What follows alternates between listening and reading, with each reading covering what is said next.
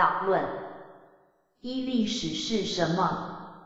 一、历史性质，历史是人类活动留下的记录，包括文字、实物以及是全体国民共同拥有的记忆。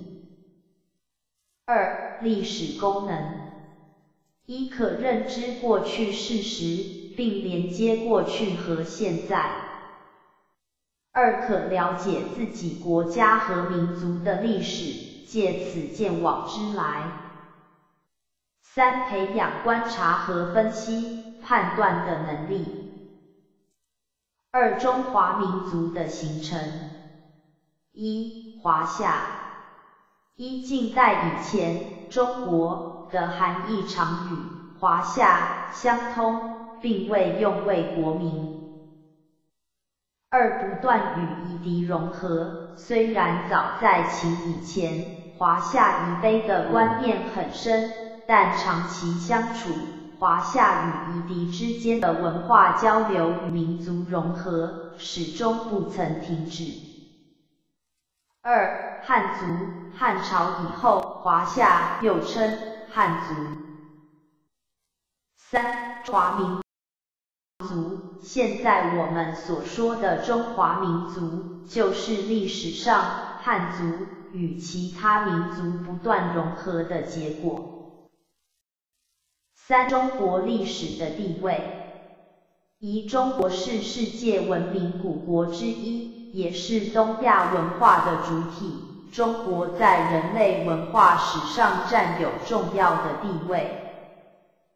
二、中国文明始终连绵不断，埃及和西亚历史起源虽比中国早，但他们的古文明都已断绝，只有中国不但历史悠久，而且始终连绵不断。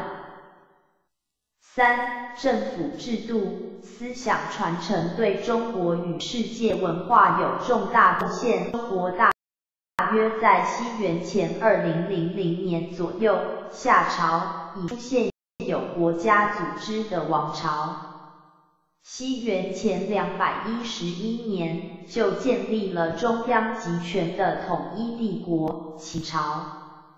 此后两千多年来，朝代虽屡有盛衰更迭，政府制度、思想传承大体相沿不绝。不仅成为中华民族共同的文化资产，对世界文化也有重大的贡献。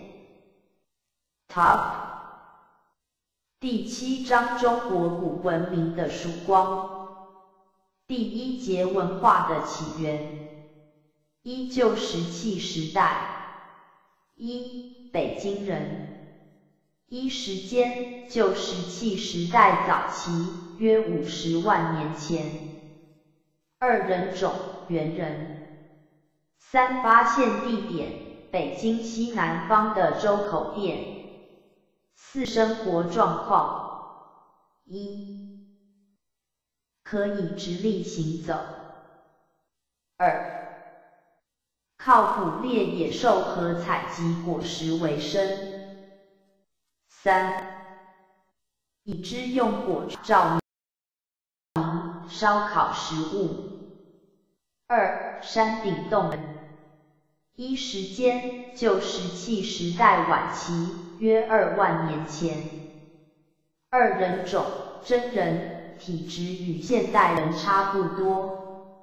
三，发现地点，北京西南方的周口店。四，生活状况。一，已知埋葬死者。二，用骨做成骨针，用寿衣制成装饰品。三，生活比北京人进步许多。二，新石器时代。一、新石器时代到旧石器时代进步之处：一、用打磨的方法制造石器；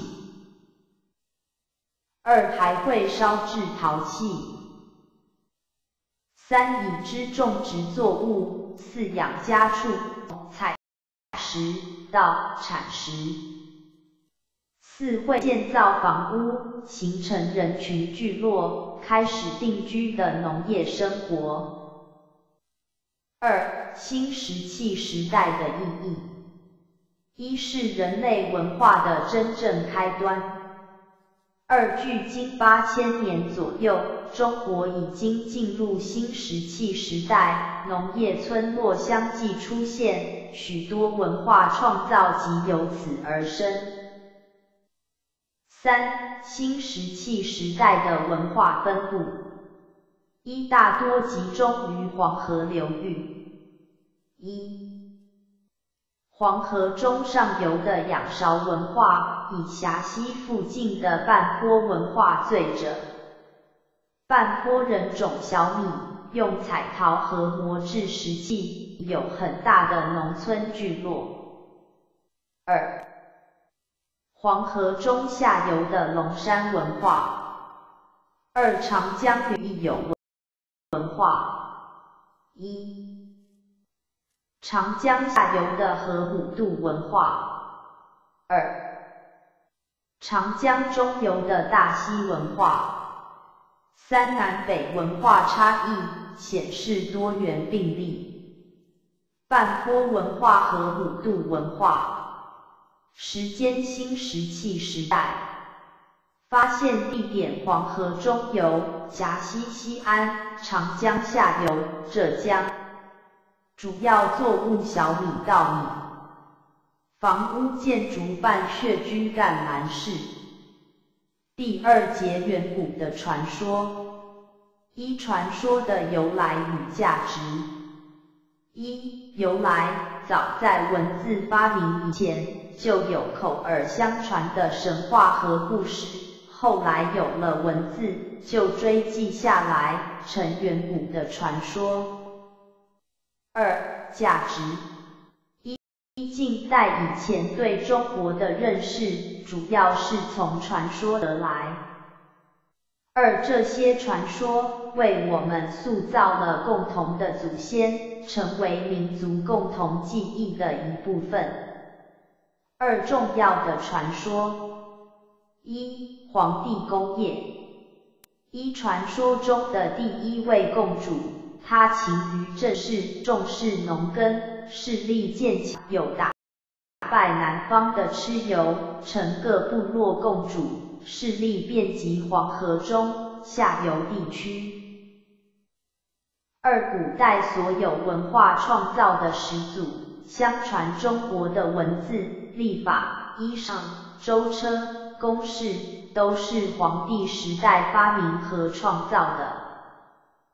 二、尧舜禅让，一尧仁慈爱民，舜以孝闻名，禹治水有功。三、夏代开始家天下，一禹欲禅让，禹即位后，国号夏。相传禹本来也想效法尧舜，把权位让给帮助治水有功的禹。二启开始家天下的局面，禹的儿子启很贤能，禹死后，部落君常不拥戴义，而拥戴禹的儿子启，从此君位成为世袭。三传说的夏朝与考古发现大致吻合。一禹治平洪水和建立家天下的君位世袭制，象征新石器晚期国家的出现，为中国历史开启新里程。二夏朝是中国历史上第一个王朝，和商、周合称三代，也就是考古学家所称的青铜时代。三文献载有传说夏朝的时代和地域，与近几十年来在河南省二里头的考古发现大致吻合，很多学者认为是夏文化的遗存。四遗憾，迄今尚未发现夏代文字可资佐证。第三节殷商文明，殷商代的兴亡。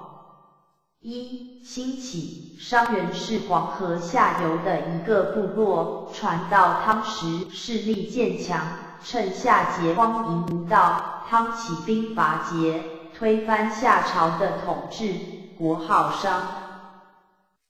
二后期发展，一商代后期，商朝前期经常迁都，直到盘庚定都于殷河南安阳。才安定下来，所以商朝又称殷朝，或称殷商。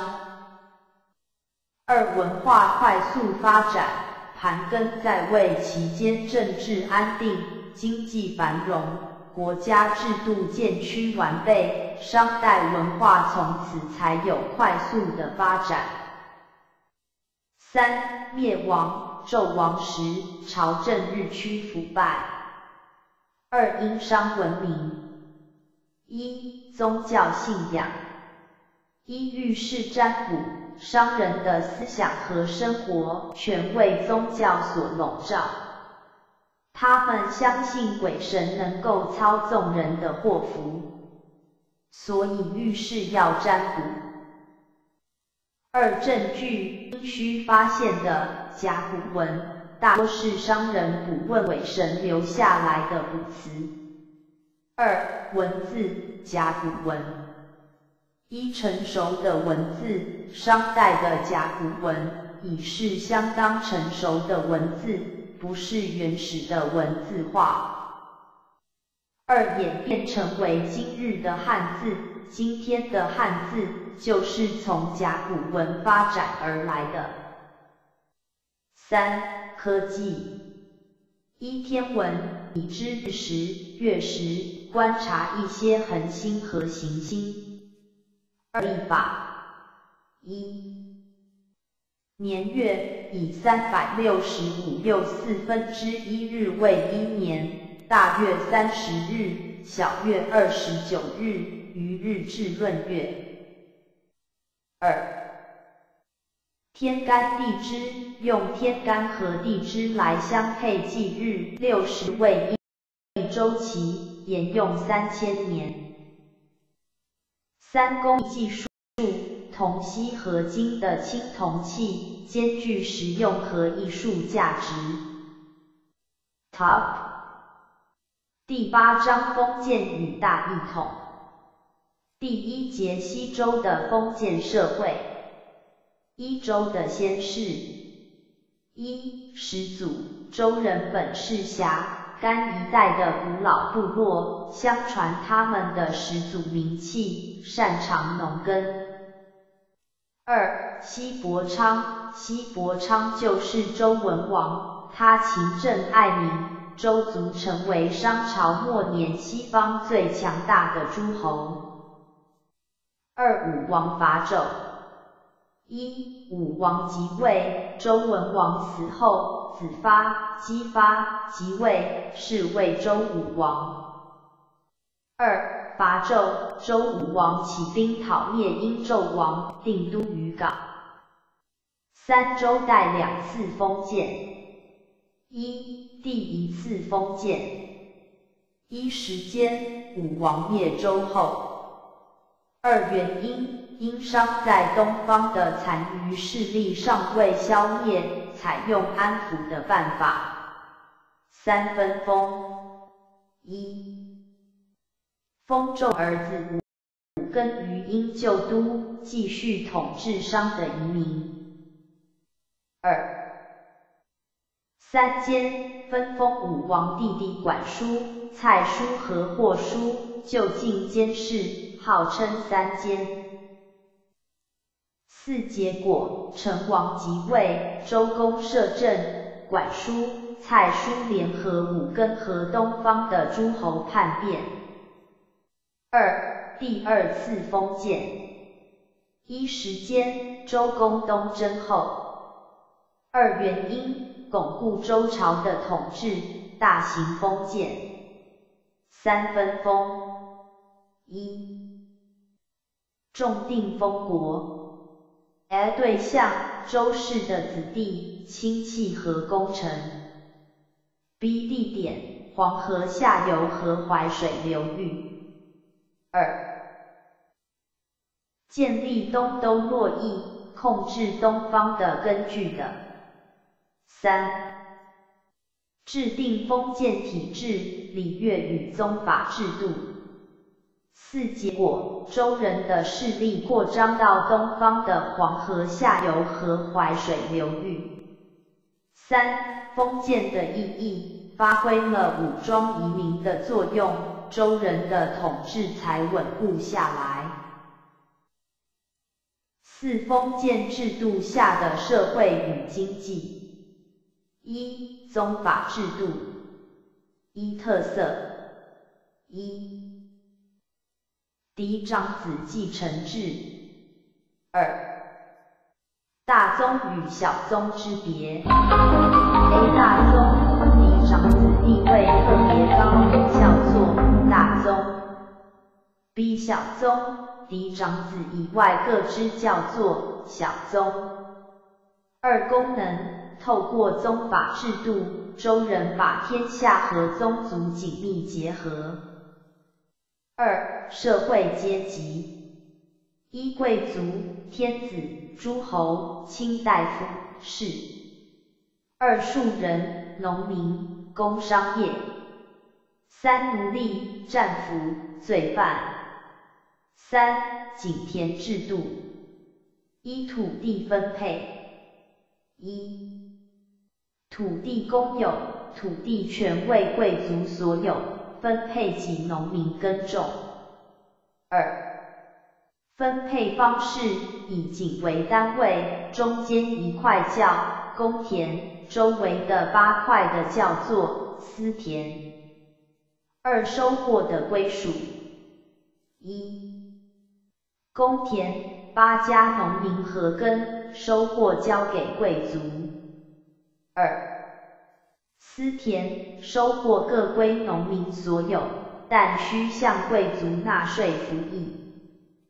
第二节春秋战国的变动：一平王东迁。一犬戎入寇，西周末期，幽王宠爱褒姒，引起犬戎入寇，幽王被杀。诸侯拥立太子平王即位。二平王东迁。一原因，镐京残破，又有犬戎威胁。二迁都，平王迁都洛邑，史称东周。三东周分歧，东周又分为春秋和战国两个时期。二时代巨变：一、政治上，一春秋五霸。一、原因：周平王东迁后，周天子的威望一落千丈，成为有名无实的共主。二、特色。大国之间的争霸或争盟。三、五霸。A 齐桓公的霸业。A 名相，用管仲为相。B 对内，改革内政，奖励工商。C 对外，以尊王攘夷为号召。B 春秋五霸，齐桓公和后来的宋襄公。晋文公、秦穆公、楚庄王合称为春秋五霸。二战国七雄。一战国七雄，韩、赵、魏、楚、燕、齐、秦等七国为战国时代七大强国。二特色：A 前号称王，各国不以诸侯自居。纷纷前号称王，周天子地位无足轻重。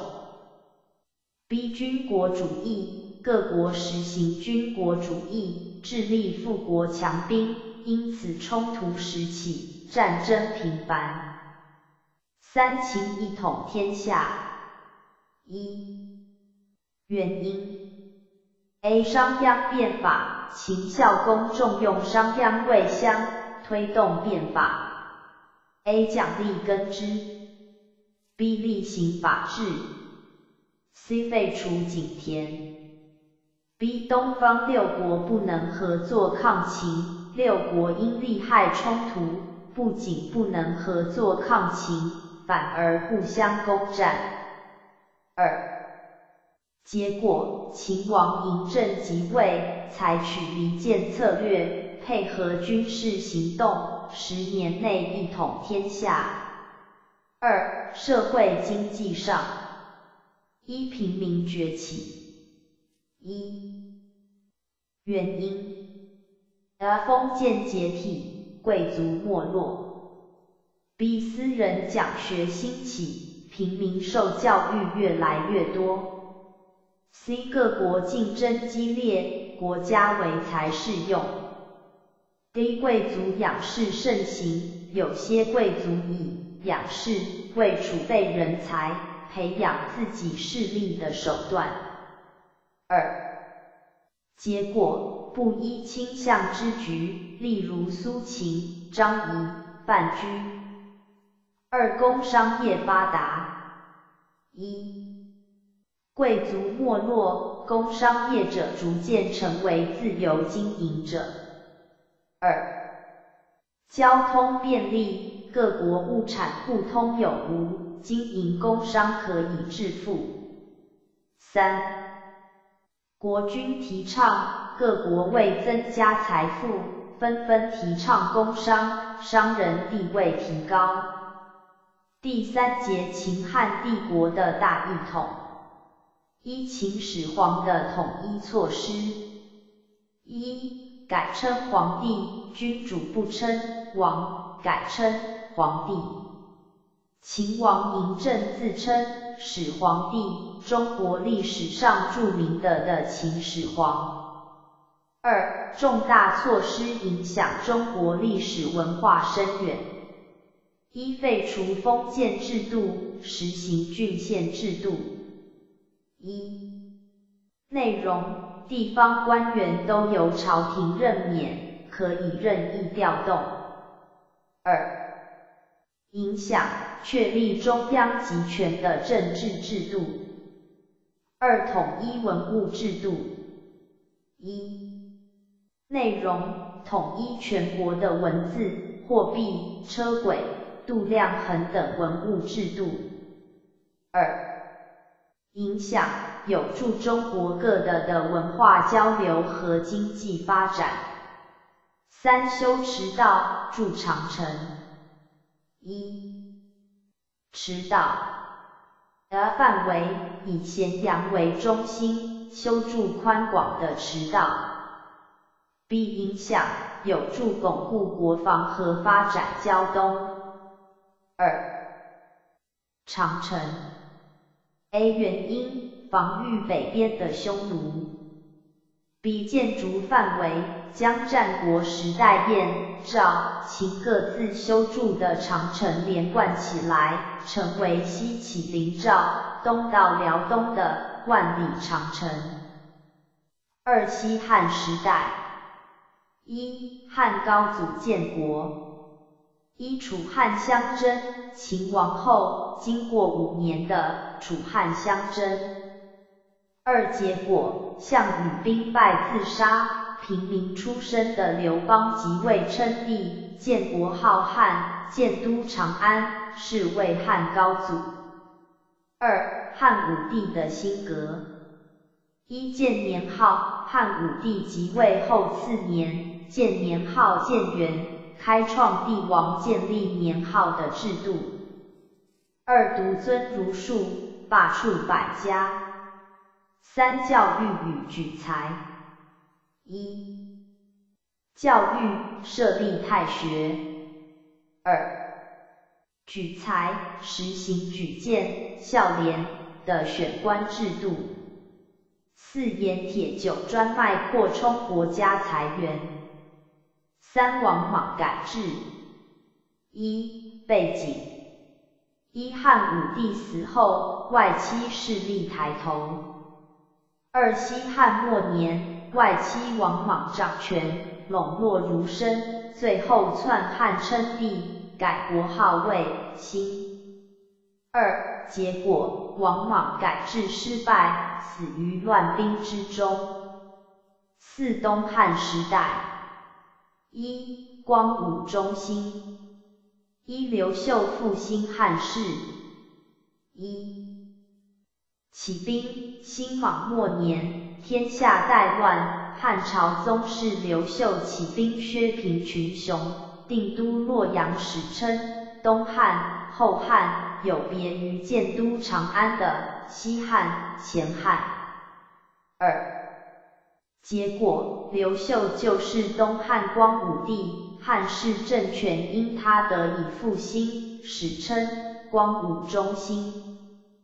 二刘秀的施政：一、注意励志；二、与民休息；三、世风纯美。刘秀重建太学，提倡文教，表彰士人气节。二、东汉的衰亡。一、外戚专权。东汉中期以后，君主多年幼即位，武后临朝，重用外戚。二、宦官乱政。皇帝年长，不干外戚专政，借助宦官来打击外戚。三、朝政日益腐败，外戚与宦官不断循环斗争。导致朝政日益腐败，是东汉衰亡的主要原因。五、秦汉对外发展。一、扩大版图，中国疆域的基础大致奠定。一、北伐匈奴，秦始皇和汉武帝都曾经北伐匈奴，迫使匈奴北迁。二南平南越，秦始皇和汉武帝都曾经南平南越。三讨伐朝鲜，汉武帝派兵讨伐朝鲜，就地设置郡县。二拓展中西交通。一秦汉时代的西域，现在的新疆和葱岭以西的地区，古称西域。二西汉武帝。一、使者张骞。二、影响。A 打开中西商路丝路，从长安经敦煌，西域到大秦、罗马帝国，中西商路大通，中国丝织品不断经由这条商路运往西方。B 促成中西文化交流，西域的宗教、音乐、绘画、杂技等都因此传入中国。三东汉明帝，一使者班超，二影响降服西域五十多个国家，进一步拓展中西的交通，汉朝的声威更为远播。第四节学术文化的发展，一百家争鸣。一时代背景，一西周时代，知识是贵族的专利，平民没有受教育的权利。二春秋战国时代百家争鸣的原因，一封建的解体，贵族流向民间。平民受教育的机会增加。二、各国竞争激烈，政治社会失序，刺激人们寻求解决途径。二、各家学说。一、儒家。一、代表人物孔子。A 学说中心，以人为中心。人是人与人之间同情心真实的流露。B 政治观，统治者应该爱民保民，以道德教化百姓。C 教育观，A 最早把学术从贵族阶层带到民间的教育家。B 有教无类的精神，广受世人敬仰，后世尊位。至圣先师。二、战国时代的代表人物孟子与荀子。A. 孟子、荀子继承孔子的学说，并加以发扬光大。B. 孟子与荀子比较。人物孟子、荀子。人性论、性善论、性恶论。基本主张一：民贵君轻。二、减轻赋税，实行仁政。人性本恶，必须用礼。来节制和教育，才能克服人性的弱点，弃恶向善。目的方法不同，但均教人为善。二道家，一代表人物：A. 老子主张清净无为，顺其自然。B. 庄子用寓言故事解说人生哲理。把自然思想和个人生活结合，使老子的学说更发扬光大。二、贡献老庄思想对中国人心灵世界的提升都有很大的贡献。三、墨家一、代表人物墨子。二、学说以功利主义为出发点，人们应以追求天下人最大的利益为目标。A. 兼爱，对人的关爱不要有差别。B. 非攻，反对战争，认为任何战争对胜败双方都不利。四法家一，代表人物韩非子。二、学说的法术是并用用刑罚、权术和威势来操纵臣下，控制人民。逼特重君主利益，以君主利益为出发点，讲求富国强兵的方法。三、共同点，这些学说的基本关怀都在建立新的政治社会秩序。二从焚书坑儒到独尊儒术。一秦始皇焚书坑儒。一原因。一统一思想，秦始皇不只要统一天下文物制度，也要达到思想上的统一。二焚书，李斯建议秦始皇下令焚书。禁止私人讲学和议论施政。三，坑儒，秦始皇严惩诽谤他的人，在咸阳坑杀了四百多个儒生。二影响，一，学术思想的自由大受打击。二，古代许多典籍失传。二。汉武帝独尊儒术。一背景：西汉初年，崇尚黄老学说，但其他各家并行不悖。二方法：汉武帝即位，罢黜百家，独尊儒术。一中央设官，汉武帝在中央设五经博士。二。任官，全国各地的优秀青年跟随五经博士学习，成绩优异的任命为官。三。意义：一、奠定儒家在文化上的正统地位，儒家思想成为此后两千年学术思想的主流。二、中国在文化和思想上趋向统一。三经学与史学。一经学。一秦代经学受打压，秦始皇焚书，使古代典籍遭受空前浩劫。二汉代经学发达，汉初鼓励献书，汉武帝独尊儒术，五经成为世人必读之书。因此经学特别发达。二、史学。一、司马迁。一、时代汉武帝。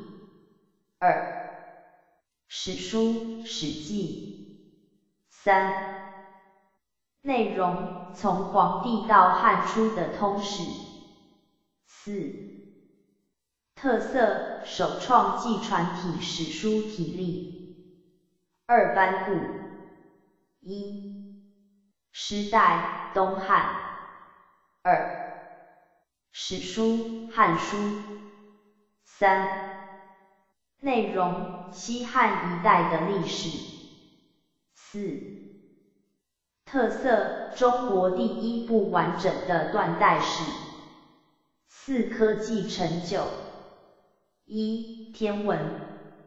一、代表性科学家，东汉的张衡。二、贡献：一、浑天仪，用以推算天体的运行。二、地动仪能够测定地震的方向。二、医学，中国的传统医学体系到秦汉时期逐渐确立。一、西汉，淳于意为代表，治病对症下药，兼用针灸。二、东汉。一、张机有医圣之称。二、华佗擅长外科手术，以医术高超闻名于世。三、造纸术，一制造者，东汉时代的宦官蔡伦综合前人的经验。二、材料，用树皮、破布、渔网为原料造纸，后世称为蔡侯纸。三、影响。书写材料的进步，加速了教育普及和文化传播，是划时代的重要成就。Top 第九章分裂与再统一。第一节魏晋南北朝的分合。一政治上分多于合。一分三国鼎立。一背景。一曹操的兴起，汉末群雄割据，曹操挟持汉献帝，掌握大权，消灭地方割据势力，统一北方。二，赤壁之战，孙权与刘备联军大败曹操，曹操退回北方，三分天下的局势形成。二，三国时代。建立者国号定都，曹丕魏，曹魏洛阳，刘备汉，蜀汉成都，孙权吴，东吴，孙吴建业。二和西晋的短暂统一，一统一，一。曹魏灭蜀汉，曹魏末年，蜀汉被灭。二西晋的建立，司马炎篡位，建立晋朝。三，西晋灭东吴，西晋灭东吴，天下统一。二五胡乱华。一，五胡，匈奴，鲜卑，氐，羌，羯。二，五胡的内喜。A 汉初。北方的游牧民族，B 西汉中叶，塞外部族陆续迁入中国边地。C 西晋初年，内徙的部族更多、更复杂。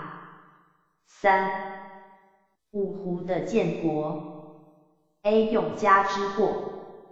A 原因，西晋末年，匈奴人刘渊起兵称帝。逼灭西晋，匈奴人攻陷洛阳，晋怀帝被俘，史称永嘉之祸。逼五胡纷纷建国，其他胡人纷纷建国，形成长达一百多年的五胡十六国局面，史称五胡乱华。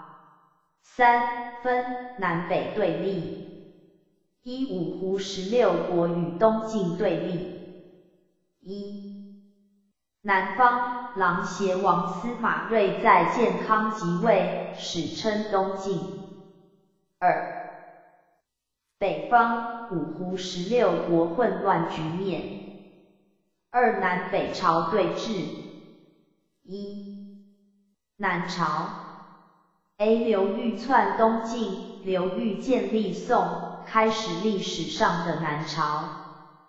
B 南朝四代，南朝立宋、齐、梁、陈四代，均建都建康。C 控制范围，南朝国势较弱，大都只能控制长江下游一带。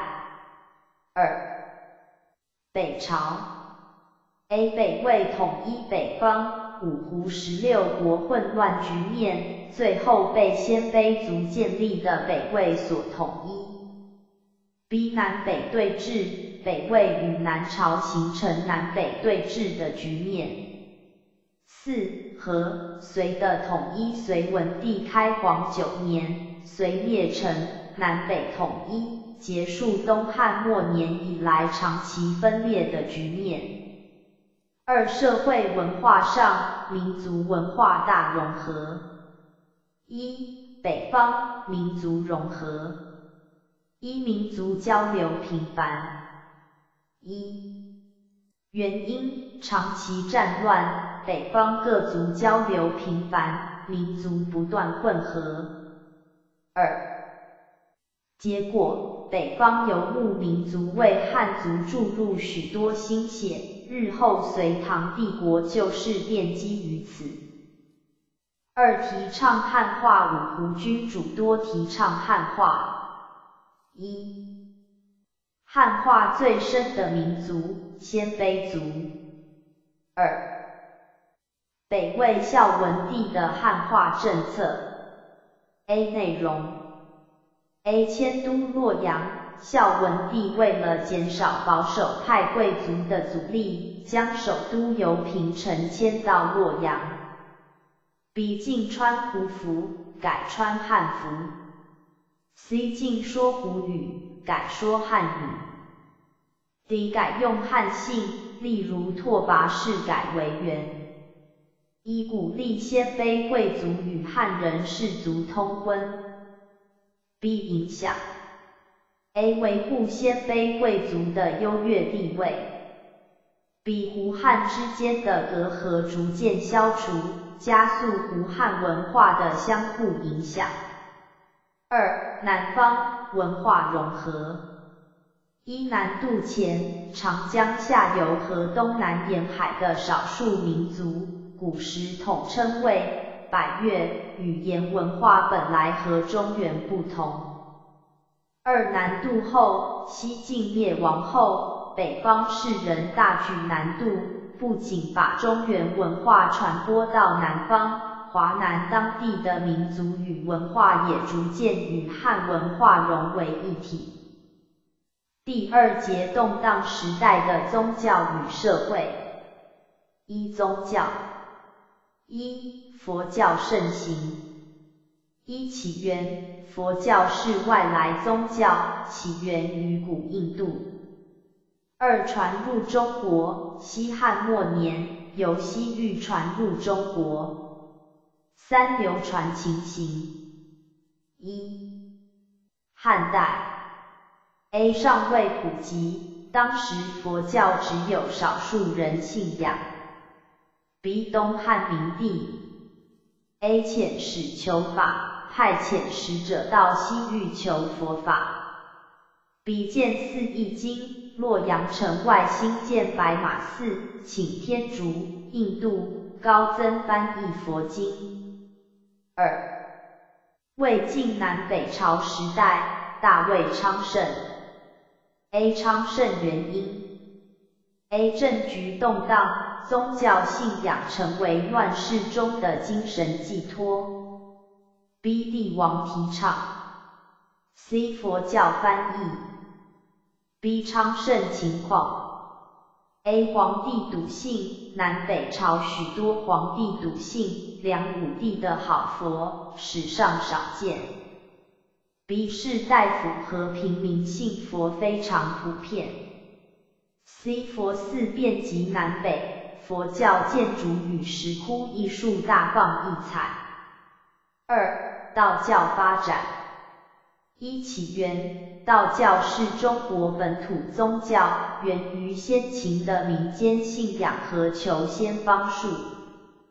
二、发展情况。一、东汉末年，盛行河北。四川地区的五斗米道。二、魏晋之际，五斗米道势力大盛，迁到江西龙虎山，改称天师道。三、南北朝时代，道教信徒由民间扩及统治阶层，帝王、士大夫信道的越来越多。二、社会。一、清谈与玄学。一、背景：魏晋南北朝时代，儒学衰微，士大夫盛行清谈与玄学。二、清谈性质：抛开现实，专讲玄理的谈论。三、代表人物：曹魏时代的何晏和王弼。四、兴盛原因。政治腐败，世人为逃避现实，分以谈玄论理为寄托。五流弊，清谈之风大盛，士大夫行为愈来愈放纵不羁。二士族的鼎盛，一起因一。汉代朝廷以经学取士，儒者以经学传家，书香世家多的上选日久，形成名门大族及士族，又称门第。二、魏晋时代，曹魏政府实施九品官人法，州郡人才的评选只重家世，造成上品无寒门，下品无士族。的现象。二结果，西晋灭亡后，政局动荡，士族有九品官人法和皇室的维护，政治权力和社会地位仍能持续不衰。三江南的开发，一六朝，孙吴、东晋、宋、齐、梁、陈都建都于建康，合称六朝。二六朝的贡献，六朝对江南的开发是对中国历史发展最大的贡献。第三节隋唐帝国的统一，一隋朝的统一与建设，一隋的建立与统一，一建立北周末年，君主年幼，外戚杨坚专制朝政，进而篡位自立。改国号隋，是为隋文帝。二统一，隋文帝派军南下灭陈，完成中国的统一。三治世，隋文帝崇尚节俭，勤政爱民，在位二十多年，民生富庶，政治安定，史称开皇之治。二建设，一营建新都。臣民建成皇帝建成原因，大兴隋文帝长安九城狭小，洛阳隋炀帝进一步控制关东和江南。二设立粮仓，隋文帝设立一官仓，供应官府使用。二义仓，各州自治。备灾荒之需。三开凿运河。一广通渠，隋文帝开凿，使长安与黄河衔接。二永济渠，通济渠，邗沟、江南河，隋炀帝凿通。三贡献。A 这些运河连成一条贯通南北的交通干线，B 江南物资得以便捷的运补京师，成为维系隋唐帝国的经济命脉。三、隋炀帝暴政亡国。一、耗损民力，大兴土木，建宫苑，筑运河，严重耗损民力。二、苛税重役，屡次巡游江都、江苏扬州，三度征伐高丽，人民饱受苛税重役之苦，终于激起各的的反抗。二、唐朝的盛世与衰落。一、建立，隋末，太原留守李渊起兵，攻进长安，称帝自立，是为唐高祖。二、盛世，从唐太宗贞观之治到唐玄宗开元之治的一百多年间，是唐朝的极盛时期。一、唐太宗。一虚心纳谏，鉴于隋王教训，勤于政事，留心立志。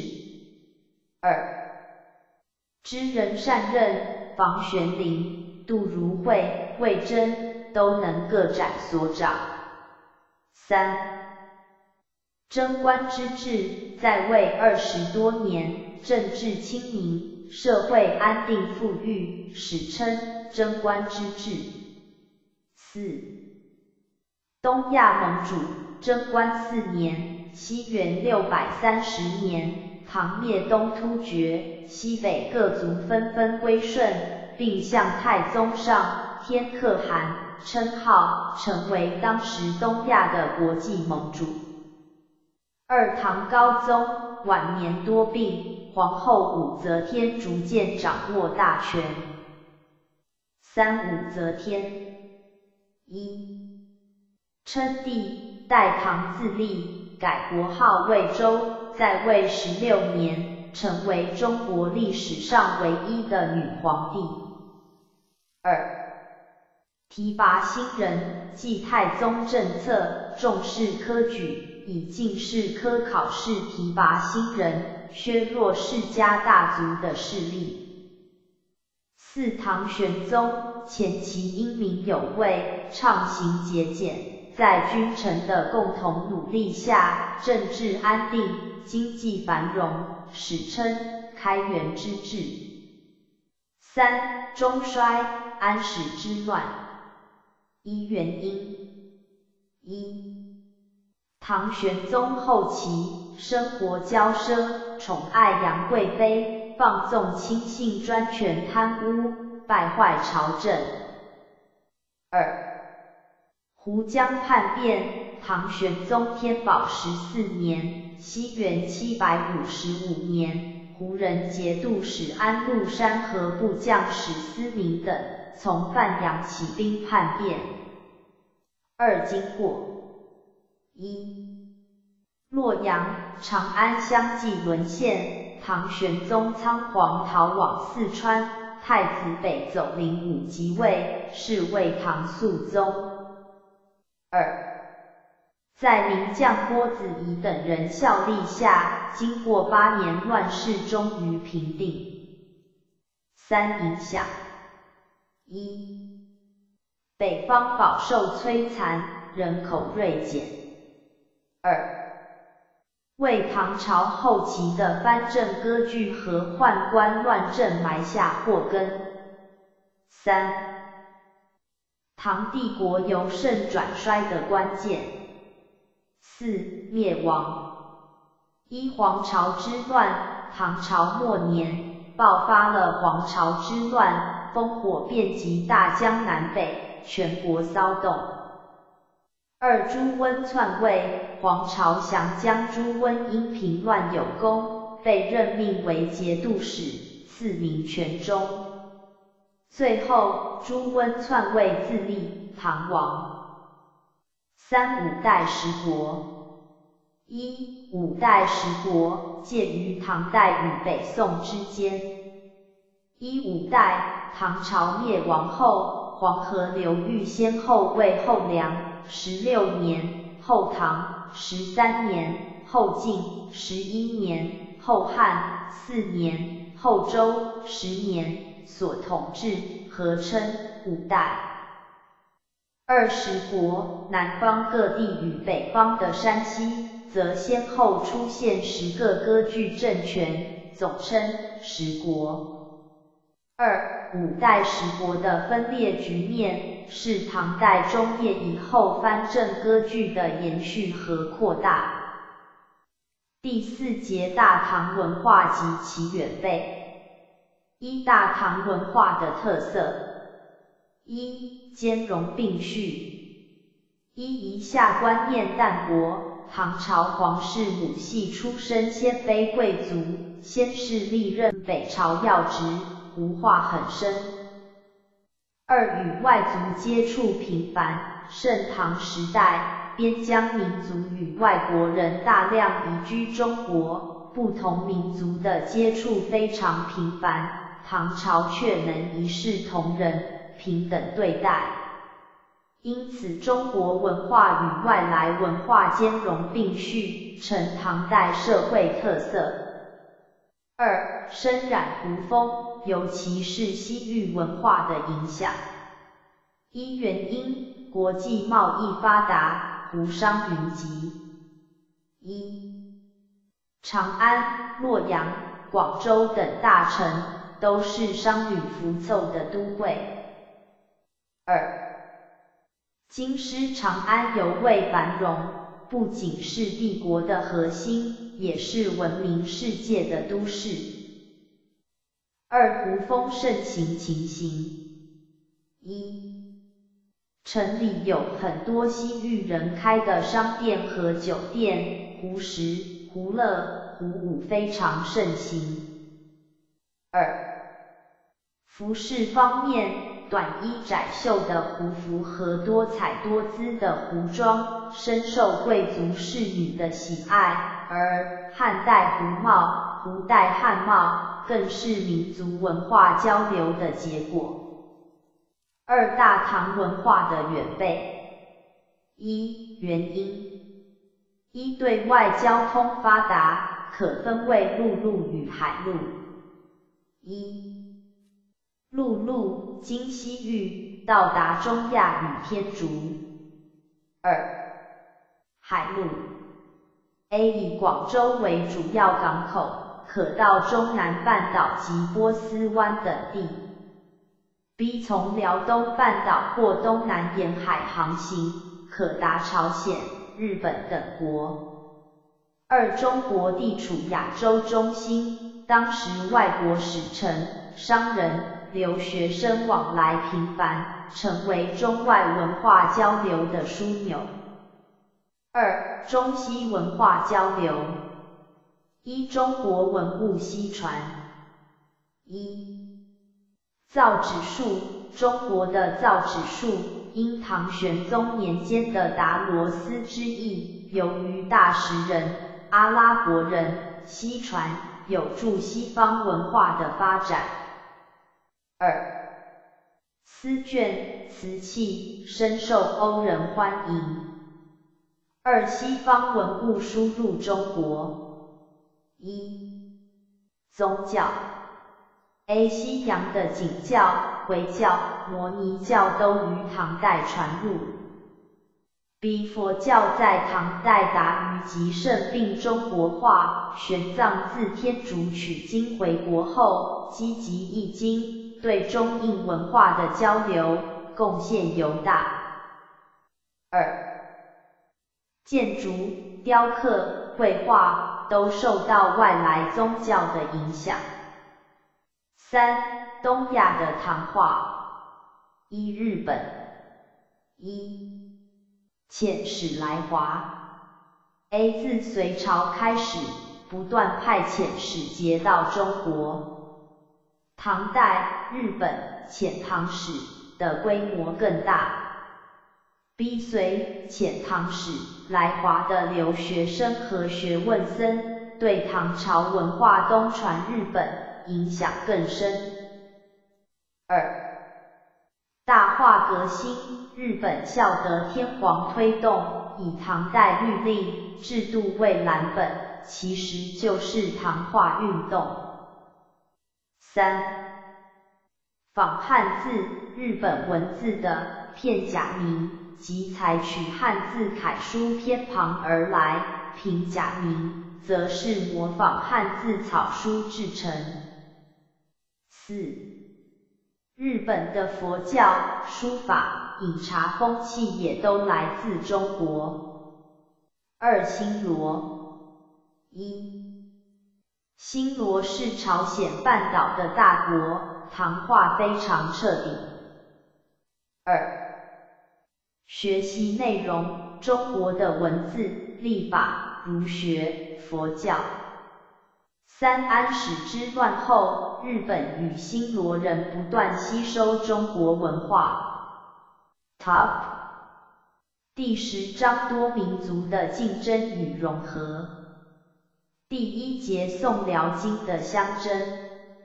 一、宋代的强干弱支政策。一、原因：一、宋代开国君主赵匡胤原是禁军统帅，因陈桥兵变被拥立，被拥立为皇帝，是为宋太祖。二、宋太祖鉴于唐末以来藩镇割据和禁军将领专横之害，主以强干弱支为基本国策。二、方法。一军事上集权中央，一收掌禁军兵权，二削夺藩镇权力，二政治上行文人政治，一礼遇文士，二严禁五人干政，三优点。一军事上解决唐末以来藩镇割据和将领专擅的问题；二政治上得以维持安定，在当时不失为救时良策。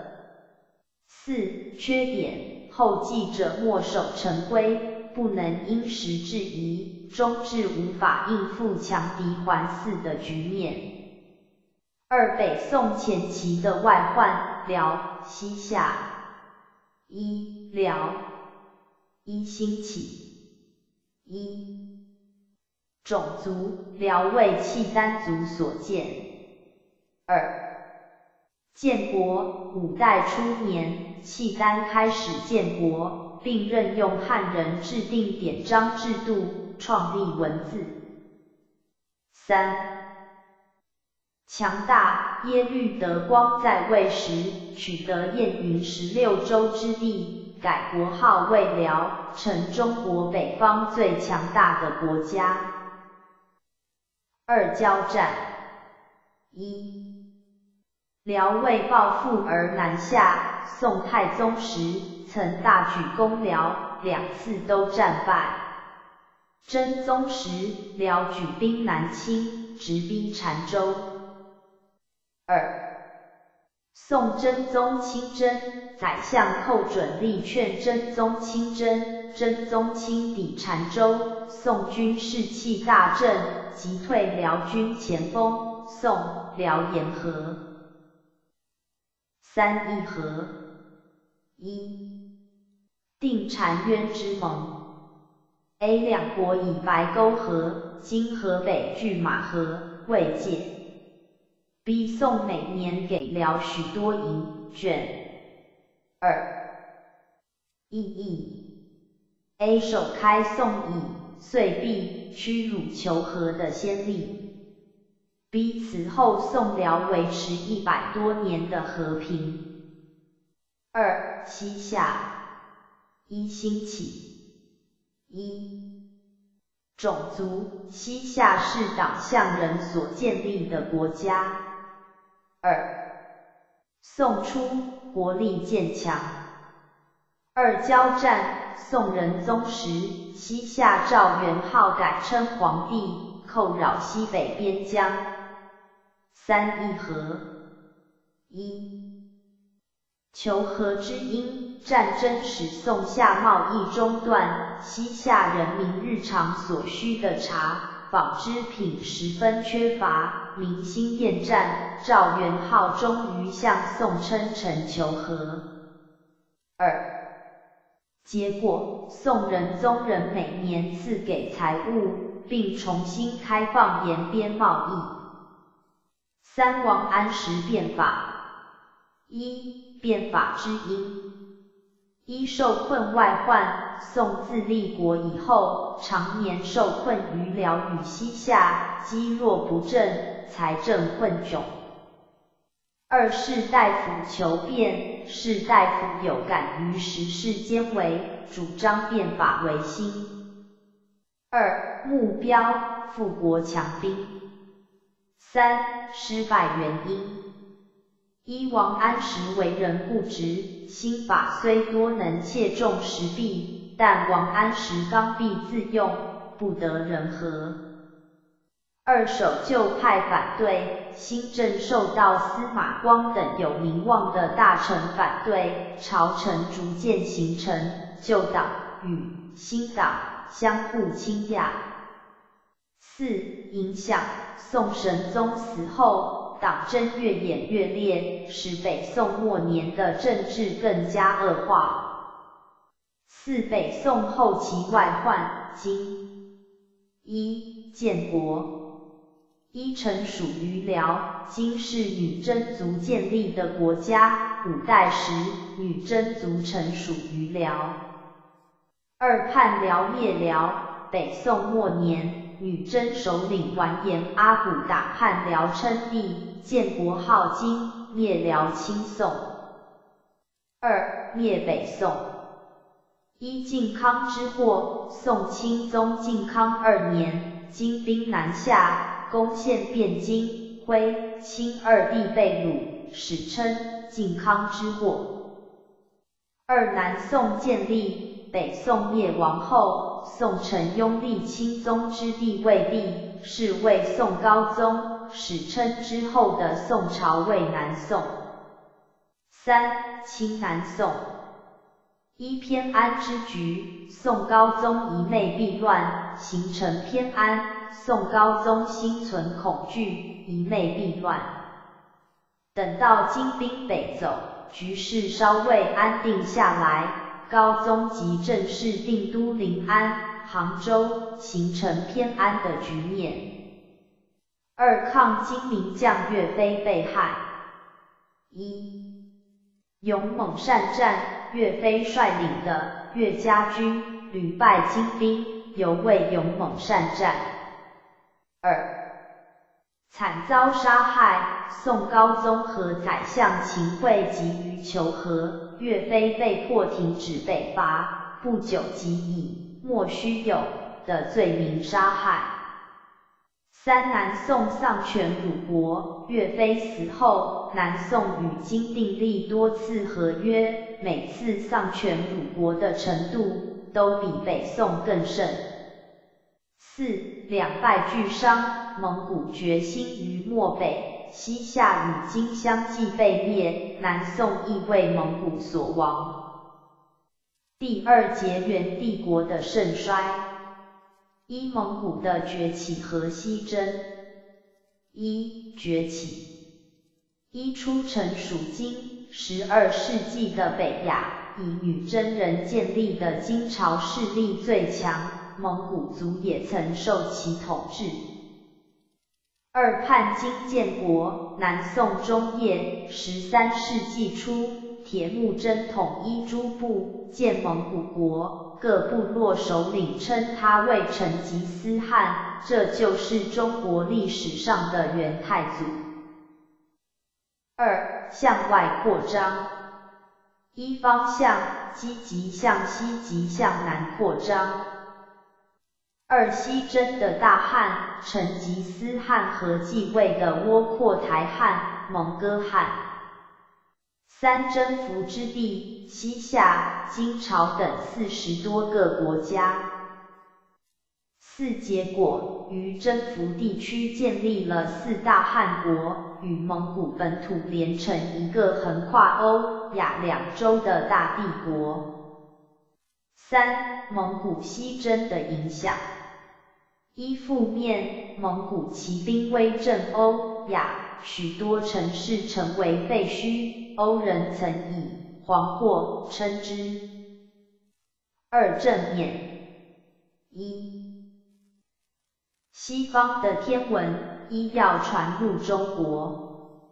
二、中国的火药、纸币、活字印刷传入欧洲。二元朝的建立。一、忽必烈即位，蒙哥汗死后，蒙古陷入内乱。最后忽必烈自立为汉，定都大都，今北京市，国号元，是为元世祖。二、灭南宋，元世祖至元十三年，西元一二七六年，蒙古大军南下，攻陷临安。宋臣继续抗元。最后，崖山、广东新会一战，宋军溃败，南宋亡。三、忽必烈灭宋的意义：一、统一中国，结束了唐末以来几个政权同时并存的局面；二、元朝疆域辽阔，超过汉、唐；三、元朝的统治与衰亡。一元朝的统治，一用汉室汉制，元世祖也是很有政治建树的君主。灭宋以前即重用汉族士人，仿汉制建年号，并以汉法治理汉的，因而赢得汉臣的拥戴。二继续对外用兵，包括伐高丽、征日本，并大理、云南。帝国声威大振。二、种族歧视，元世祖的一大失策。一、蒙古人又称国人政权的主体是蒙古贵族，从中央到地方的重要官职都由他们担任。二、色目人包括西域各族和西夏人，长于理财，多任财政、赋役等要职。三汉人包括原来受金朝统治的汉人、契丹人、女真人，无论在政治、法律或科举考试方面，都备受歧视。四南人包括江南的汉人和其他各族。第三节传统文化的更新。一儒学的复兴。一儒学曾一度衰微。魏晋以后，玄学与佛学盛行，儒家地位不再独尊。二、儒学的复兴。一、南宋。一、南宋朱熹将理学发展成更有系统的思想体系。二、朱熹将《论语》《孟子》《大学》《中庸》合称四书。三、南宋以后，四书为世人所必读。二、影响：一、元代开始，以朱熹所着的四书集注为科举考试的定本。二、理学家强调品德修养，导致宋元以后名节观念逐渐深入人心。影响尤为深远。二、科技的成就。一、宋元科技成就的意义。一、宋元时代是中国传统科学技术发展的高峰期，科学家辈出。二、火药、印刷术、指南针三大发明有划时代的进展。二、代表性科学家。一北宋的沈括，一，这有《梦溪笔谈》，是中国科技史上的重要著作，书中记载他研究科技的心得，对天文历法造诣尤深。二，《梦溪笔谈》书中还有当时医药、地理、印刷等科技发展的忠实记录，十分珍贵。二元代的郭守敬，一制造多种天文仪器，对促进天文观测的进步贡献很大。二，他所制定的授时历是中国历史上使用最久的一部历法，充分反映宋元天文历法的高度发展。三，三大发明：一、火药与火器。一，唐末已有战争中使用火药箭的记载。二，北宋末年，李纲曾使用霹雳炮等火器抵抗金人。三，金灭北宋后，接管汴京的火器工厂。后来，金人也使用震天雷一类的火炮抵抗蒙古。二、印刷术。一、雕版印刷。A 始于唐代，到两宋达于极盛。B 宋人刻印书籍，重视刻工与校对，字体美，错误少，纸墨装订也很讲究，因此宋版书特别珍贵。二、活字版印刷。A 宋仁宗时，毕生发明活字版印刷术。手用胶泥制成活字排印。B 元代王真进而制成木活字，并创造轮转排字盘，既省时又方便。三指南针。一，起源战国时代的司南，被认为是指南针的始祖。二。宋代由于人工磁化法的发明，磁针装置技术进步，指南针开始运用于海上导航。宋元时期航海事业因此达于极盛。三史学成就：一、宋代史书题材的创新，长篇史者的丰富都超越汉唐。二、宋代最具代表性的史哲是司马光编撰的《资治通鉴》，一包罗战国至五代之间的史事。二是中国第一部编年体通史。三教材丰富，考定严谨。第四节社会生活的变迁。一科举与教育。一科举一宋代科举完备原因一宋代重文轻武，讲业寒士，以科举为选拔人才的主要途径。二科举制度始于隋，确立于唐，至北宋而大备。二平民入仕机会多。一宋代科举特重进士科，但录取名额比唐代高出好几倍，而且一经录取即可授官，因此平民入仕的机会更多。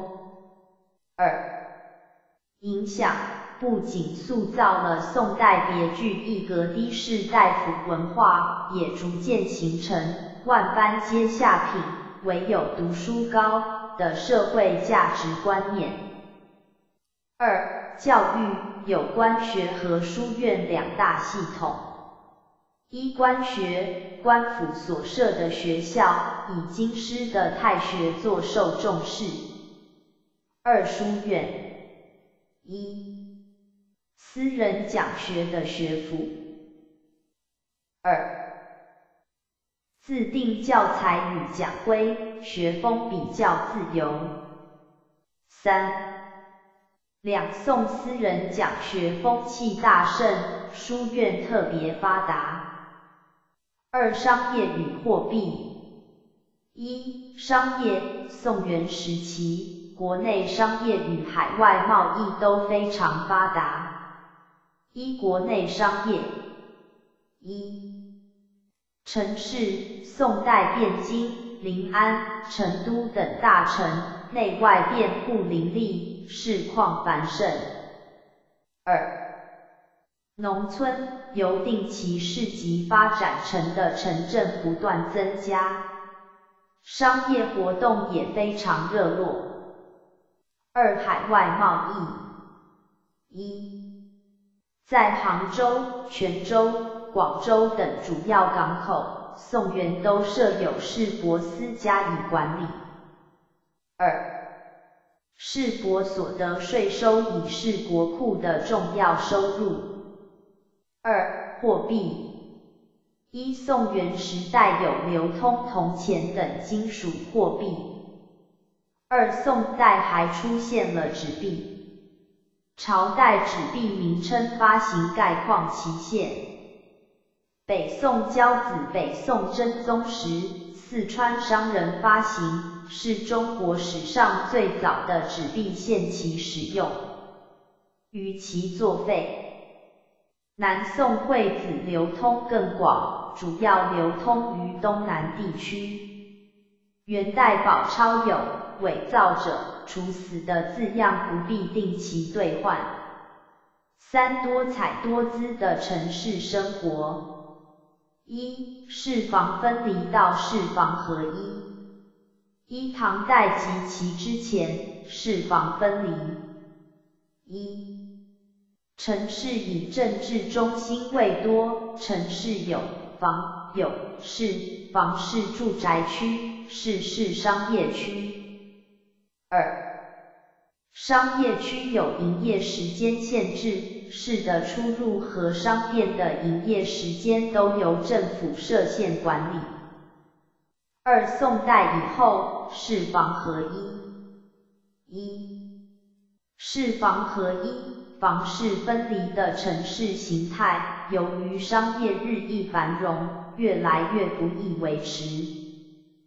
二、不受时间限制，北宋汴京、南宋临安的夜市即因房市制废除而兴旺。二、城市生活。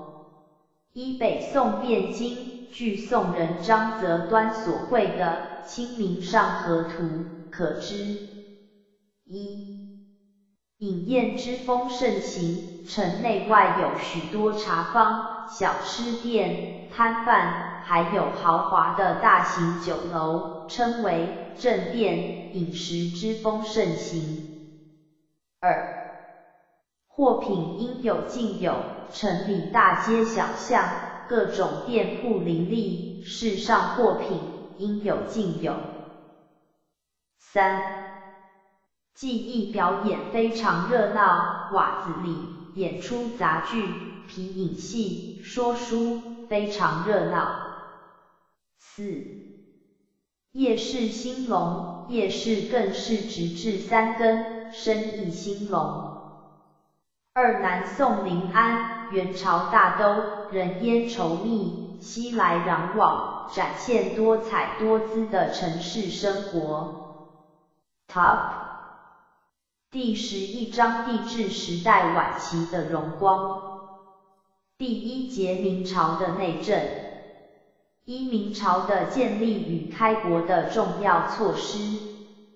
一明朝的建立，一明朝的开国君主朱元璋出身贫农家庭，后加入反元阵营，转战各地，重用刘基，逐渐占有江淮流域。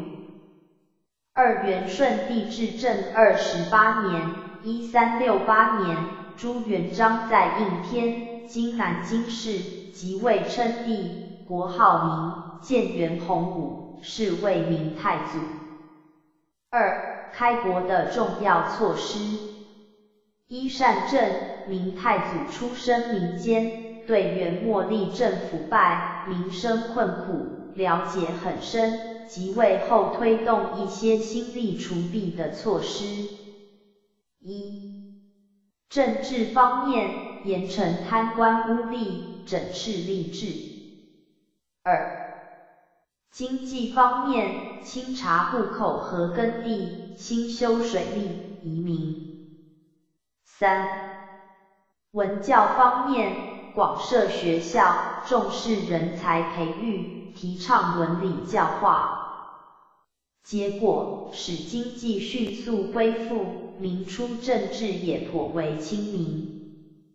二二镇明太祖为了巩固王朝的统治根基，有些措施留下不少后患。一、废丞相及国家大权于一身。二、杀戮功臣，履新大狱。三、凌辱世人，使用廷杖，施行文字狱。四、分封诸子为王。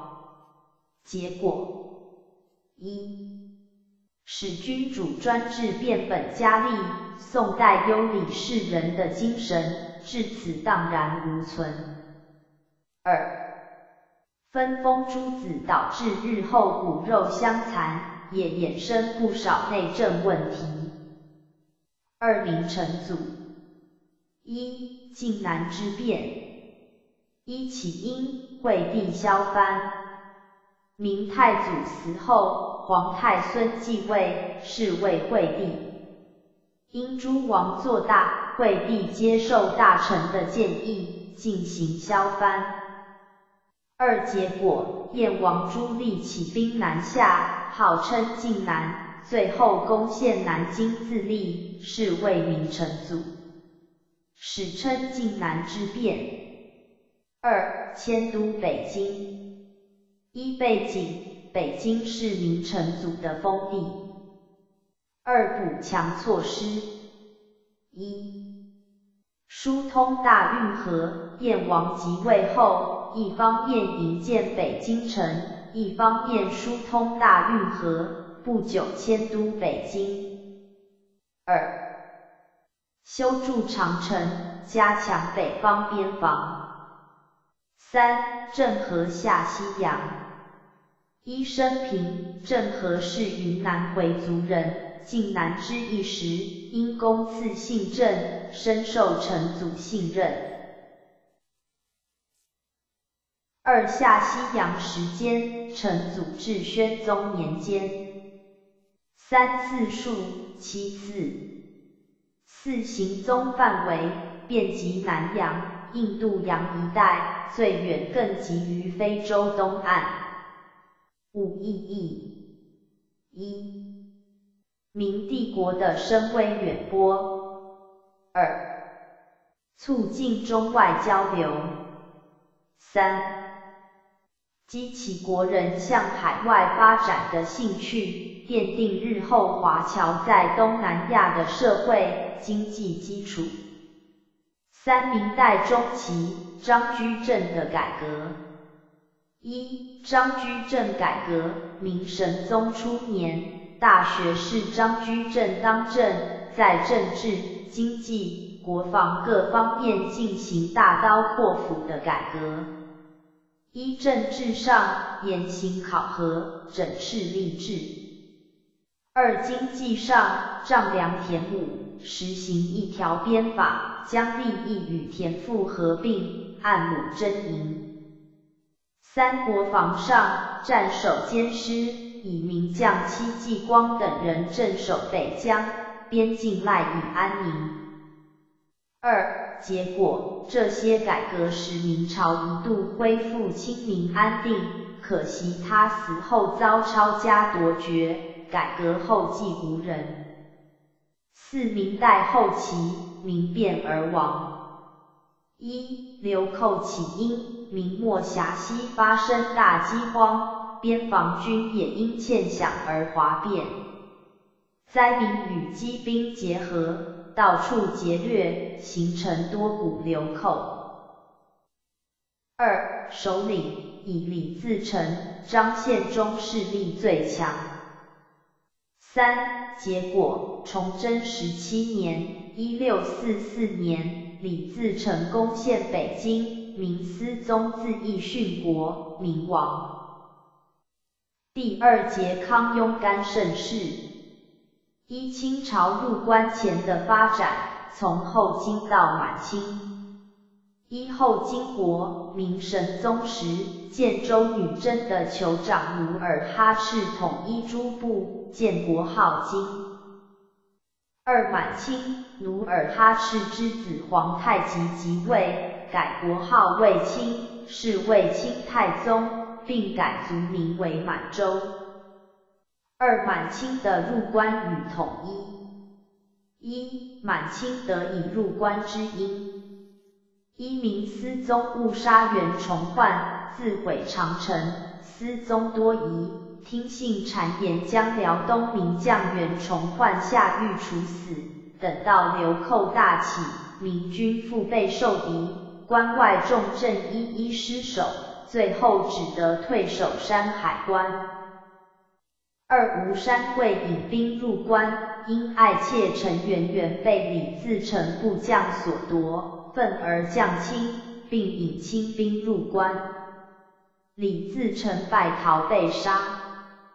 二、统一中国的步骤：一、利用明降将逐一攻灭流寇与南明势力；二、清圣祖康熙年间，先后平定三藩之乱及攻克台湾，完成统一；三、康雍干的政绩与治术：一、施政风格，皇帝年号施政风格共同政策。圣祖康熙宽仁，留心民间疾苦夷，积极吸收汉文化。二勤于政事，致力于奖励农桑，兴修水利，严惩贪污。三社会经济得以迅速恢复，到乾隆年间，国势更达于极盛。世宗雍正严峻，善于御下。高宗乾隆折中于刚柔之间，特别推崇圣祖的施政。二、成功的关键，怀柔与高压并济。一、怀柔政策。一、礼藏明思宗帝后，表扬殉国名臣。二、开科取士。三、以奖励学术为名，广征明朝遗老参与编撰《明史》《四库全书》等。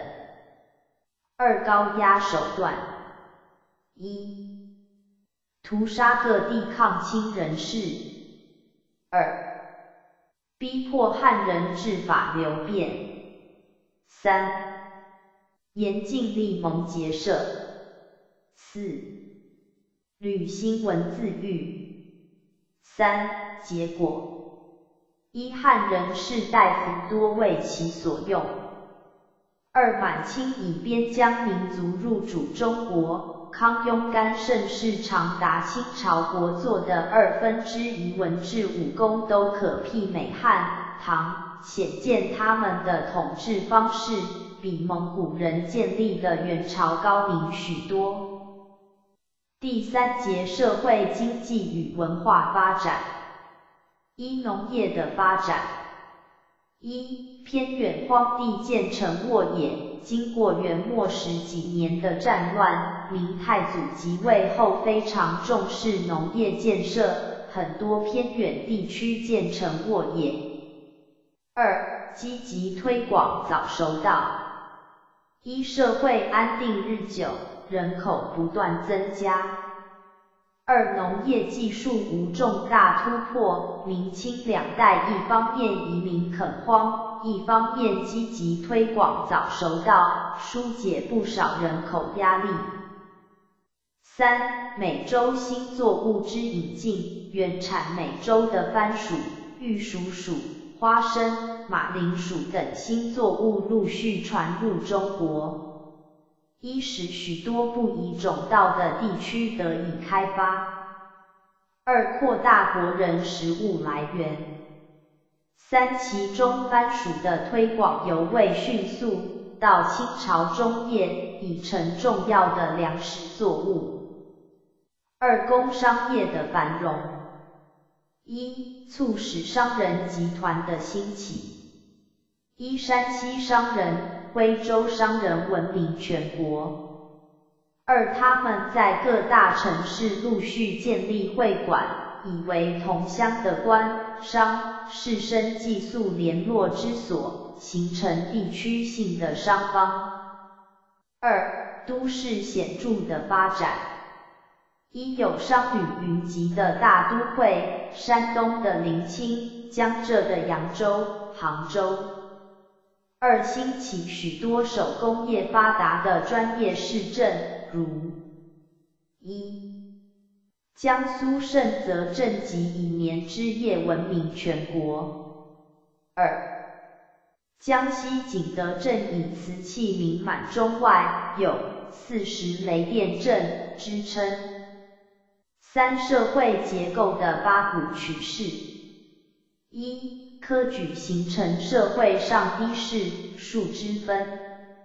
一形成之因，明清两代选任人才人以科举为主。科举分乡试、会试、殿试三阶段，通过考试的举人、进士，不仅可以任官，还享有赋役、司法上的种种特权。二是数区别，在科举制度下，拥有功名的士人与官员形成士绅阶级，身份地位、生活一致与庶民有很大区别。二八股文的僵化，对社会风气有不良影响。一八股文之僵化。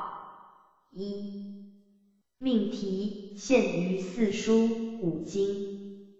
二、格式严格规定应试文章的格式，遵照指定著书论说，俗称八股文。二不良影响：一、读书投机，钻研八股文，竟成为明清科举制度与学校教育的核心。读书人大都只知埋首经书，勤习八股。不做实际学问。二、思想闭塞，取士制度僵化，不仅使世人思想深受闭塞，对人才培育与社会风气也有不良影响。四、文艺与科技。一、文学，明清文学以小说成就最高。一、明代，《三国演义》。《水浒传》《西游记》，二清代《红楼梦》《聊斋志异》，二科技，一李时珍，一著作《本草纲目》，二内容修正许多医药典籍的错误，详细记载各种药物、药方，有插图可供辨认。二宋应星，一著作《天工开物》，二。内容记载各种农业和手工艺技术，并附图说明，是中国传统生产技术的集大成之作。第四节近代前夕中西的初会，一中西贸易的出展。一。明代，一葡萄牙，一十六世纪初抵越江口，是欧人第一次由海路直达中国。二具有澳门作为发展东方贸易的据点。A 一面从事亚洲与欧洲之间的香料贸易。B 一面经营澳门与日本之间的丝绸贸易。三、葡萄牙人是明末南方沿海一带最活跃的外国商人。二、西班牙。一、与中国间接贸易，由于葡人已先具有澳门，西班牙无法如愿与中国直接贸易。他们以殖民的菲律宾为中间站。二、海上丝路贸易，在菲律宾展开中国与西属美洲之间的丝货贸易，经由这条横渡太平洋的海上丝路，中国的丝绸运往美洲，美洲的白银也不断流入中国。三荷兰、英国、明末和西相继东来，势力渐强，西葡对华贸易很受影响。二、清代。一清廷例行海禁，中西贸易陷入停顿状态。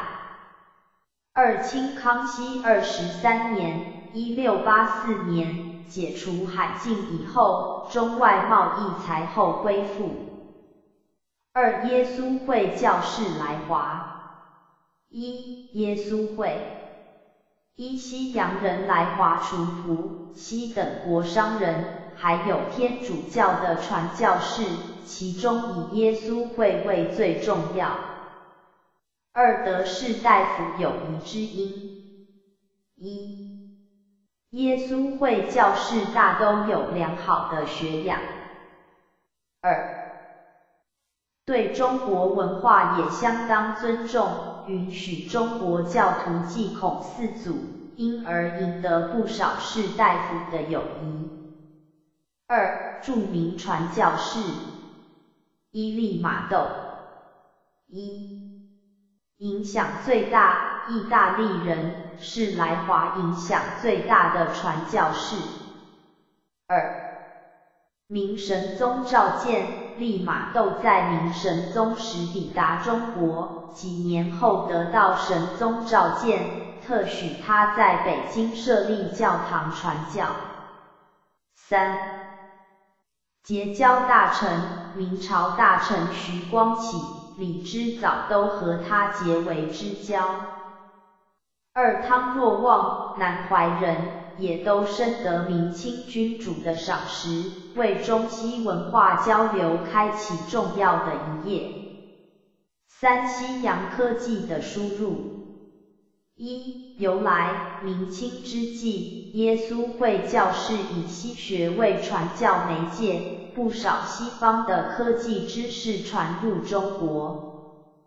二主要的西学，一天文历法，清初汤若望、南怀仁先后主掌钦天监，制定时宪历，并为清朝制造一座天文台，制造许多天文仪器。二数学一传入欧几里得的几何学和三角学。二最著名的是利玛窦、徐光启合译《几何原本》，是来华传教士翻译的第一部科学著作。三地理学一利玛窦介绍万国舆图。国人始知的远及五大洲之说。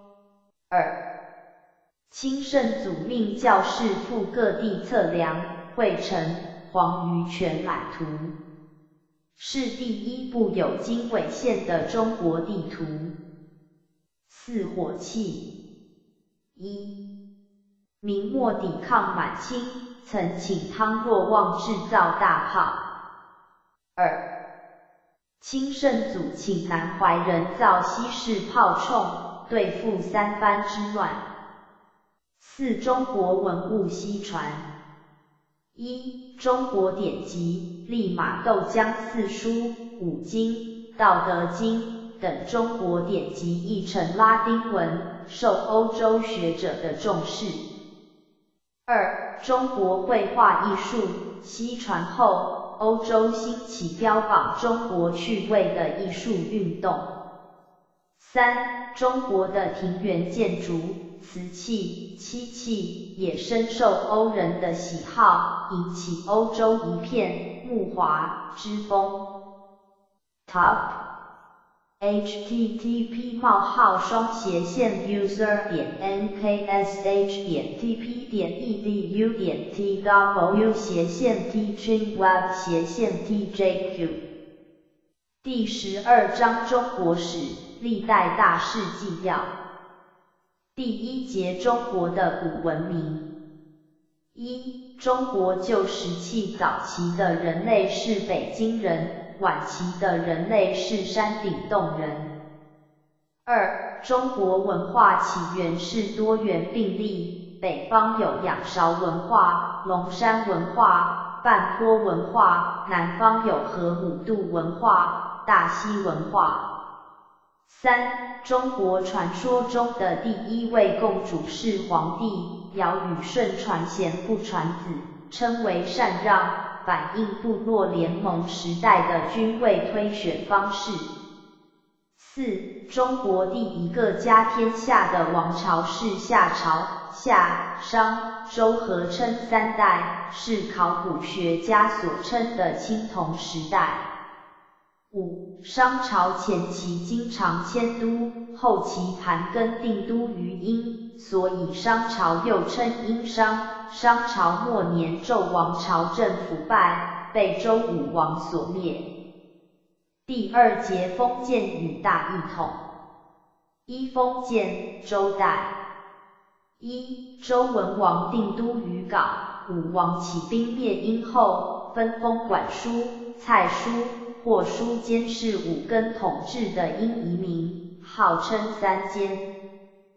二、周公东征，平定东方的管蔡之乱，重定封国，建立东都洛邑，并制定封建礼制，稳固周人的统治。三、周幽王引起犬戎入侵被杀，平王继位，迁都洛邑，史称东周。四、东周前期是春秋时期，五霸争盟；后期是战国时期，七雄并起，韩、赵、魏、楚、燕、齐、秦，战争不断。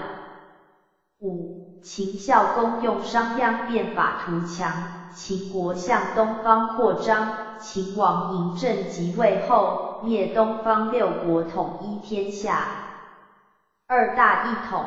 秦汉帝国，一秦王嬴政建立中国第一个中央集权的大帝国，他自称始皇帝，废封建，统一文物制度，修驰道、长城。二秦王后，楚汉相争五年，项羽兵败，刘邦即位称帝，定都长安，建立汉朝。三汉朝明君是汉武帝，他建年号，征讨朝鲜，匈奴，开通西域，汉朝国力达于极盛。四汉末外戚王莽篡夺帝位，改国号兴，兴莽末年，天下大乱，刘秀削平群雄，定都洛阳，史称东汉，后汉。五、刘秀中兴汉室，史称光武中兴。东汉中期，外戚与宦官不断循环斗争，导致东汉的衰微。第三节分裂与再统一。一分裂，魏晋南北朝。一分，三国鼎立。一汉末群雄割据，曹操挟持汉献帝。掌握大权，消灭地方割据势力，统一北方。二赤壁之战，孙权与刘备联军大败曹操，曹操退回北方，魏、曹魏、汉、蜀汉、吴三分天下局势形成。二和西晋的短暂统一。一曹魏末年。蜀汉被灭，司马炎篡位，建立晋朝，西晋灭东吴，天下统一。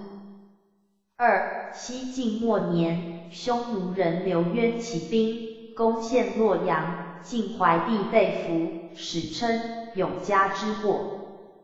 三、分南北对立。一、第一阶段，五胡十六国与东晋对立。一、北方胡人建国，形成长达一百多年的五胡十六国局面，史称五胡乱华。二南方，琅邪王司马睿在建康即位，史称东晋。二，第二阶段，南北朝对峙。A 北方，鲜卑族建立的北魏所统一北方，北魏与南朝形成南北对峙的局面。B 南方，刘裕建立宋。开始历史上的南朝，南朝立宋、齐、梁、陈四代，均建都建康。四和杨坚篡北周，建立隋朝。隋文帝开皇九年，隋灭陈，南北统一，结束东汉末年以来长期分裂的局面。二再统一，隋唐帝国。一，隋文帝勤政爱民，建立开皇之治。他和儿子隋炀帝从事多项建设，营建新都，广设粮仓，开凿运河。二，隋炀帝三征高丽，巡游江都，激起人民反抗，李渊起兵灭隋，建立唐朝。三。唐太宗李世民虚心纳谏，建立贞观之治。他灭东突厥，西北各族君主纷纷归顺，献上天可汗称号。四武则天代唐自立，改国号周，是中国历史上唯一女皇帝。她重视科举，但死后唐氏恢复国号。五。唐玄宗李世民统治初期，建立开元之治，但晚年宠爱杨贵妃，导致发生安史之乱，最后赖郭子仪平定。六，唐朝后期藩镇割据，宦官乱政，政治黑暗，终爆发黄巢之乱，黄巢降将朱温最后代唐自立，唐亡。七五代十国是唐末藩镇割据的延续，五代建国于黄河流域，十国建国于长江流域和山西。第四节多民族的竞争与融合。一宋辽金的相争。一宋朝赵匡胤所建，定都开封，汴京，以强干弱支为基本国策。集权中央，弱化地方，重文轻武。二，辽魏契丹族所建，五代取得燕云十六州，宋真宗时辽入寇，宋辽签订澶渊之盟，维持了一百多年的和平。三，西夏为党项族所建，宋仁宗时赵元昊起兵寇边。宋夏战争使贸易中断，最后西夏向宋称臣，恢复贸易。四、宋神宗时，王安石变法，以富国强兵为目标，但新政受到旧派反对而失败，引起新旧党争。五、金卫女真族所建，首领完颜阿骨打起兵灭辽清宋。最后攻陷汴京，俘虏宋徽宗、钦宗，史称靖康之祸。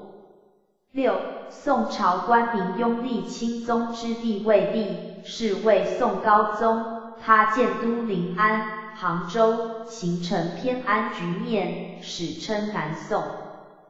七，南宋初年，岳飞起兵抗金。但被宋高宗和秦桧以莫须有罪名处死。南宋与金订多次丧权辱国的合约。二元帝国，蒙古帝国。一，铁木真统一蒙古诸部，称成吉思汗。他和继位的窝阔台汗、蒙哥汗发动三次西征，消灭西夏、金朝。二。忽必烈平定蒙古内乱，建国号元，定都大都北京，是为元世祖。他发兵南下，消灭南宋，统一中国。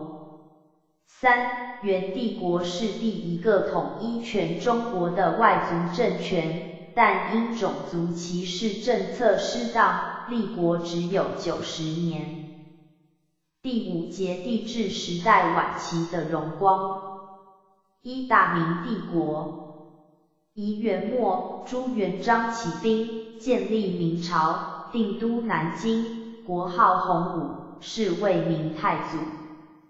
二明太祖改革内政，恢复生产，但废除丞相，杀戮功臣，分封诸子为王，衍生不少内政问题。三明惠帝即位，实行削藩，燕王朱棣起兵南下，攻陷南京自立，是为明成祖，史称靖难之变。四明成祖迁都北京。派郑和下西洋，明朝国威远播，奠定日后华侨在东南亚的社会经济基础。五明神宗时，大学士张居正实行改革，行一条鞭法，派戚继光镇守北疆，但死后遭抄家夺爵，改革中断。六明末峡西发生饥荒，形成流寇，势力最大的流寇李自成攻陷北京，明思宗上吊殉国，明亡。二大清帝国，一明朝中叶，女真族首领努尔哈赤起兵，建国号金，后金，清太宗皇太极即位，改国号清。改族名满洲。二，明末山海关总兵吴三桂降清，引清兵入关，消灭流寇与南明势力。清圣祖即位，平三藩之乱及攻克台湾。三，清圣祖年号康熙，清世宗年号雍正，清高宗年号乾隆。前后一百四十年期间是清朝盛世，合称康雍干盛世。四、清朝以怀柔与高压并济方式统治中国。一、怀柔，礼藏明思宗帝后，开科取士，以奖励学术为名，广征明朝遗老参与编撰《明史》《四库全书》。二、高压屠杀各地抗清人士，逼迫汉人治法流变，严禁立盟结社，履新文字狱。五，清朝是统一全中国的第二个外族政权，文治武功都可媲美汉唐，显见他们的统治方式比蒙古人建立的元朝高明许多。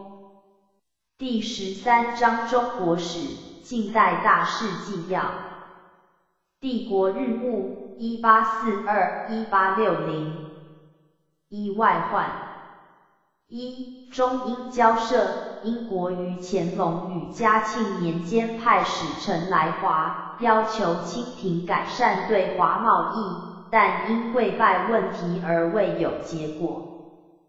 二鸦片战争，清道光年间。中英爆发鸦片战争，中国战败，签订南京条约，割香港，开放五口通商。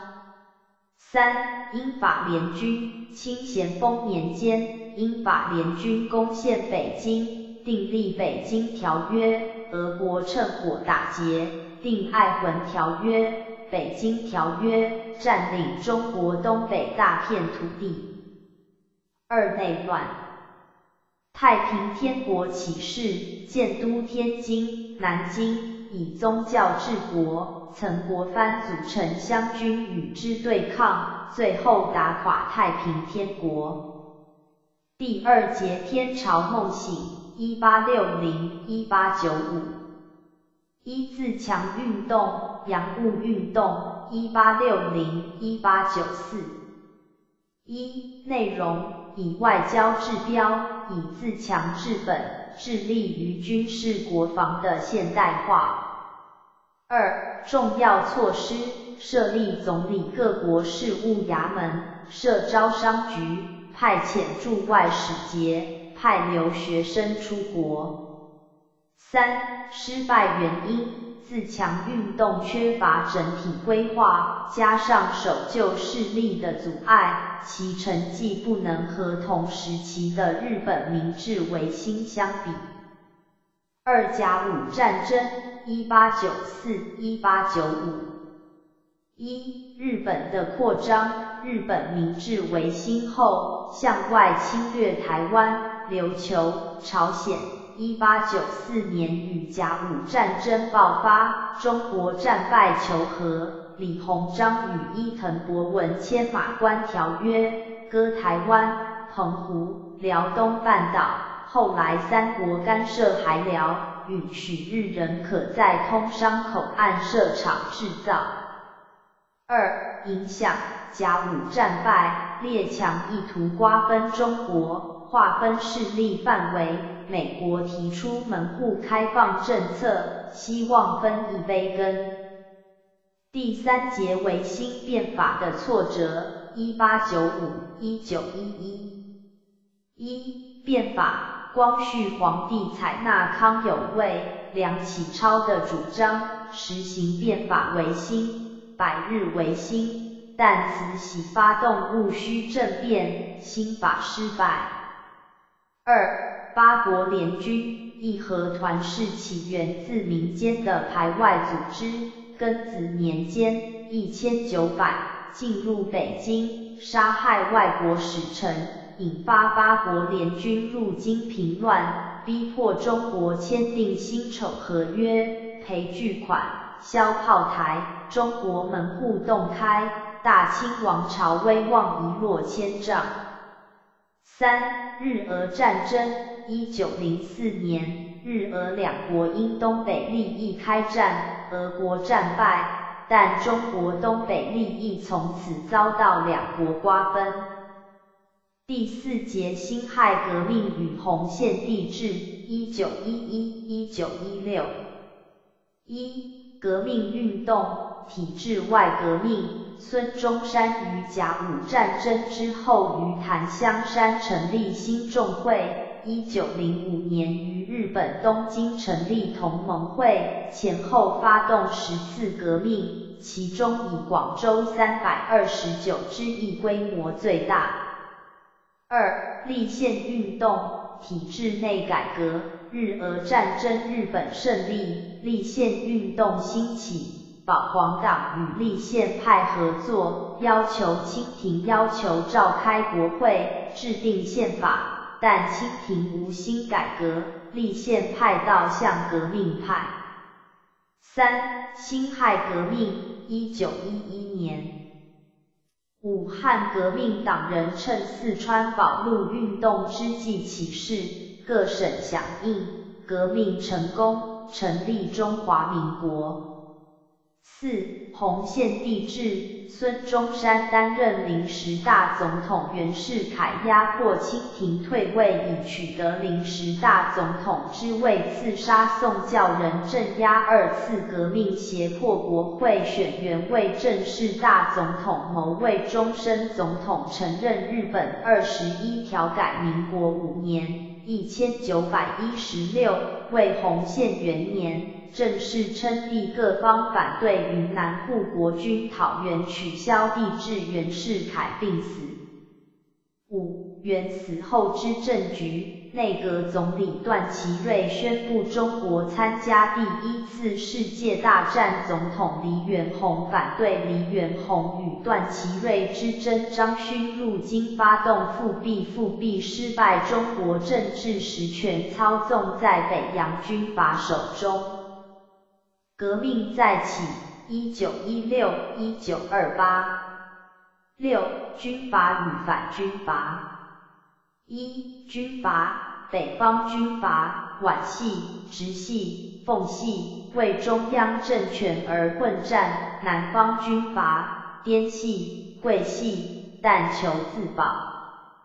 二反军阀护法运动，孙中山为维护临时约法。在广州成立中国民国军政府，但受西南军阀与陈炯明叛变而失败。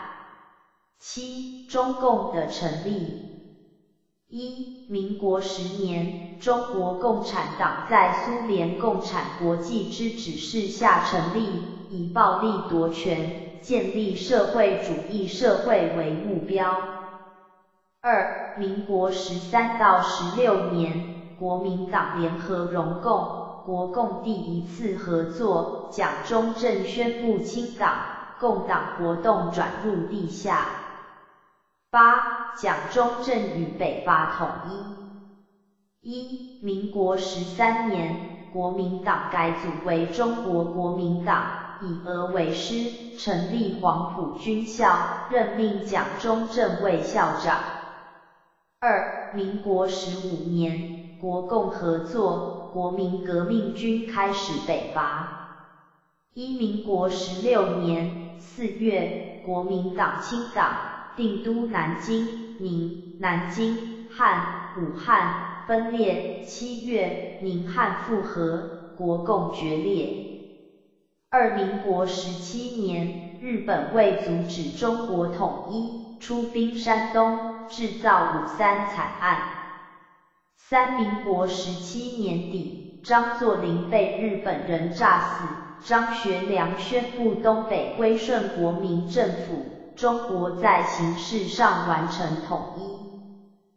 第五节十年深具教训，一九二八一九三七。一、民国十七年至二十六年，南京国民政府最能积极建设的时代。一、政治方面，中国国民党依据孙中山的规定，实行训政，以党治国。以党建国。二、经济方面，实行币制改革，废两改元，发行纸币、法币。三、社会方面，蒋中正发起新生活运动，矫正社会风气。四、军事方面，成立军事委员会，修筑南京防御体系，实行征兵制度。高中以上学校实施军训。二、内忧与外患。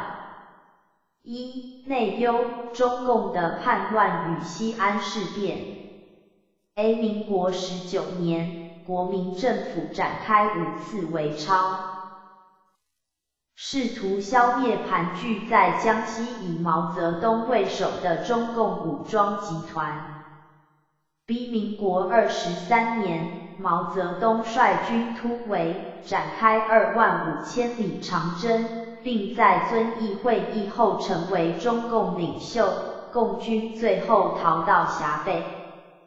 一，民国二十五年，张学良与杨虎城发动西安事变，挟持蒋中正，要求停止超共，出兵抗日。事变以和平落幕收场。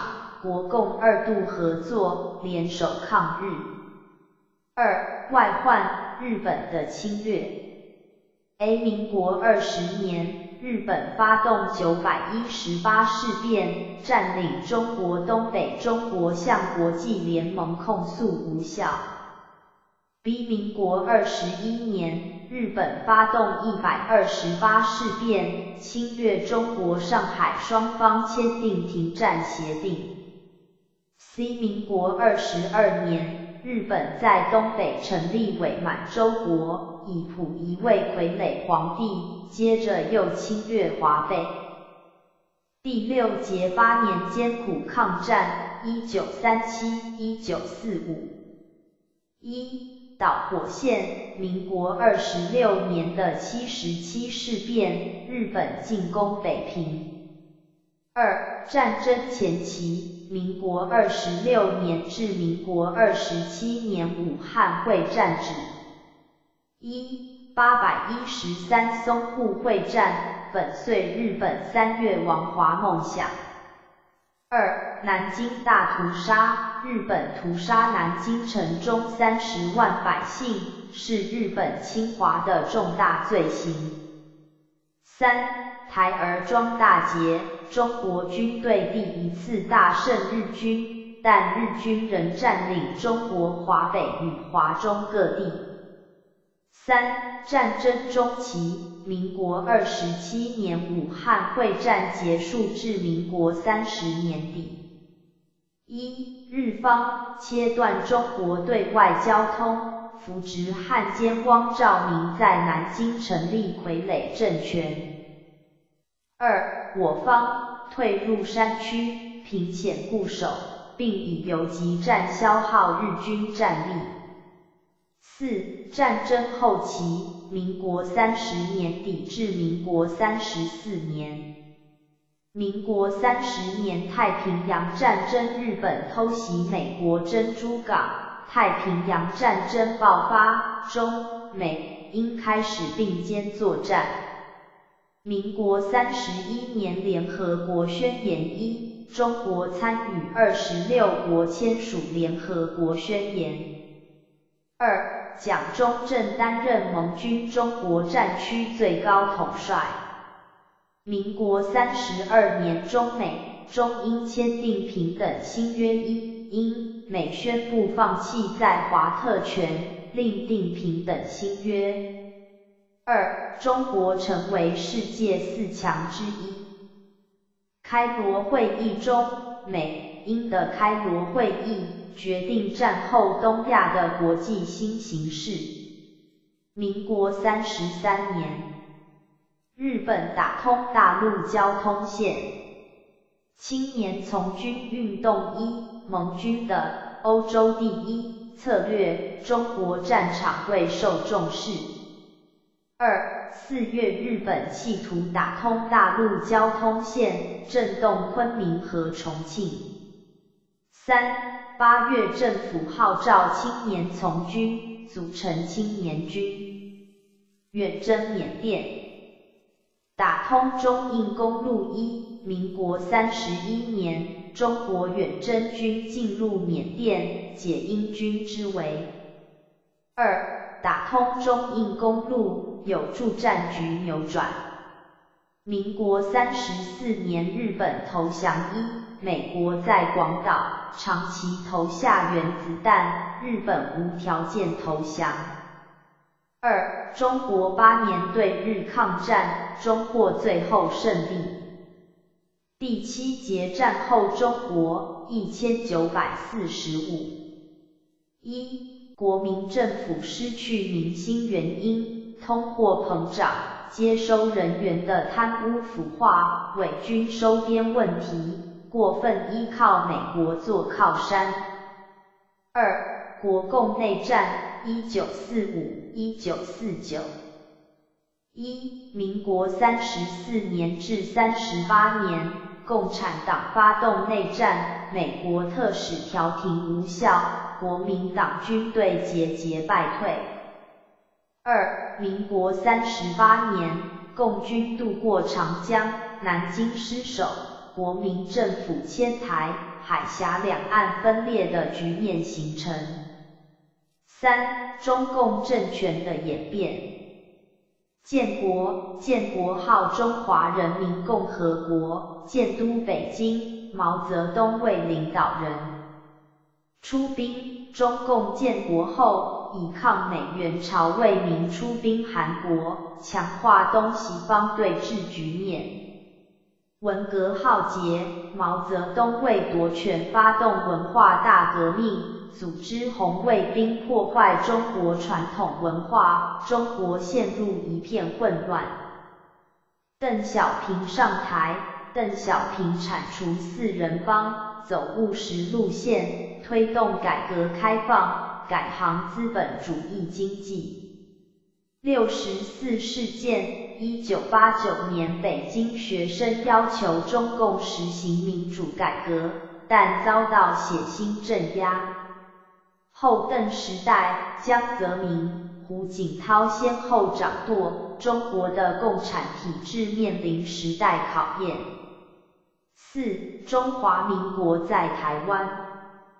一、蒋中正、蒋经国时代，A 政治上实行戒严，民主宪政打折扣；B 经济上推动土地改革，实行经济建设计划，台湾迈入工业社会。二、李登辉时代，推动民主改革，开放总统直接民选。三、陈水扁时代，以新政府为号召，推动民主政治。第十四章中国史，历代文化特色。商代。一、社会商人的思想和生活全为宗教所笼罩，殷墟发现的甲骨文大多是商人卜问鬼神留下来的卜辞。二、科技成就一、商人创造的历法，以天干地支来相配纪日，六十日为一周期，沿用三千多年。二、铜锡合金的青铜器，兼具实用和艺术价值。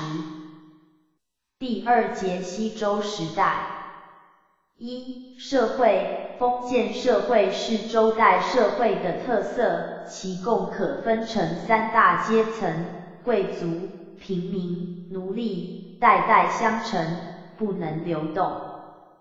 二、经济周代实施井田制度。土地为贵族所有，由贵族分配给农民耕作。第三节春秋战国时代，一、社会大变动的时代。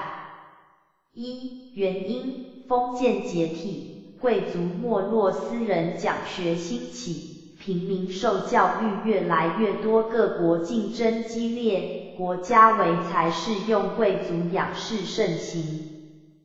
二、结果不依倾向之局，例如苏秦、张仪、范雎。二、经济工商业发达。一、贵族没落，工商业者逐渐成为自由经营者。二、交通便利，各国物产互通有无，经营工商可以致富。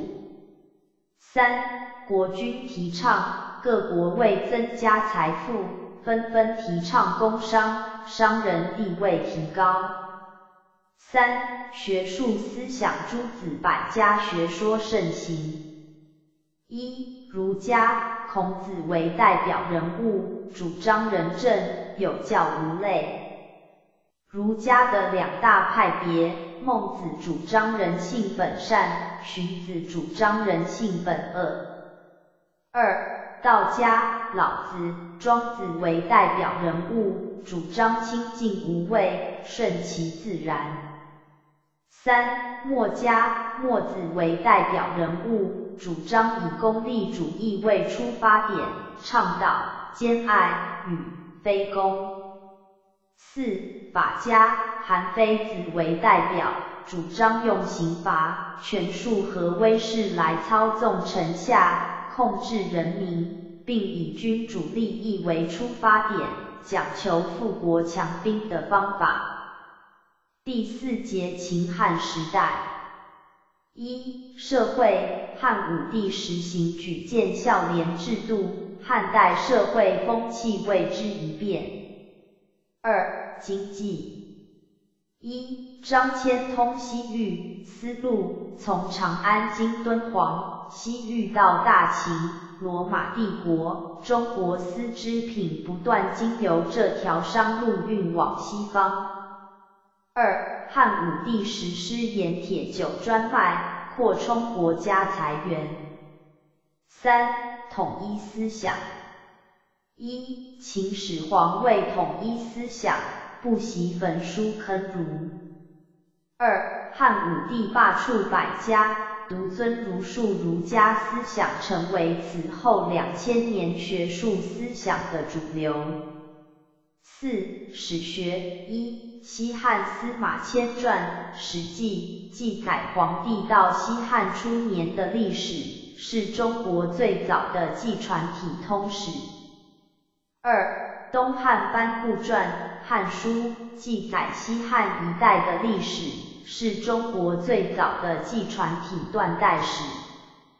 五、科技成就一、天文，张衡使用浑天仪和地动仪来推算天体的运行和测定地震的方向。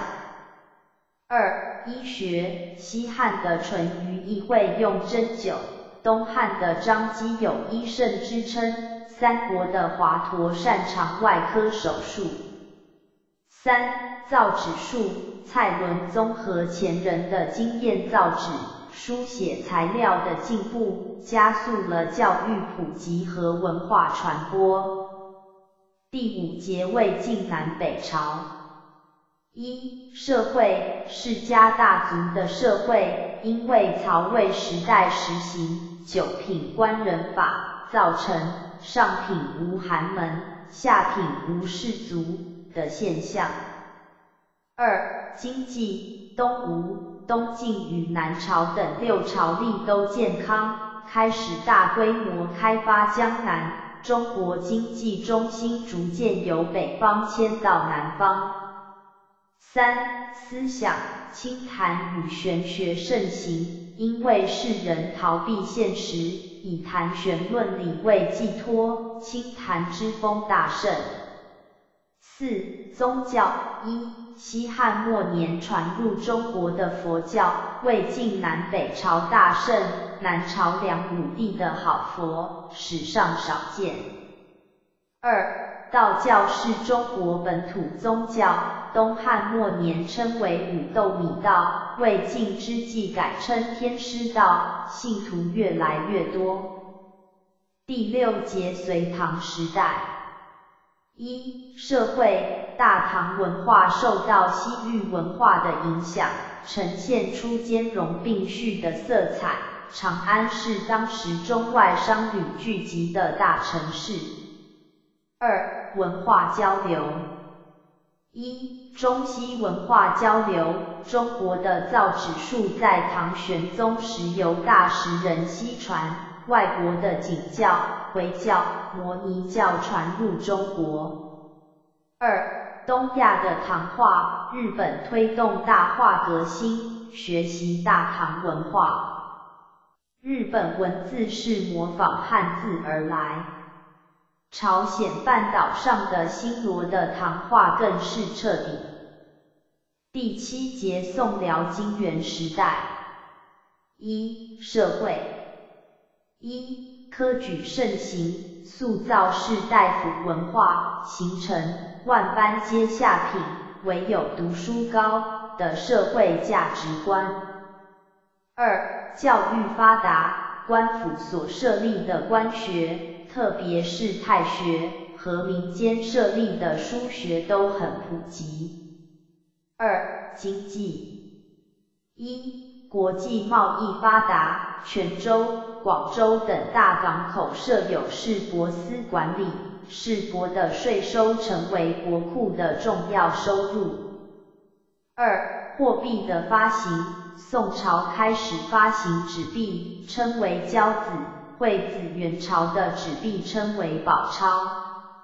三、城市生活，唐朝有房市制度，宋朝取消，商业区与住宅区混合。汴京、临安、大都都是当时的大都市，瓦子、戏院、正殿、酒楼、夜市林立，清明上河图。三、思想理学是宋代思想的主流，南宋的朱熹是集大成者，者有四书集注一书。四、科技一。代表性科学家，宋朝沈括者有梦溪、笔谈，元朝的郭守敬制定授时令。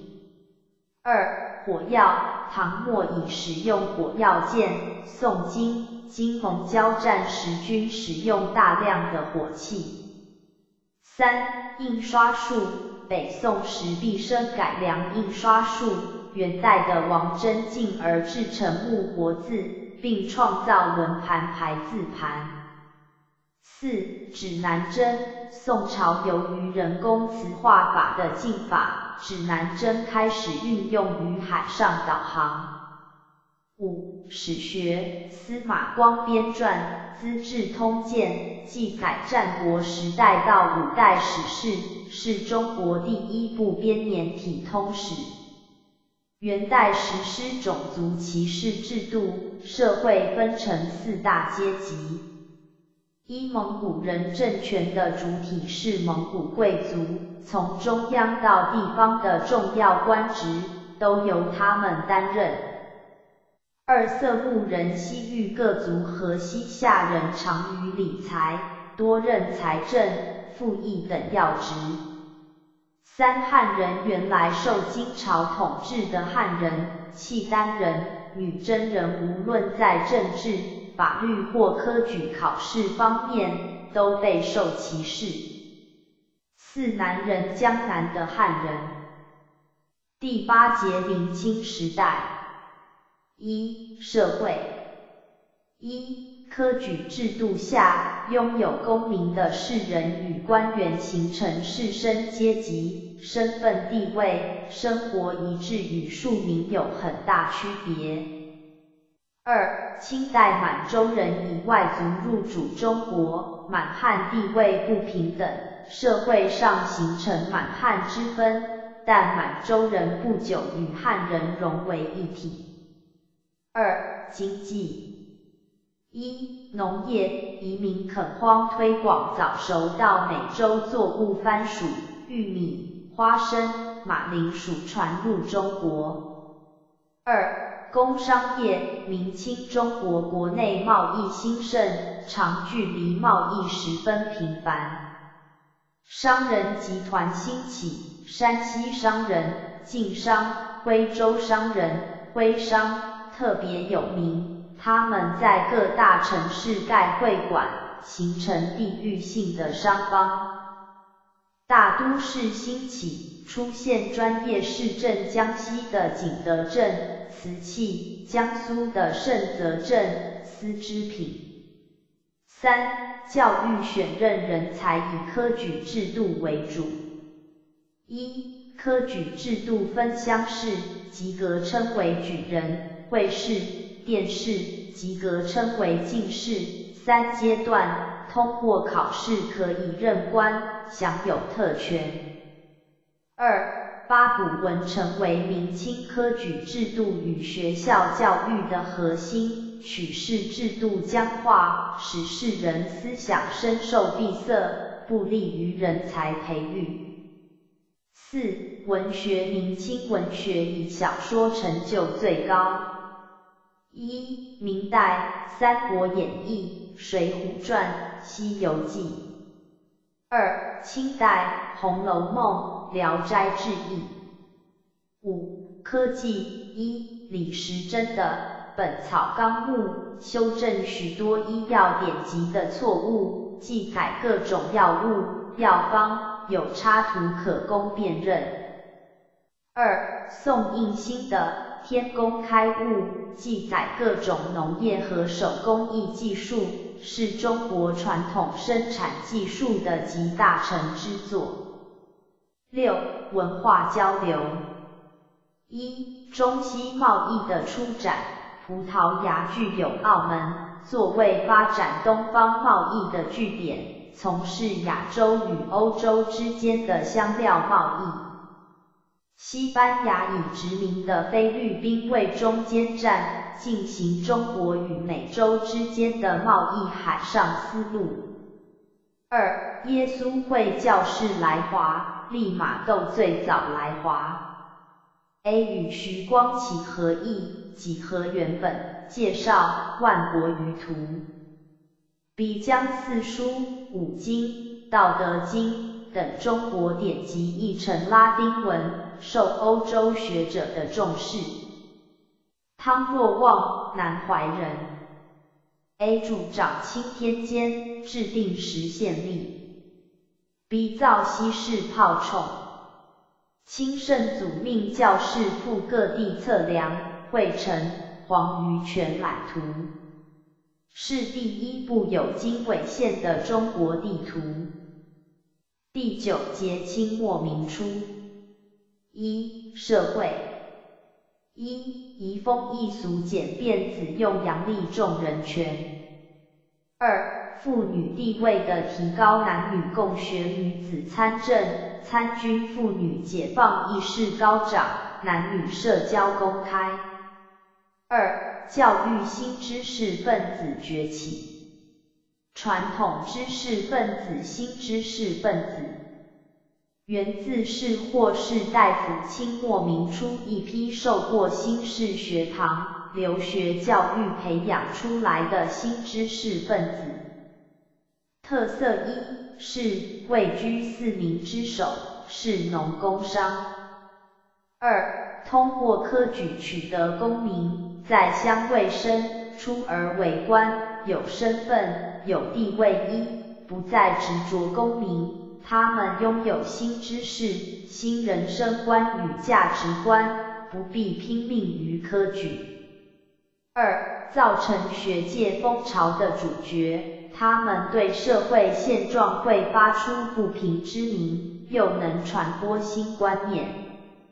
三、深入各职业团体，带动社会变革。他们走入社会后，承担不同工作，于是有工商业者、新闻记者、律师、新学堂教师、工程师、医师、护士等新职业。他们进一步团结，强力带动社会的变革。适合生存空间乡村城市，共同点以天下为己任。第十节中国人的觉醒：一、新文化运动。一、倡导人：陈独秀、蔡元培。二、主张推行白话文学翻译西方文学新式标点符号开始流行。二五四运动，一原因，民国八年五月四日抗议巴黎和会将德国在山东的权益转给日本。二经过，学生向各国提送抗议书，找政府外交官员算账，发动大罢课。三结果，北京政府在六月承办官员。拒签合约。三、新文化运动与五四运动的影响。一、全盘西化，引进德先生、赛先生。德先生，democracy，民主一，民主指的是反对专制、独裁，建立西方式的民主共和国。二、反对旧有的专制政治。推销依附在旧制度上的旧伦理和旧道德，中国传统文化被看成民主科学的敌人，儒家思想受到严厉抨击，知识分子高呼打倒孔家店。赛先生，Science，科学科学是要提倡西方的自然科学知识，反对迷信盲从。以科学作为衡量一切事物的标准。二、马克思主义流传中国，西方各种学说都被视为救世良方，马克思主义渐渐在知识界中流传开来。Http: 冒号双斜线 user 点 nksh 点 tp 点 edu 点 tw 斜线 teachingweb 斜线 tjq 第十五章中国史历代大事纪要。第一节中国的古文明。一中国旧石器早期的人类是北京人。晚期的人类是山顶洞人。二、中国文化起源是多元并立，北方有仰韶文化、龙山文化、半坡文化，南方有河姆渡文化、大溪文化。三、中国传说中的第一位共主是皇帝，尧禹舜传贤不传子，称为禅让。反映部落联盟时代的军位推选方式。四、中国第一个家天下的王朝是夏朝，夏、商、周合称三代，是考古学家所称的青铜时代。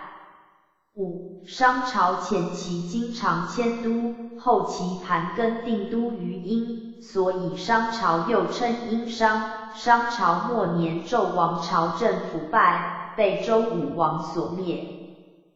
第二节封建与大一统。一封建，周代。一、周文王定都于镐，武王起兵灭殷后，分封管叔、蔡叔。或书监视五根统治的殷移民，号称三监。二、周公东征，平定东方的管蔡之乱，重定封国，建立东都洛邑，并制定封建礼制，稳固周人的统治。三、周幽王引起犬戎入侵被杀，平王继位，迁都洛邑，史称东周。四、东周前期是春秋时期，五霸争盟；后期是战国时期，七雄并起，韩、赵、魏、楚、燕、齐、秦，战争不断。五、秦孝公用商鞅变法图强，秦国向东方扩张，秦王嬴政即位后，灭东方六国，统一天下。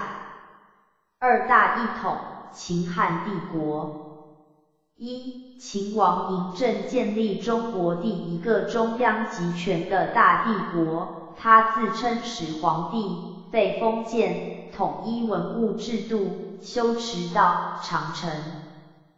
二秦王后，楚汉相争五年，项羽兵败，刘邦即位称帝，定都长安，建立汉朝。三汉朝明君是汉武帝，他建年号，征讨朝鲜、匈奴，开通西域，汉朝国力达于极盛。四汉末外戚王莽篡夺帝位，改国号兴，兴莽末年，天下大乱，刘秀削平群雄，定都洛阳，史称东汉，后汉。五刘秀中兴汉室，史称光武中兴。东汉中期，外戚与宦官不断循环斗争，导致东汉的衰微。第三节分裂与再统一。一分裂魏晋南北朝。一分三国鼎立。一汉末群雄割据，曹操挟持汉献帝。掌握大权，消灭地方割据势力，统一北方。二赤壁之战，孙权与刘备联军大败曹操，曹操退回北方，魏、曹魏、汉、蜀汉、吴三分天下局势形成。二和西晋的短暂统一。一曹魏末年。蜀汉被灭，司马炎篡位，建立晋朝，西晋灭东吴，天下统一。二西晋末年，匈奴人刘渊起兵，攻陷洛阳，晋怀帝被俘，史称永嘉之祸。三分南北对立。一第一阶段，五胡十六国与东晋对立。一，北方胡人建国，形成长达一百多年的五胡十六国局面，史称五胡乱华。二，南方琅邪王司马睿在建康即位，史称东晋。二，第二阶段南北朝对峙。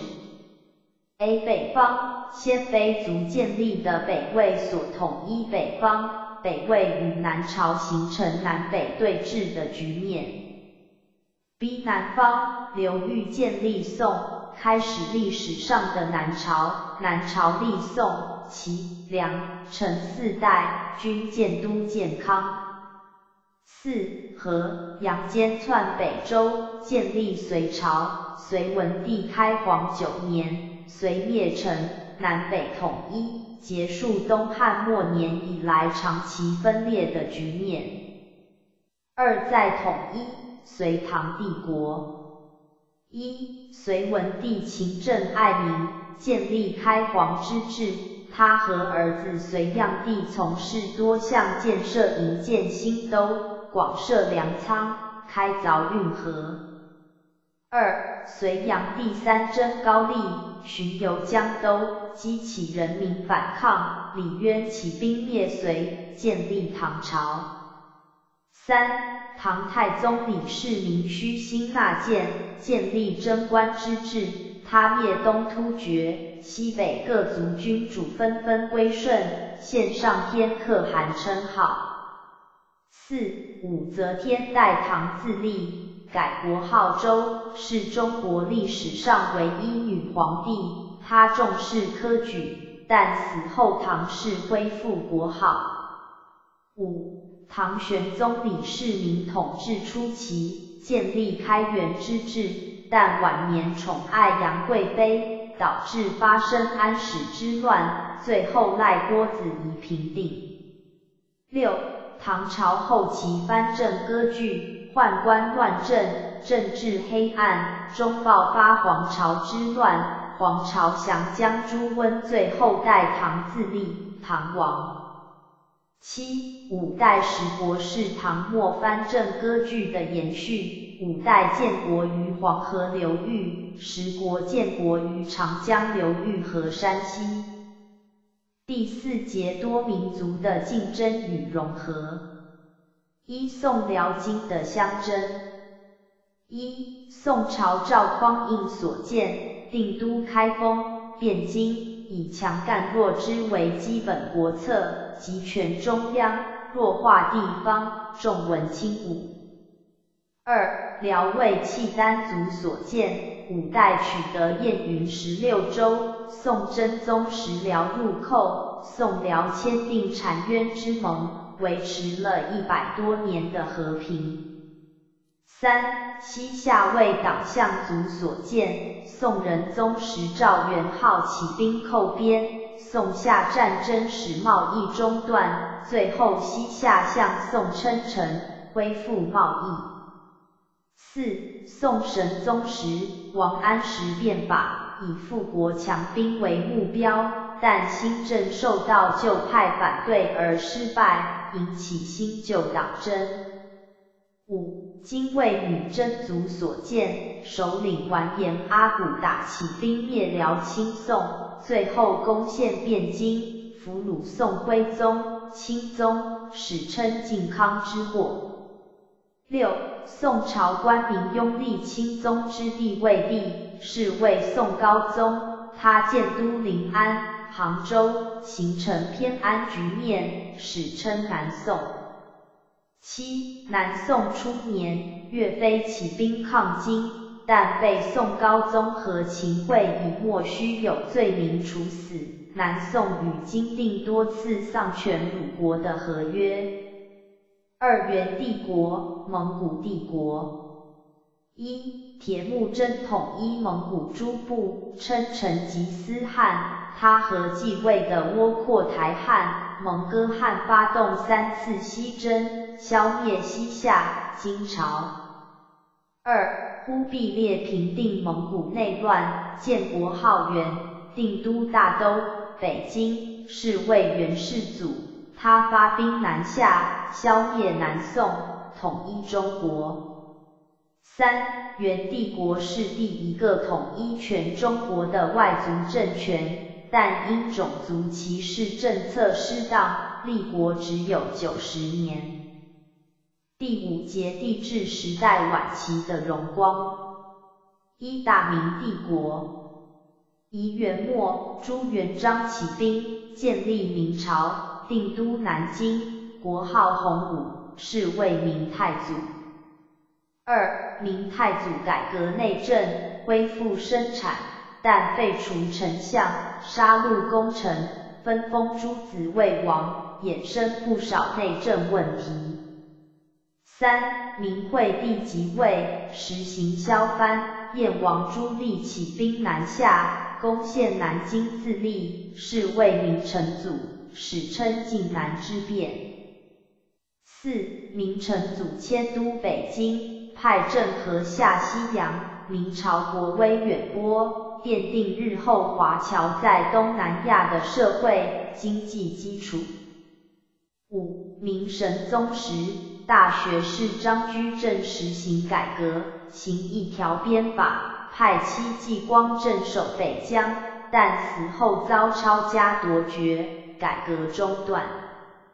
六，明末峡西发生饥荒，形成流寇，势力最大的流寇李自成攻陷北京，明思宗上吊殉国，明亡。二大清帝国，一明朝中叶，女真族首领努尔哈赤起兵，建国号金，后金，清太宗皇太极即位，改国号清，改族名满洲。二明末山海关总兵吴三桂降清，引清兵入关，消灭流寇与南明势力，清圣祖即位。平三藩之乱及攻克台湾。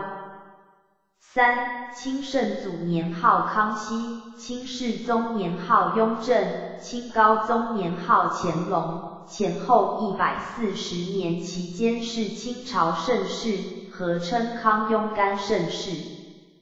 四清朝以怀柔与高压并济方式统治中国。三怀柔，李葬明思宗帝后，开科取士，以奖励学术为名，广征明朝遗老参与编撰《明史》《四库全书》。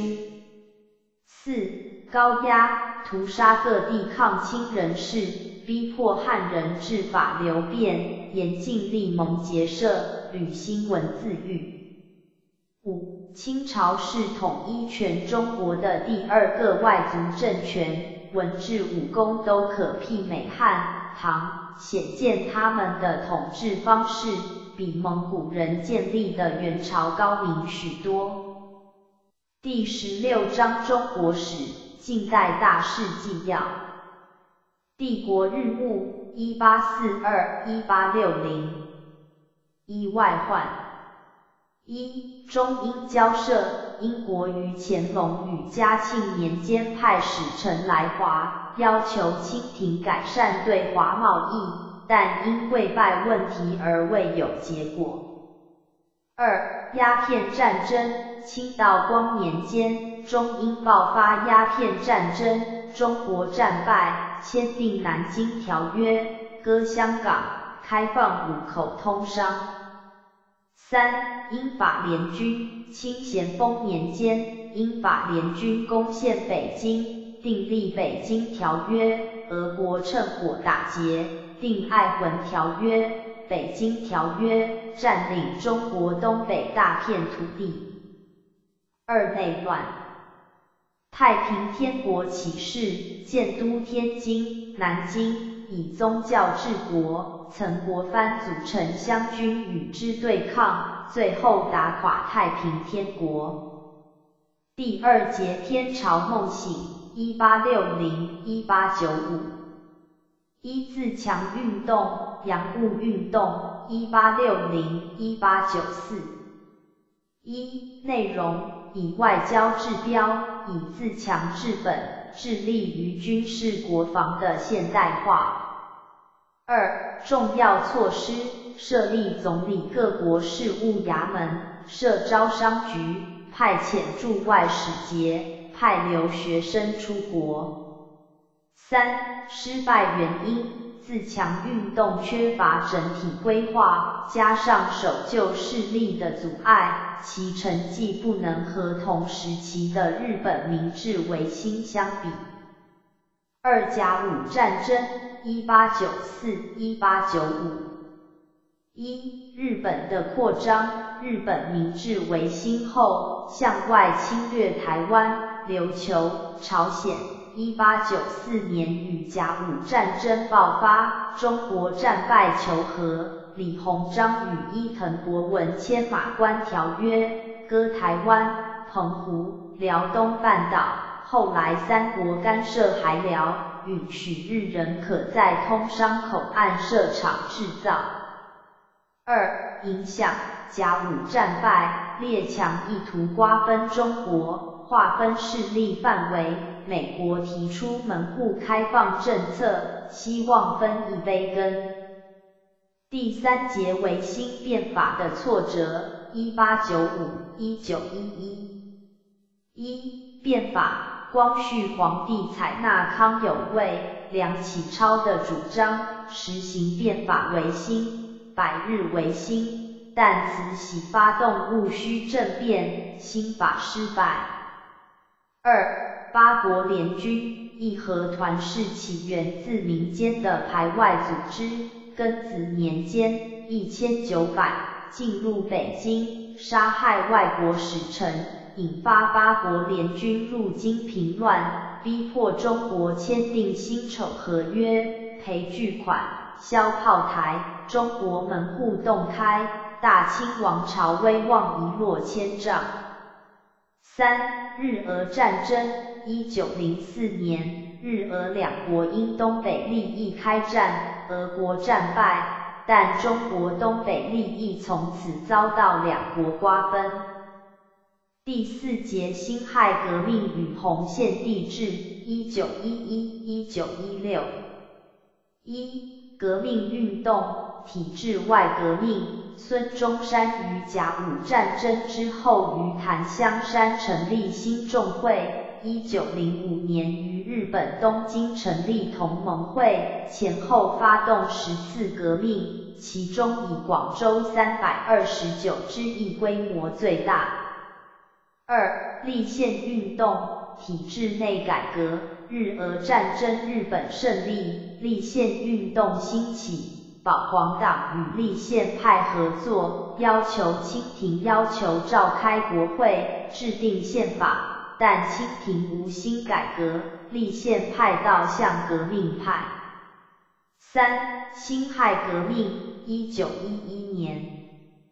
武汉革命党人趁四川保路运动之际起事，各省响应，革命成功，成立中华民国。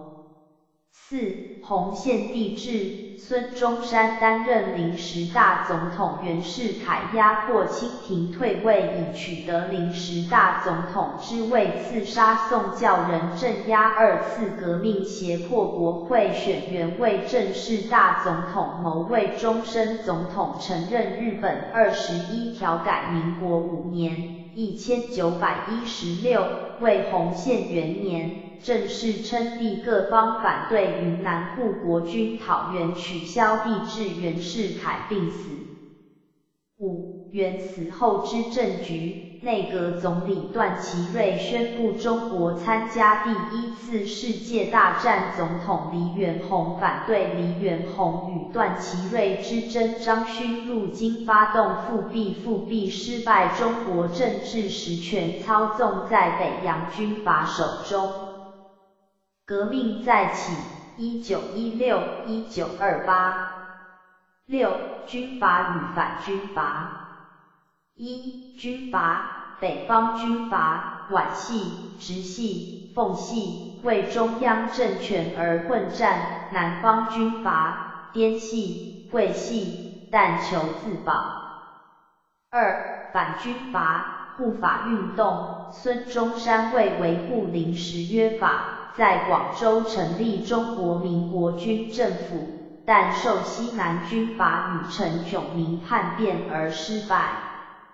七、中共的成立。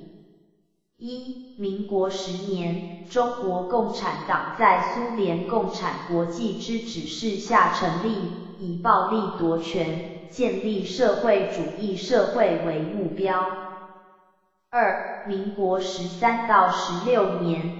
国民党联合荣共，国共第一次合作，蒋中正宣布清党，共党活动转入地下。八、蒋中正与北伐统一。一、民国十三年，国民党改组为中国国民党，以俄为师，成立黄埔军校，任命蒋中正为校长。二、民国十五年，国共合作，国民革命军开始北伐。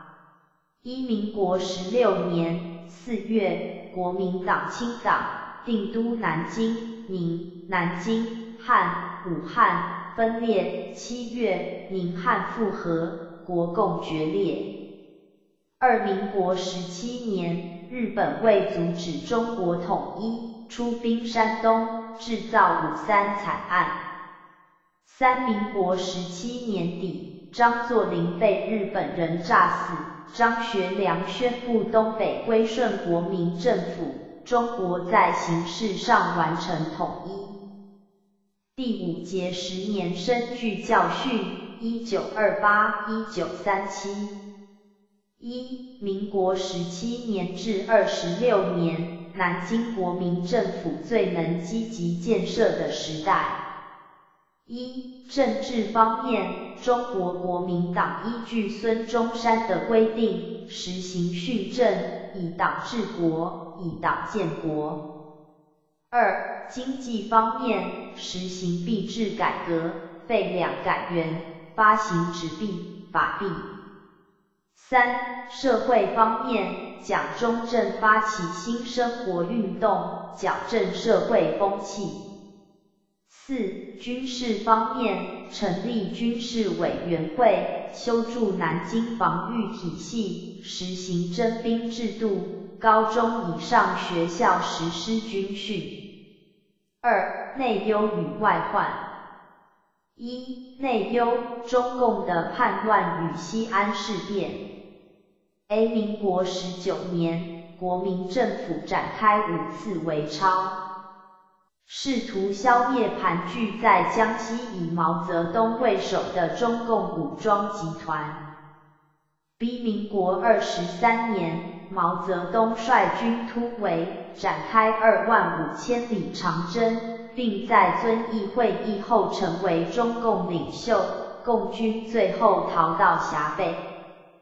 一民国二十五年，张学良与杨虎城发动西安事变，挟持蒋中正，要求停止超共，出兵抗日。事变以和平落幕收场，国共二度合作，联手抗日。二外患，日本的侵略。A 民国二十年。日本发动九百一十八事变，占领中国东北，中国向国际联盟控诉无效。B 民国二十一年，日本发动一百二十八事变，侵略中国上海，双方签订停战协定。C 民国二十二年，日本在东北成立伪满洲国，以溥仪为傀儡皇帝。接着又侵略华北。第六节八年艰苦抗战，一九三七一九四五。一导火线，民国二十六年的七十七事变，日本进攻北平。二战争前期，民国二十六年至民国二十七年武汉会战止。一八百一十三淞沪会战粉碎日本三月亡华梦想。二南京大屠杀，日本屠杀南京城中三十万百姓，是日本侵华的重大罪行。三台儿庄大捷，中国军队第一次大胜日军，但日军仍占领中国华北与华中各地。三战争中期，民国二十七年武汉会战结束至民国三十年底。一日方切断中国对外交通，扶植汉奸汪兆铭在南京成立傀儡政权。二我方退入山区，凭险固守，并以游击战消耗日军战力。四战争后期，民国三十年底至民国三十四年，民国三十年太平洋战争，日本偷袭美国珍珠港，太平洋战争爆发，中美英开始并肩作战。民国三十一年联合国宣言三，中国参与二十六国签署联合国宣言。四，蒋中正担任盟军中国战区最高统帅。民国三十二年，中美、中英签订平等新约三，英美宣布放弃在华特权，另订平等新约。四，中国成为世界四强之一。开罗会议中，美英的开罗会议决定战后东亚的国际新形势。民国三十三年。日本打通大陆交通线，青年从军运动四，盟军的欧洲第一策略，中国战场未受重视。五四月，日本企图打通大陆交通线，震动昆明和重庆。六八月，政府号召青年从军，组成青年军，远征缅甸。打通中印公路三，民国三十一年，中国远征军进入缅甸，解英军之围。四，打通中印公路，有助战局扭转。民国三十四年，日本投降三，美国在广岛长期投下原子弹，日本无条件投降。四，中国八年对日抗战，终获最后胜利。第七节战后中国一千九百四十五。一，国民政府失去民心原因，通货膨胀、接收人员的贪污腐化、伪军收编问题，过分依靠美国做靠山。二，国共内战。一九四五、一九四九。一、民国三十四年至三十八年，共产党发动内战，美国特使调停无效，国民党军队节节败退。二、民国三十八年，共军渡过长江，南京失守，国民政府迁台，海峡两岸分裂的局面形成。三、中共政权的演变。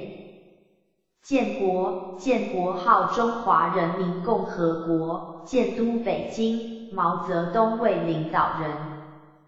出兵，中共建国后，以抗美援朝为名出兵韩国，强化东西方对峙局面。文革浩劫，毛泽东为夺权发动文化大革命。组织红卫兵破坏中国传统文化，中国陷入一片混乱。邓小平上台，邓小平铲除四人帮，走务实路线，推动改革开放，改行资本主义经济。六十四事件，一九八九年，北京学生要求中共实行民主改革，但遭到血腥镇压。后邓时代，江泽民、胡锦涛先后掌舵，中国的共产体制面临时代考验。四、中华民国在台湾。一、蒋中正、蒋经国时代。A 政治上实行戒严，民主宪政打折扣。B 经济上。推动土地改革，实行经济建设计划，台湾迈入工业社会。二、李登辉时代，推动民主改革，开放总统直接民选。三、陈水扁时代，以新政府为号召，推动民主政治。第十七章中国史，历代文化特色。商代。一、社会商人的思想和生活全为宗教所笼罩，殷墟发现的甲骨文、大多是商人卜问鬼神留下来的卜辞。二、科技成就一、商人创造的历法，以天干地支来相配纪日，六十日为一周期，沿用三千多年。二、铜锡合金的青铜器，兼具实用和艺术价值。第二节西周时代。一、社会，封建社会是周代社会的特色，其共可分成三大阶层：贵族、平民、奴隶，代代相承，不能流动。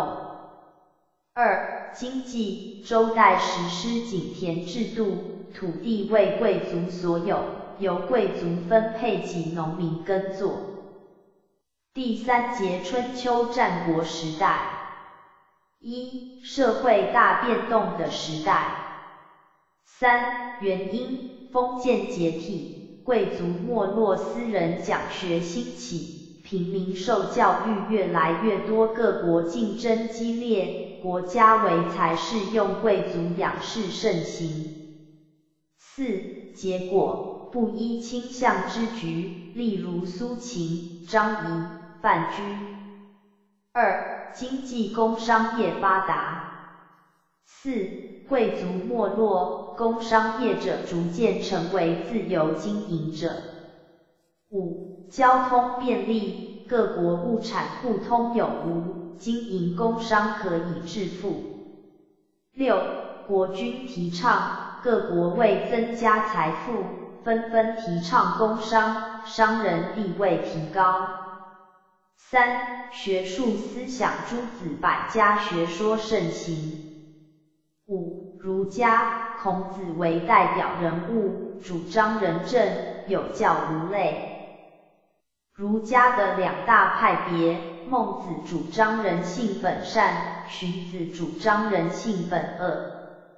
六、道家，老子、庄子为代表人物，主张清静无为，顺其自然。七、墨家，墨子为代表人物，主张以功利主义为出发点，倡导兼爱与非攻。八、法家，韩非子为代表，主张用刑罚、权术和威势来操纵臣下，控制人民，并以君主利益为出发点，讲求富国强兵的方法。第四节秦汉时代。一、社会，汉武帝实行举荐孝廉制度，汉代社会风气为之一变。二、经济。三、张骞通西域，丝路从长安经敦煌，西域到大秦、罗马帝国，中国丝织品不断经由这条商路运往西方。四、汉武帝实施盐铁酒专卖，扩充国家财源。三、统一思想。三、秦始皇为统一思想，不惜焚书坑儒。四、汉武帝罢黜百家，独尊儒术，儒家思想成为此后两千年学术思想的主流。四、史学一、西汉司马迁传《史记》记载黄帝到西汉初年的历史，是中国最早的纪传体通史。二、东汉班固传《汉书》记载西汉一代的历史，是中国最早的纪传体断代史。五、科技成就一。天文，张衡使用浑天仪和地动仪来推算天体的运行和测定地震的方向。二、医学，西汉的淳于意会用针灸，东汉的张机有医圣之称，三国的华佗擅长外科手术。三、造纸术，蔡伦综合前人的经验造纸。书写材料的进步，加速了教育普及和文化传播。第五节魏晋南北朝。一、社会，世家大族的社会，因为曹魏时代实行九品官人法，造成上品无寒门，下品无士族的现象。二、经济，东吴、东晋与南朝等六朝力都健康，开始大规模开发江南，中国经济中心逐渐由北方迁到南方。三、思想，清谈与玄学盛行，因为世人逃避现实，以谈玄论理为寄托，清谈之风大盛。四、宗教，一、西汉末年传入中国的佛教，魏晋南北朝大盛，南朝梁武帝的好佛，史上少见。二、道教是中国本土宗教。东汉末年称为五斗米道，魏晋之际改称天师道，信徒越来越多。第六节隋唐时代，一社会大唐文化受到西域文化的影响，呈现出兼容并蓄的色彩。长安是当时中外商旅聚集的大城市。二文化交流。三、中西文化交流。中国的造纸术在唐玄宗时由大食人西传，外国的景教、回教、摩尼教传入中国。四、东亚的唐化。日本推动大化革新，学习大唐文化。日本文字是模仿汉字而来。朝鲜半岛上的新罗的唐化更是彻底。第七节宋辽金元时代。一、社会。三、科举盛行，塑造士大夫文化，形成万般皆下品，唯有读书高的社会价值观。四、教育发达，官府所设立的官学。特别是太学和民间设立的书学都很普及。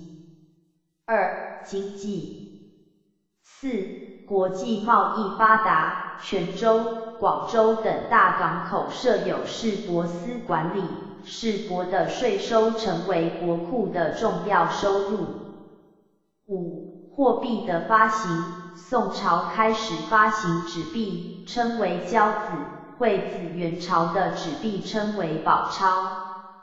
六、城市生活，唐朝有房市制度，宋朝取消，商业区与住宅区混合，汴京、临安、大都都是当时的大都市，瓦子、戏院、正殿、酒楼、夜市林立，清明上河图。三、思想。理学是宋代思想的主流，南宋的朱熹是集大成者，者有四书集注一书。四科技。五代表性科学家，宋朝沈括者有孟西比谈，元朝的郭守敬制定授时历。六火药，唐末已使用火药剑，宋金。金蒙交战时，均使用大量的火器。七、印刷术，北宋时毕生改良印刷术，元代的王祯进而制成木活字，并创造文盘排字盘。八、指南针，宋朝由于人工磁化法的进法，指南针开始运用于海上导航。五、史学，司马光编撰《资治通鉴》，记载战国时代到五代史事，是中国第一部编年体通史。元代实施种族歧视制度，社会分成四大阶级。一、蒙古人政权的主体是蒙古贵族，从中央到地方的重要官职都由他们担任。二色目人，西域各族和西夏人长于理财，多任财政、赋役等要职。三汉人原来受金朝统治的汉人，契丹人、女真人无论在政治、法律或科举考试方面，都备受歧视。四南人，江南的汉人。第八节，明清时代。一、社会。三、科举制度下，拥有功名的士人与官员形成士绅阶级，身份地位、生活一致与庶民有很大区别。四、清代满洲人以外族入主中国，满汉地位不平等。社会上形成满汉之分，但满洲人不久与汉人融为一体。二、经济。三、农业，移民垦荒推广早熟到美洲作物番薯、玉米、花生、马铃薯传入中国。四、工商业，明清中国国内贸易兴盛，长距离贸易十分频繁。商人集团兴起，山西商人、晋商、徽州商人、徽商特别有名。他们在各大城市盖会馆，形成地域性的商帮。大都市兴起，出现专业市镇，江西的景德镇瓷器，江苏的盛泽镇丝织品。三、教育选任人才以科举制度为主。三、科举制度分乡试，及格称为举人；会试、殿试，及格称为进士。三阶段，通过考试可以任官，享有特权。四、八股文成为明清科举制度与学校教育的核心。取士制度僵化，使士人思想深受闭塞，不利于人才培育。四、文学明清文学以小说成就最高。三、明代《三国演义》《水浒传》《西游记》。四、清代《红楼梦》《聊斋志异》。五、科技一、李时珍的。《本草纲目》修正许多医药典籍的错误，记载各种药物、药方，有插图可供辨认。二、宋应星的《天工开物》记载各种农业和手工艺技术，是中国传统生产技术的集大成之作。六、文化交流。三、中西贸易的出展。葡萄牙具有澳门作为发展东方贸易的据点，从事亚洲与欧洲之间的香料贸易。西班牙以殖民的菲律宾为中间站，进行中国与美洲之间的贸易海上丝路。四、耶稣会教士来华，利玛窦最早来华。A 与徐光启合译《几何原本》，介绍《万国舆图》。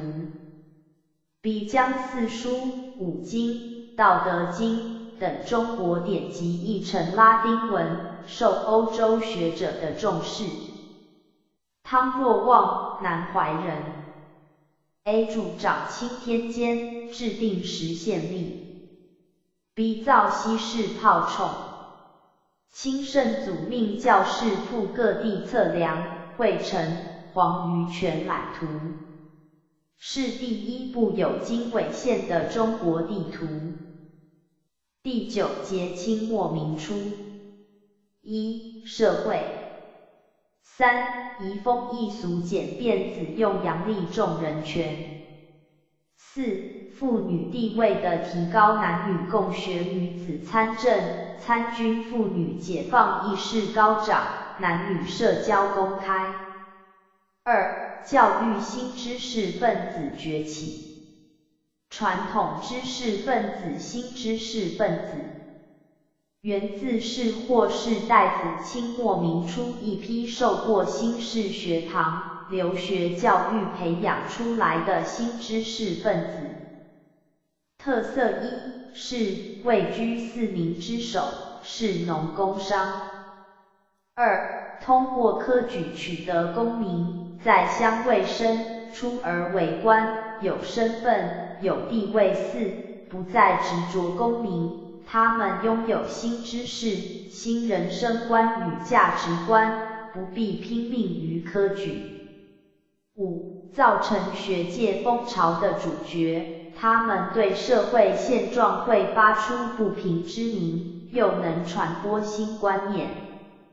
六，深入各职业团体，带动社会变革。他们走入社会后，承担不同工作，于是有工商业者、新闻记者、律师、新学堂教师、工程师、医师、护士等新职业。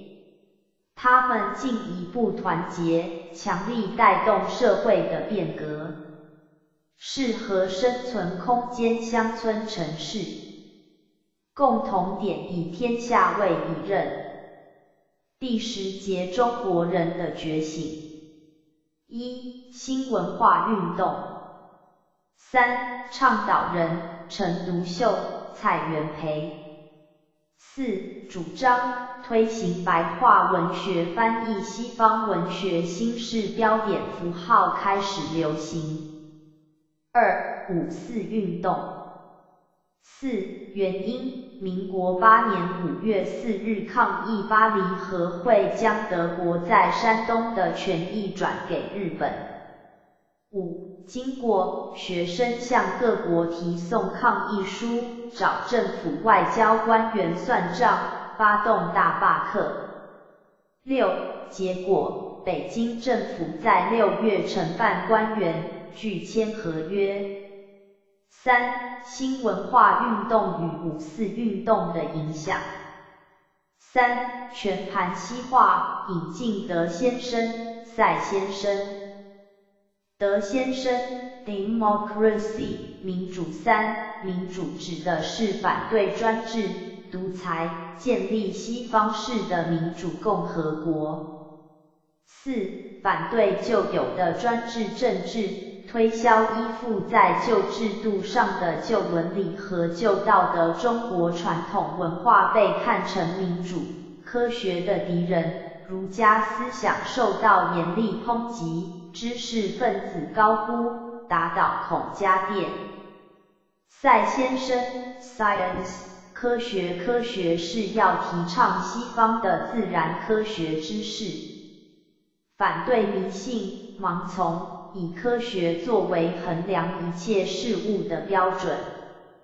四、马克思主义流传中国，西方各种学说都被视为救世良方，马克思主义渐渐在知识界中流传开来。Http: 冒号双斜线 user 点 nksh 点 tp 点 edu 点 tw 斜线 teaching web 斜线 tjq 中国近代史第二册目录。第七章帝国日暮三。第一节当东方遇到西方三。第二节鸦片战争四。第三节太平天国的悲剧七，第八章天朝梦醒九，第一节自强运动九，第二节甲午战争十，第九章维新变法的挫折十三，第一节戊戌变法十三，第二节义和团与八国联军十四。第十章辛亥革命时期，第一节孙中山与中华民国建立时期，第二节袁世凯与洪宪帝制十九，第十一章中国人的觉醒二十二，第一节清末明初的社会变迁二十二，第二节五四运动与新文化运动二十三。第十二章革命再起二十六，第一节军阀与反军阀二十六，第二节中共的成立二十八，第三节蒋中正与北伐统一二十九。第十三章十年深具教训三十二。第一节黄金十年三十二。第二节内忧外患三十四。第三节毛泽东与中共的武装割据三十六。第十四章八年艰苦抗战期间三十九。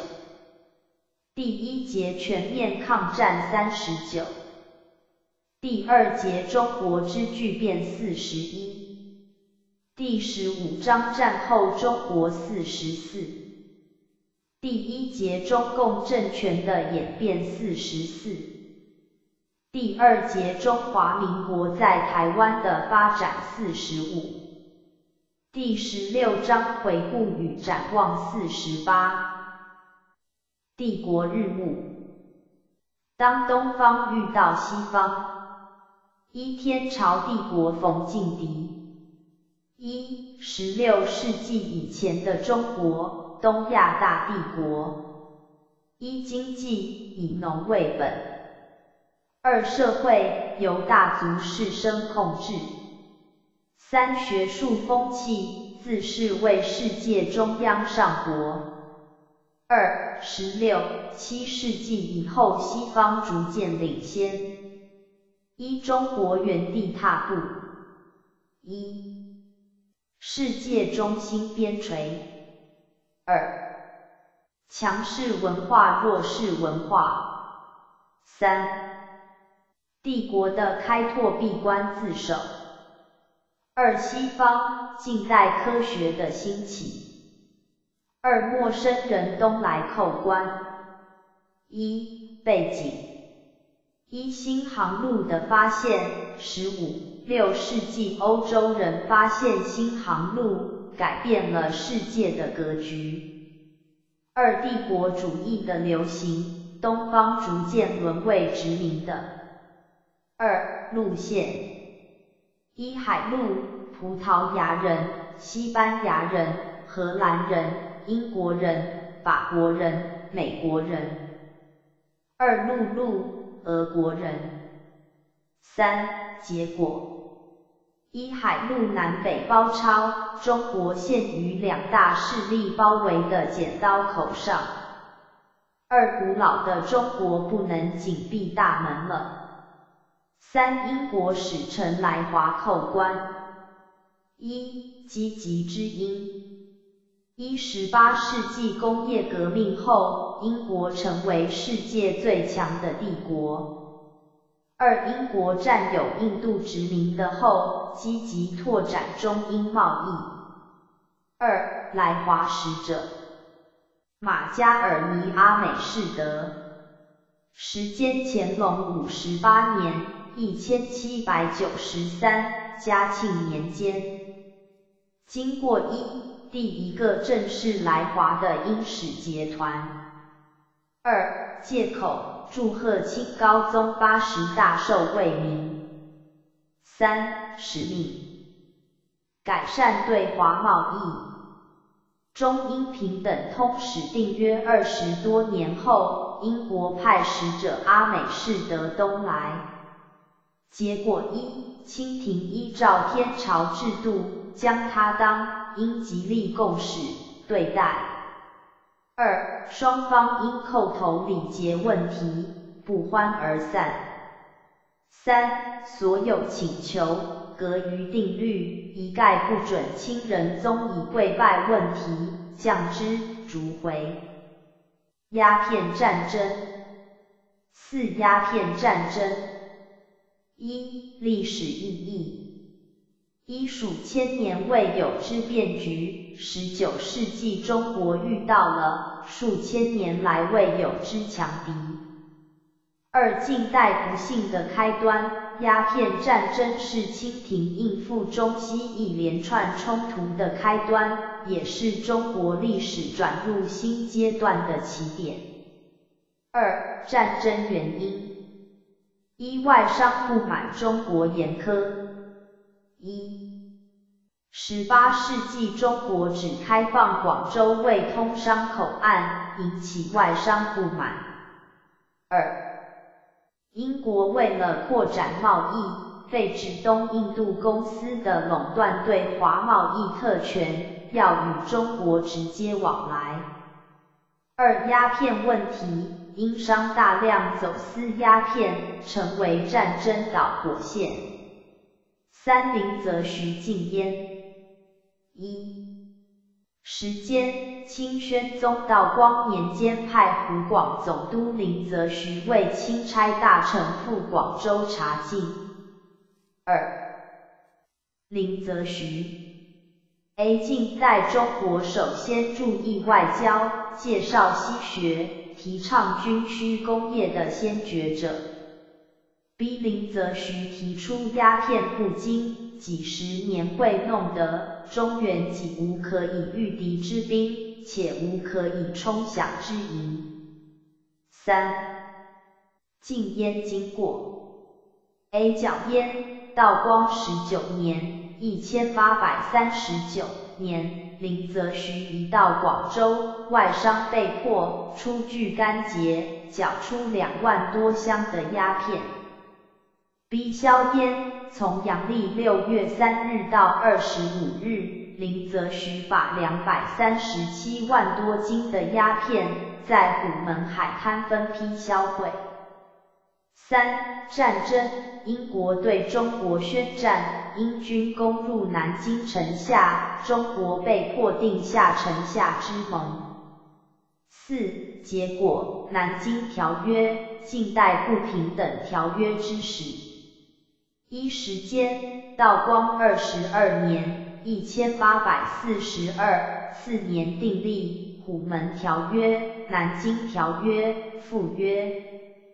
二内容：一、赔款两千一百万元；二、割香港；三、开放广州、厦门。福州、宁波、上海五口通商。四、协定关税。五、英人享有治外法权。六、英国享有片面最惠国待遇，美、法两国同时享有与英国同等待遇。五、英法联军。一、原因，原因。一清廷未能汲取鸦片战争失败的教训；二南京条约未达全部开放通商目的；三英国公使未能入驻北京；四鸦片未能合法贸易；二出兵借口；一英国亚罗船事件；二法国。法国神父在广西被杀案。三、时间：咸丰八年至十年，一千八百五十八 Q 的一千八百六十。四、经过：一、英法联军在广州俘虏一位不战不和不守的两广总督叶明生。二、英法联军攻入北京。清文宗弃城逃跑，联军焚毁圆明园。五、结果订定《天津条约》《北京条约》。六、俄国趁机打劫。一、中俄爱魂条约。一、时间：咸丰八年（一千八百五十八）。二、内容：夺去黑龙江以北土地。二、中俄天津条约、北京条约。一、时间英法联军之际。二、内容强占乌苏里江以东之地。三、结果。一、中国大东北缩小一半。二、俄国得到海参崴港，可以公开出入北太平洋。三，俄国不费一兵一卒，从中国夺得大片土地，还以中国朋友自居。太平天国的悲剧。七天经建国。一、借助宗教，洪秀全领导太平天国起事后，以教统军，以教义鼓舞士气，攻城略地，有如神助。二、定都南京，咸丰三年（一千八百五十三），太平军入南京，改名天津，定为首都。三、更新制度。一、经济政策。一、实行圣户制度。二、天朝田亩制度，土地公有，忌口授田。自给自足。二、统一思想。一、教义控制思想。二、毁庙宇神像。三、焚毁孔孟诸子百家，妖书邪说。三、妇女政策。一、表面平等。A 允许女子参加科举考试、政治、军事。B 禁止续妾、缠足。二、实际上，妇女地位并未提高。四、改历法，推行一年为三百六十六年，单月三十一日、双月三十日的天历。八、天国父王。一、原因：太平军定都南京后，诸王内讧，元气大伤。二、湘军以未道与之对抗。一、太平军的主要对手，曾国藩领导的湘军。二、曾国藩。一、籍贯湖南湘乡人。二、理念立志成就内圣外王之业的读书人。三、组织湘军，曾国藩在家乡创建有思想、有信仰的农民军湘军。四、成功原因：一、以卫道做号召，以儒生领导农民，又利用传统汇聚社会力量，罗致人才。以守卫道统作号召。二、人才云集，胡林翼、左宗棠、李鸿章等人。五、平定时间，同治三年（一千八百六十四），湘军攻陷南京，太平天国覆亡。Top，天朝梦醒，自强运动。九睁开眼睛看世界。一、鸦片战争引起时代的新认识。一、过去对西历入侵的回应被动，中国在心不甘情不愿的心态下进行。二、晚清突破华夷观念，认识西方。林则徐、魏源。二、英法联军。太平天国的动乱，中国对西洋精良、西洋火炮的警觉。三、中国的回应，恭亲王奕欣、大臣曾国藩、左宗棠、李鸿章、张之洞开始联手推动洋务，使中国的近代化迈开了第一步。十字强运动、洋务运动。一、时间：一千八百六十六的一八九五年。二、观念：中体西用，保存传统根本价值之外，致力于现代化的尝试。三、目的：求强求富。四、方法：以外交治标，以自强治本。五、内容：一、外交。一、设立总理各国事务衙门。A 时间：咸丰十一年（一千八百六十一）。B 职权：把遗物当洋务办理。二、派出第一位外交使节，外国公使驻京十多年后，中国才派出第一位驻外使节，中西外交才纳入正轨。二、教育一、培养语文人才。A. 京师及广州的同文馆。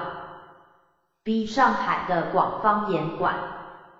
二、译西书，中国人和西方传教士合力翻译西书。三、第一批留学生。A. 一八七零年代，中国第一个留美学生荣闳带领一百二十名幼童到美国留学。B. 撤回，小留学生在西方接受教育，被顽固派斥为忘本，中途撤回。C. 成就。第一批留美学生中最有成就的是修筑京张铁路的总工程师詹天佑。十一、帝国主义的压迫。一、侵略中国的帝国主义国家增多，英、法、俄之外，加入日本。二、帝国主义的侵略。一、法国侵略安南、越南。二、英国侵略缅甸；三、日本兼并琉球，侵入朝鲜，台湾威胁中国最大。甲午战争。十二、日本的野心。一、明治维新。一起因十九世纪中期，日本受到西力冲击，同治七年（一千八百六十八）。开始维新。二、明治维新。一、破除旧习，锐意西化。二、糅合传统的武士道和西方商业精神。二、甲午战争前的扩张。一、进犯台湾一八七四年牡丹社事件。二、兼并琉球群岛。三、排除中国在朝鲜的势力。一、利用条约排除中国在朝鲜的势力。二、利用朝鲜内部的新旧党争和中国立约，把朝鲜立为中日共同保护国，可以共同出兵平乱，埋下甲午战争的火种。十三、甲午战争。一导火线，东学党之变。一时间，光绪二十年（一千八百九十四），朝鲜发生东学党之变。二日本阴谋，中日两国派兵平乱。事平之后，日本拒不撤兵，提出共同改革朝鲜内政的要求。二战争爆发。一时间，光绪二十年（一千八百九十四），岁次甲午。二日本突袭在朝鲜丰岛的中国运兵船，攻击住在朝鲜牙山的日军，中日两国宣战。三战争经过，中国海陆军皆败，日军长驱直入中国东北。四、结果签订马关条约。一时间，光绪二十一年（一千八百九十五）。二、双方代表。一、中方李鸿章。二、日方伊藤博文。三、内容。一、中国承认朝鲜独立。二、割让辽东半岛、台湾、澎湖给日本。三、赔款二万万两。四、增开通商口岸。五、允许日本人在通商口岸设厂制造。十四、战后影响。一、三国干涉海辽。一原因，割让辽东半岛涉及列强利益，引起列强干涉。二干涉国家俄德法。三结果，中国以三千万两赎回辽东。二中国面临瓜分列强各自租借港湾，划分势力范围。一俄国长城以北，二英国长江流域，三德国山东，四法国西南各省，五日本福建省。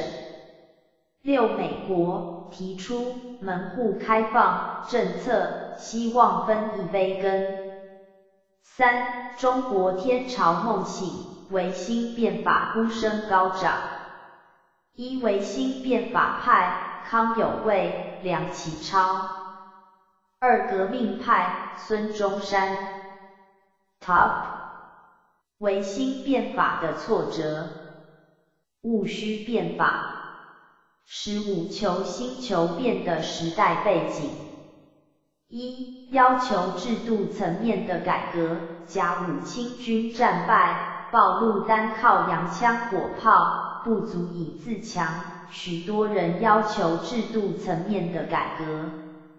二、群体意识的觉醒：一、过去的变革多半由行政官员主导。现在读书人逐渐成了要角。二过去读书人多个别对时局有所感慨，如今演变为群体的觉醒，新知识分子应运而生。三严复引介新思潮。一生平严复留英三年，学的是海军，重要的贡献却是思想的启蒙。二翻译英国赫胥黎的《天演论》一介绍物竞天择，弱肉强食，优胜劣败，适者生存的进化原理。二阐发救亡论证，大大影响国人的世界观。十六百日维新一倡导者。康有为、梁启超，一公车上书。一由来，光绪二十一年（一千八百九十五），马关条约签订的消息传来，正入京参加会试的康、梁联合十八省举人一千三百多人签名上书请愿。二诉求聚合迁都变法。二宣传战，康梁办学堂、立学会、开报馆、培植人才，做政治改革的宣传战。三思想战，康有为著书立说，为改革立法寻求理论的根据。四尚书德宗，康有为大讲救国之道。打动了皇帝的心，势力深入传统的政治中枢。二百日维新，一时间，一光绪二十四年（一千八百九十八），清德宗决定变法。二从四月二十三日下国事诏开始，到八月六日皇帝被囚。一共一百零三天。二内容：一、政治方面鼓励臣民批评时政、裁并机构；二、经济方面兴办实业；三、军事方面训练新军；四、教育方面废除八股。改试策论，兴办学堂和报馆。三成效，时间急迫，名目繁多，虽大小必举，效果却相当有限。十七戊戌政变，一主导者慈禧太后。二经过，一囚禁清德宗于瀛台。二缉捕参与朝政的六君子斩首于菜市场。三康梁逃往海外。四慈禧太后重掌政权，新政全面停摆。义和团与八国联军。十八义和团筹扬反教之音。一鸦片战争以来的积怨，从鸦片战争一千八百四十到庚子年一千九百六十年的岁月，中国人饱受洋人凌辱，积怨已深。二外人干涉中国内政。一戊戌变法，外人偏袒维新派。二戊戌政变，康梁得到英国、日本的保护，安全脱身，又在外国公然唱起保皇。三废立皇帝，慈禧太后谋废德宗，另立皇帝，外国人间接干预反对。十九从义和拳到义和团。一义和拳缘起。义和拳起自民间，是充满迷信色彩的秘密团体，自称有神灵附身，刀枪不入。二甲午战后更名为义和团。一性质改变，甲午战后，义和拳更名义和团，在山东巡抚的纵容下，光绪二十四年。一千八百九十八，正式聚众声势。二口号，扶清灭洋。三筹外行动。一，攻教堂，毁电线，拆铁路。二，无洋不反，反外皆仇。三，横行无忌，社会一片动荡。三袁世凯的镇压，袁世凯接任山东巡抚，义和团活动被压制，转入直隶省。四义和团的壮大，一义和团进入北京、天津一带发展，与政治结合，托之以拳脚对付洋人。二义和团的名气可用。一时成了当权者应付外患不得已的出路。二十向世界宣战，八国联军。一由来：一北京城骚动，庚子年一千九百五月，义和团进入北京，毁屋烧宅，掠夺财物。二使馆被围。义和团攻击各国使馆所在的东交民巷，日本使馆书记和德国公使先后被杀，北京城陷入无秩序状态。三联军入京，五月中旬，各国政府决定派军进入北京。二清廷的态度：一纵容，先后表面禁止，暗中纵容。后来干脆直呼全名为一名。二宣战，五月下旬，慈禧下诏向各国宣战。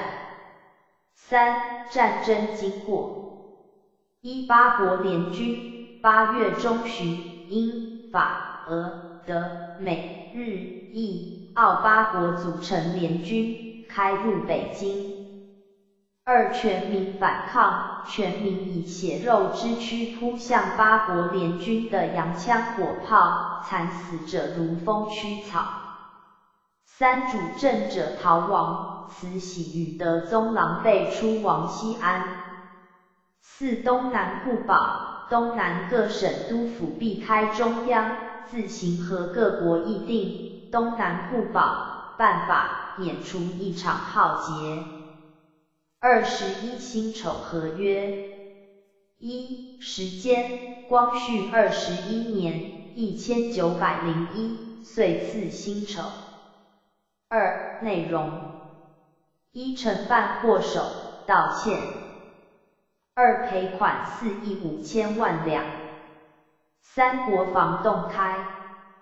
一削平北京至大沽的炮台。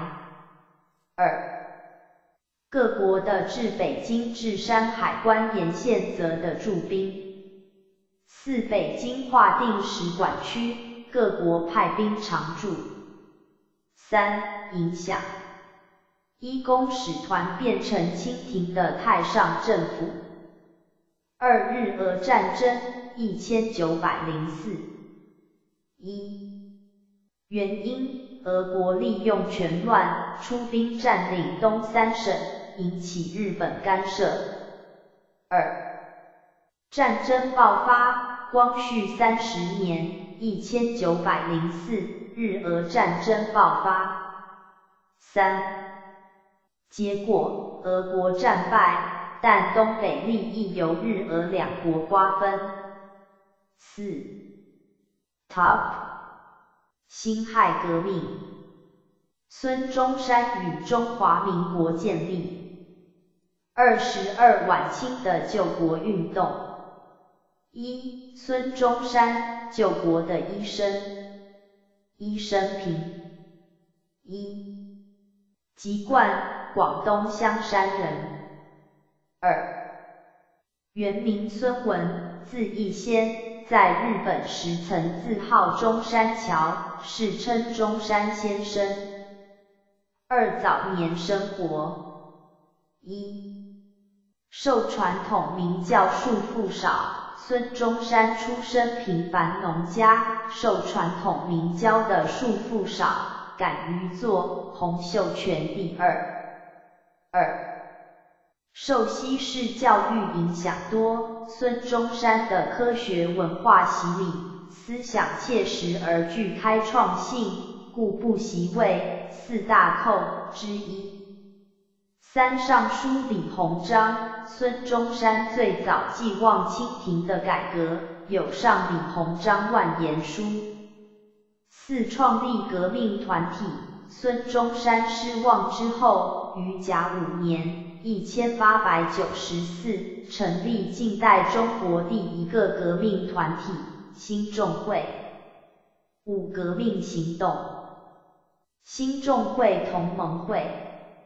时间：光绪二十年（一千八百九十四），光绪三十一年（一万九千零五十）。地点：美国檀香山，日本东京。入会誓词：驱逐鞑虏，恢复中华，创立民国，平均地权。成员：运动华侨，会党反清，革命之火由海外燃起，核心众会、华兴会与光复会等团体为中华革命党。重要事迹：伦敦蒙难。光绪二十二年（一千八百九十六），孙中山一度在伦敦被清使馆右进一，正式发表三民主义的主张。二八次失败，以知识分子、新军与秘密会党为基础，由边区到中央，发动八次武装起义。三震撼人心。黄兴领导的广州三百二十九之役引爆革命火种。二康梁与士绅的立宪派。一保皇党的建立，康有为与梁启超在海外侨界建立了保皇党，以保护德宗，反对慈禧为宗旨。二立宪运动。一日俄战争的刺激，日俄战后，国人眼见一个立宪小国打败了两个帝制大国，清廷、俄国，立宪运动随之而兴。二，康、梁与一般士绅形成立宪派。A 要求召开国会，制定宪法。B 发动三次大规模的国会请愿运动，给清廷重大压力。三结果卷入了革命风潮。二十三武昌起义。一背景。一幼主登基，光绪三十四年一千九百零八，清德宗和慈禧太后在两天内先后去世，三岁的溥仪继位未立。二，清廷腐朽，中央集权而无能，政治废弛而高压。二岛火线，民间反对清廷，铁路国有政策。三经过，一，湖北空虚趁机起事，宣统三年，一千九百一十一，四川保路同志会集会请愿游行，清廷调派湖北新军入川镇压。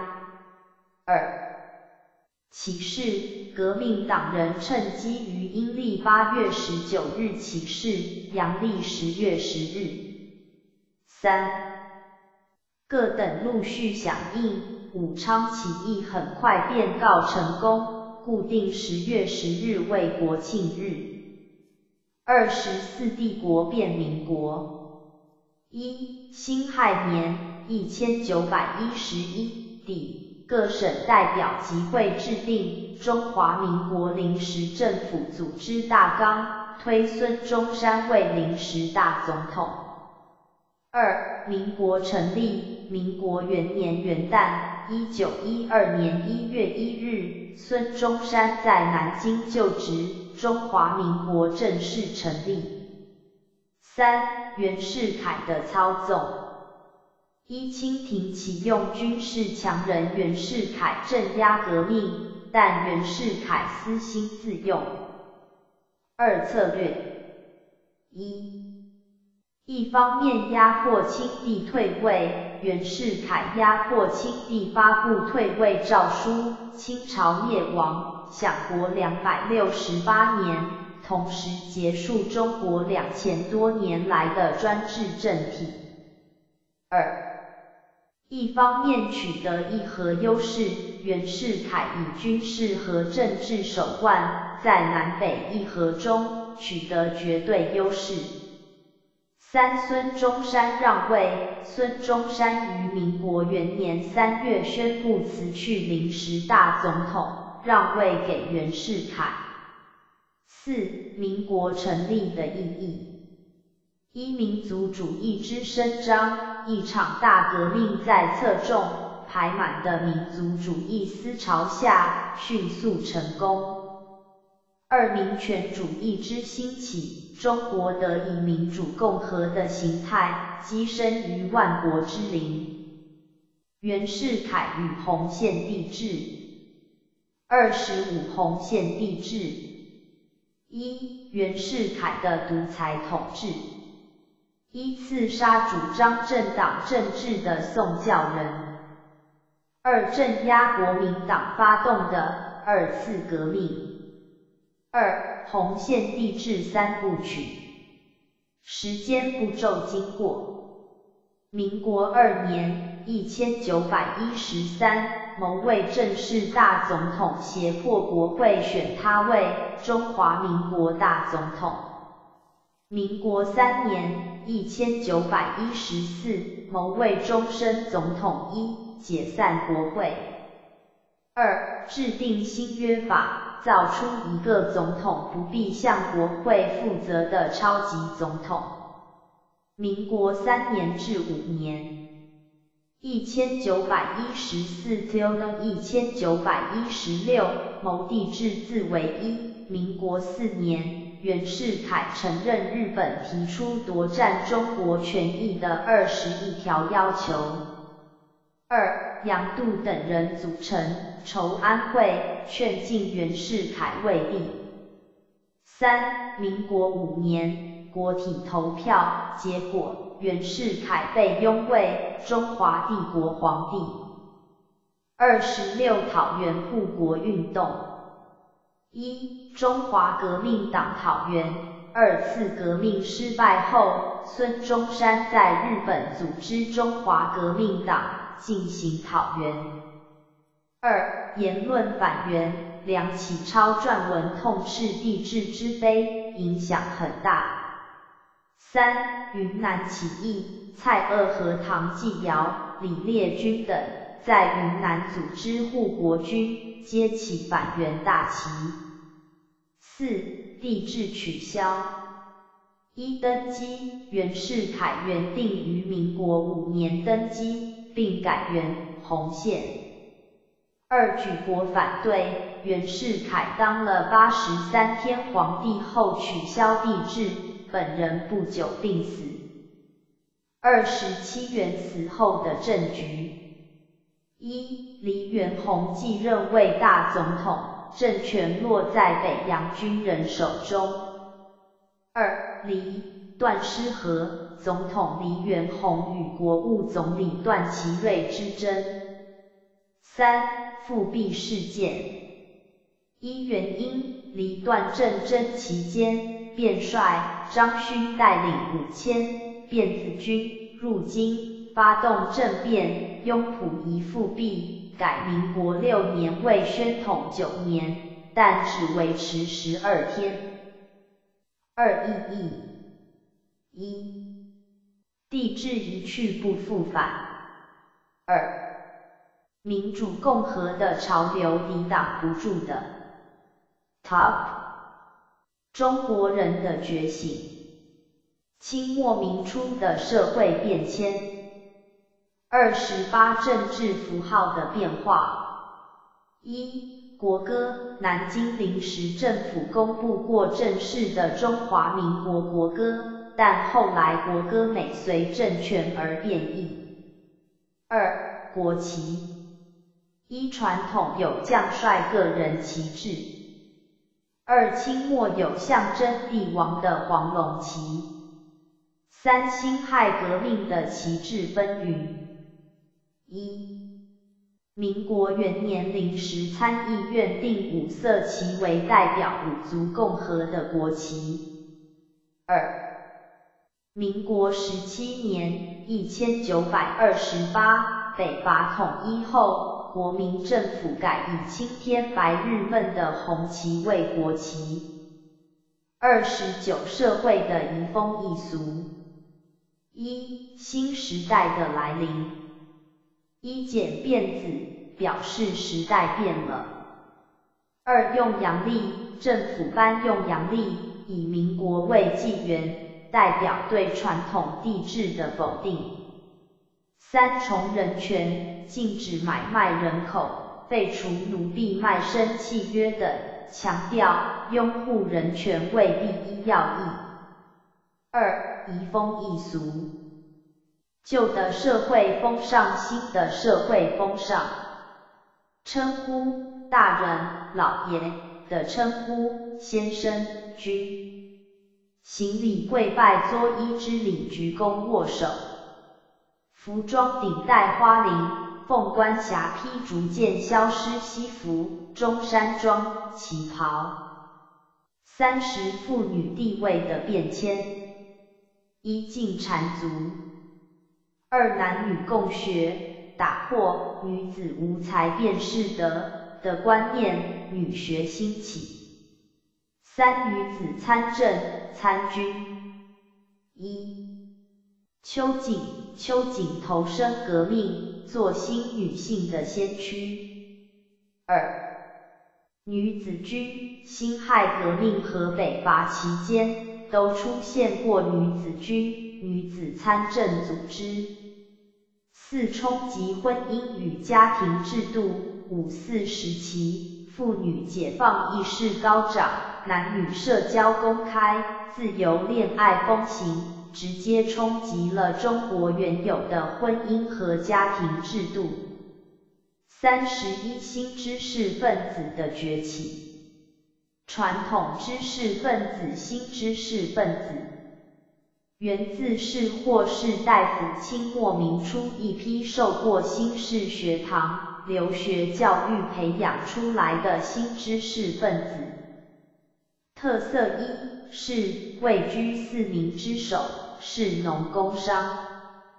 二，通过科举取得功名，在乡为生，出而为官，有身份。有地位妻，不再执着功名，他们拥有新知识、新人生观与价值观，不必拼命于科举。八、造成学界风潮的主角，他们对社会现状会发出不平之鸣，又能传播新观念。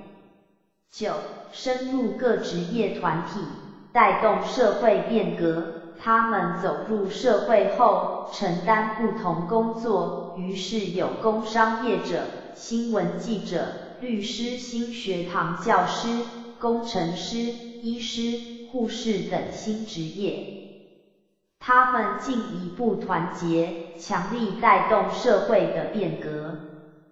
适合生存空间乡村城市，共同点以天下为一任。五四运动与新文化运动，三十二新文化运动。一开端，民国四年，陈独秀主编《新青年》杂志创刊，公开抨击传统，歌颂西方文化，公然主张以新替旧。二敦促者，北京大学校长蔡元培。他以学术自由、兼容并包为办学方针。三、内涵：文学的变革，思想的解放。一、文学革命。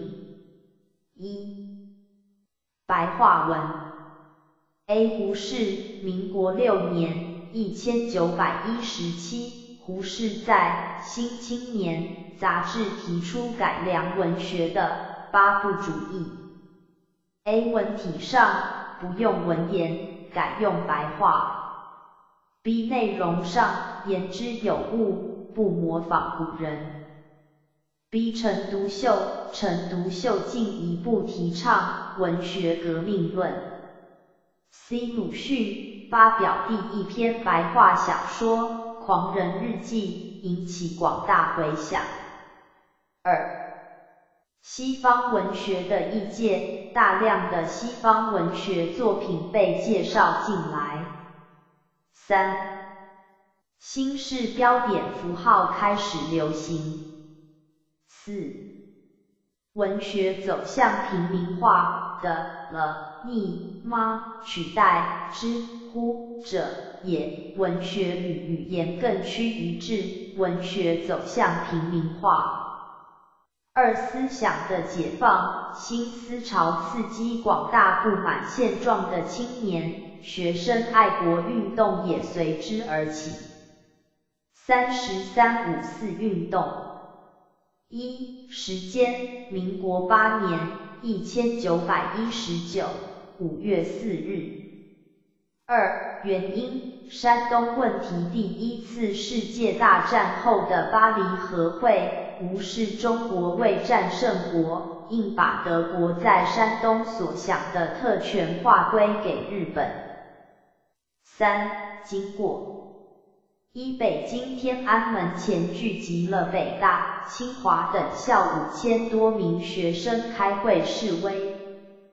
二、示威游行者要求拒签合约，收回山东利权，废除二十一条。三口号：一、中国的土地可以征服，不可以断送；二、中国的人民可以杀戮，不可以低头；四、学生前往东交民巷使馆区向各国提送抗议书；五、学生找政府外交官员算账，痛殴驻日公使张宗祥。学生多人被捕。六五月五日，学生总罢课，工人随之罢工，商人宣布罢市。四结果：一迫使北京政府在六月惩办官员，拒签合约；二外争国权，内惩国贼的要求达成，学生运动告一段落。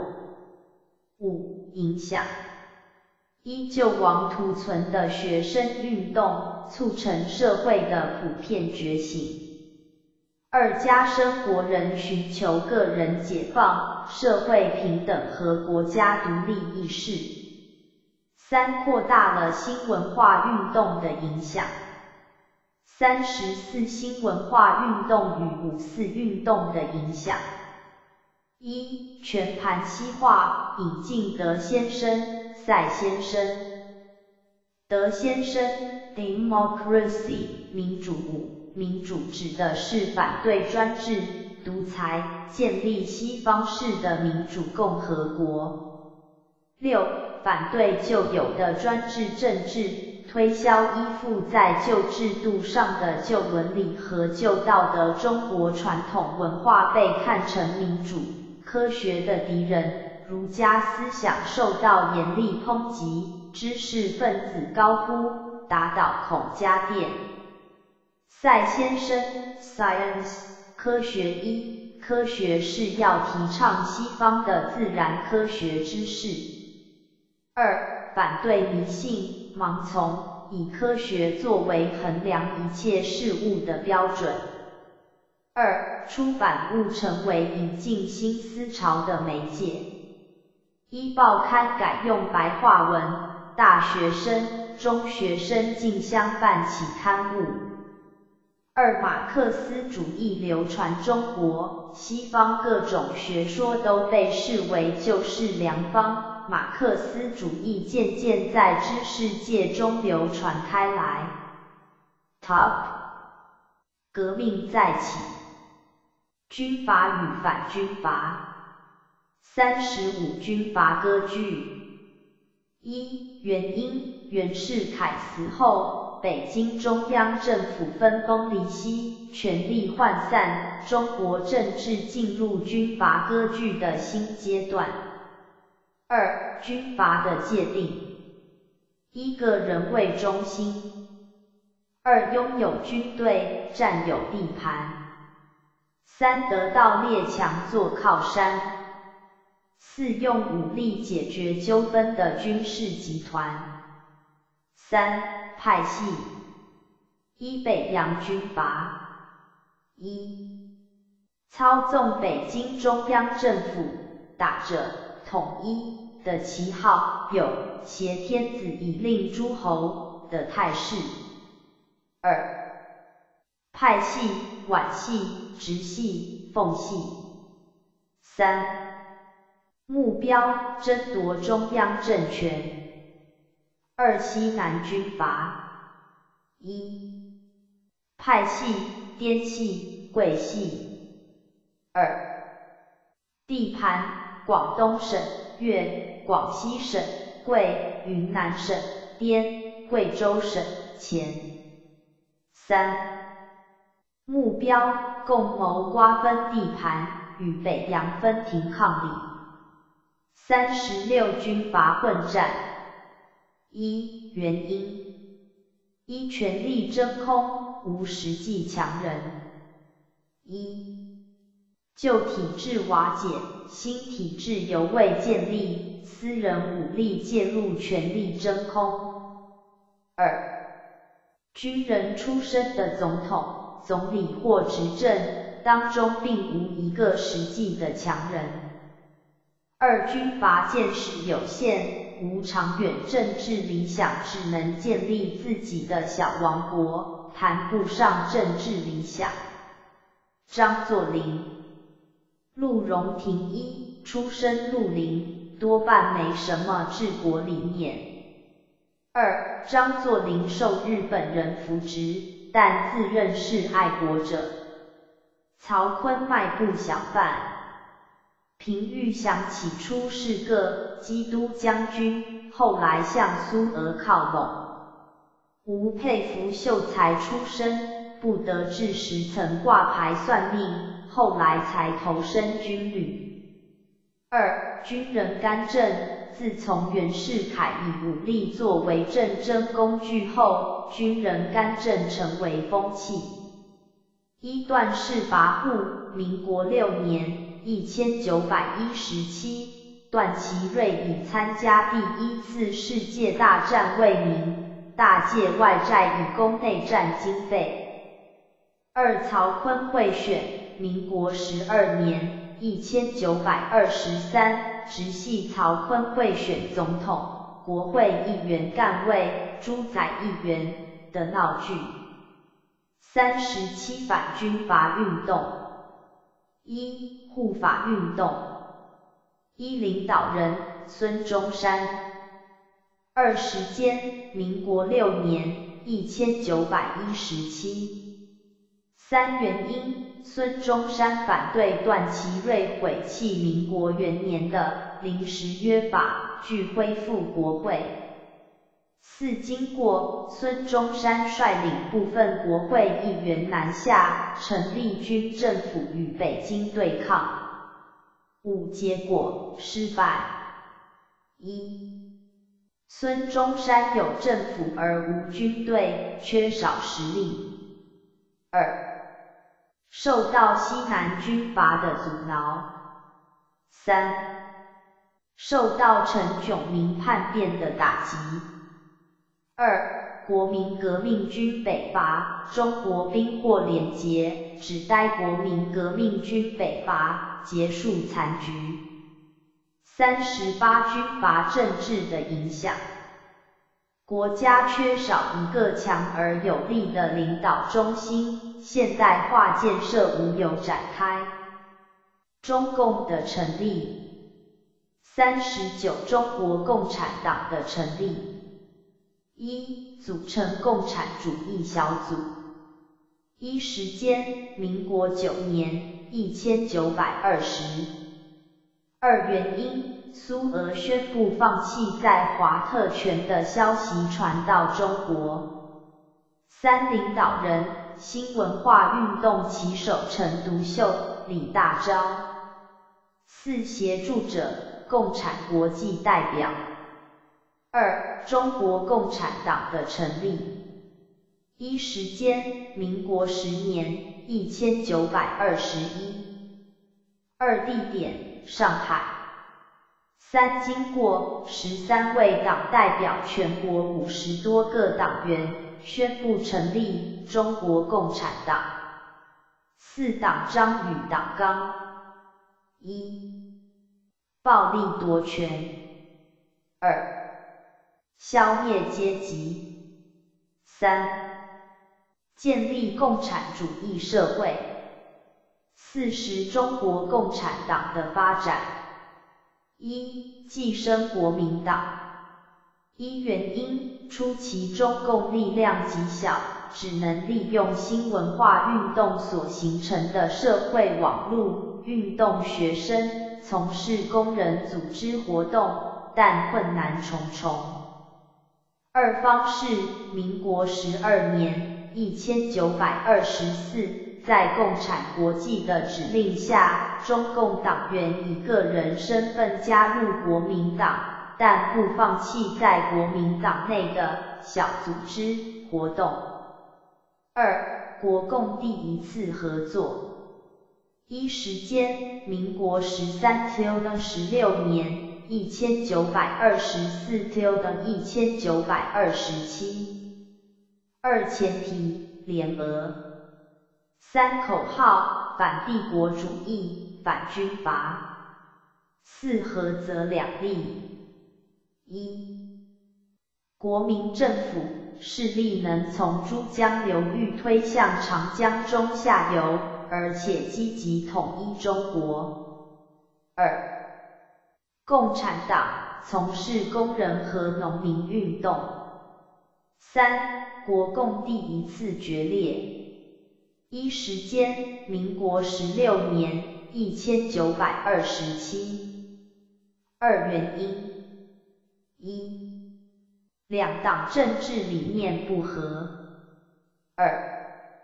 中共采取既联合又斗争的策略，将矛头对向国民政府。三国共对抗：一、国民党国民革命军总司令蒋中正在上海实行反共清党；二、共产党中共以武装暴动回应。四结果，中共转入地下发展，由城市转入乡村，另图发展。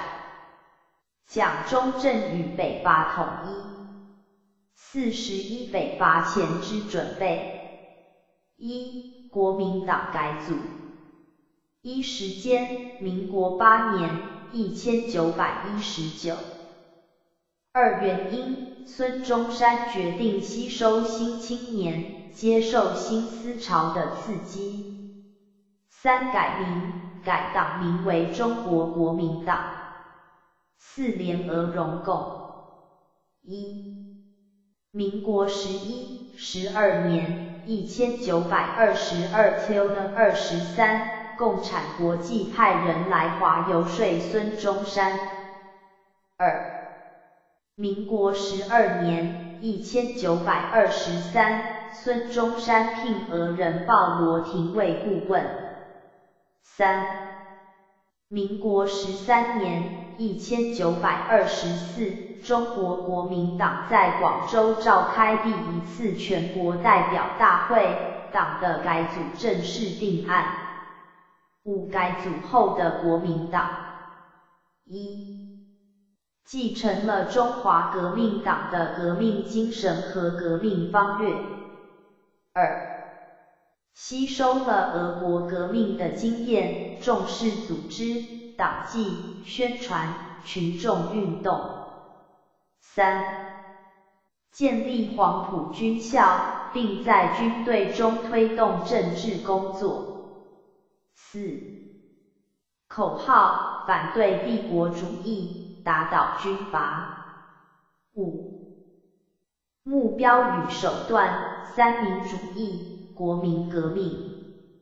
六、联俄融共之弊病，导致国民党内党中有党，形成融共、反共之称，造成派系冲突，付出代价极大。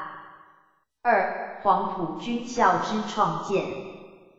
一、蒋中正的崛起。一、生平：蒋中正，字介石，浙江奉化人。二、早年事迹：就读学校一、保定全国陆军速成学堂。二、留学日本入正武学校。参加革命一、辛亥革命。二、二次革命。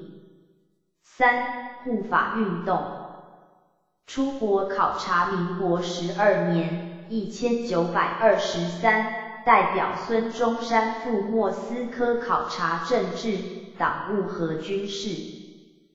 二创建黄埔军校。一时间，民国十三年，一千九百二十四。二校训：亲爱京城。三、奠定北伐基础。A. 民国十四年，一千九百二十五，孙中山病逝，蒋中正承担国民革命的大任。B. 东征，民国十四年，蒋中正东征讨伐陈炯明。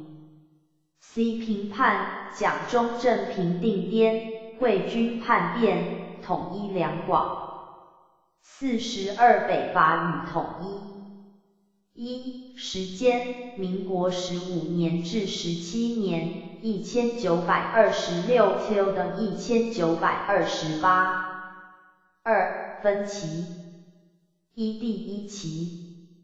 一时间，民国十五年至十六年，一千九百二十六 Q 的二十七。二成就消灭南方军阀，占领南京、上海。二宁汉分裂。一国民政府迁武汉，民国十五年，一千九百二十六，广州国民政府与国民党中央迁到武汉，仍与共产党合作。二清党引发分裂。民国十六年四月，一千九百二十七，蒋总司令占领上海后，鉴于共产党夺权阴谋，宣布清党，在南京另立国民政府。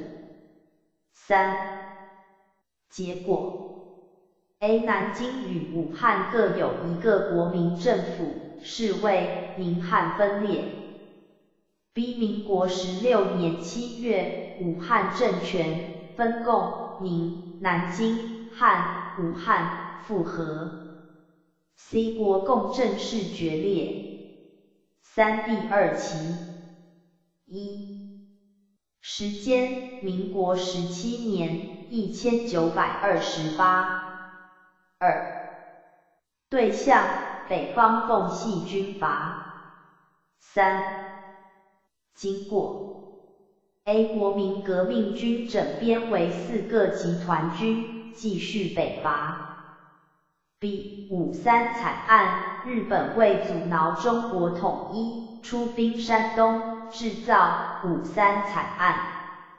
C. 绕道北伐，蒋总司令率军绕道北伐，进入北京，改名北平。D. 张作霖诈死，奉系军阀首领张作霖退回东北，在皇姑屯被日本人炸死。四全国统一，民国十七年底，一千九百二十八，东北军奉军首领张学良宣布东北易帜，归顺南京国民政府，中国在形式上归于统一。Top 十年深具教训，黄金十年，四十三实施训政。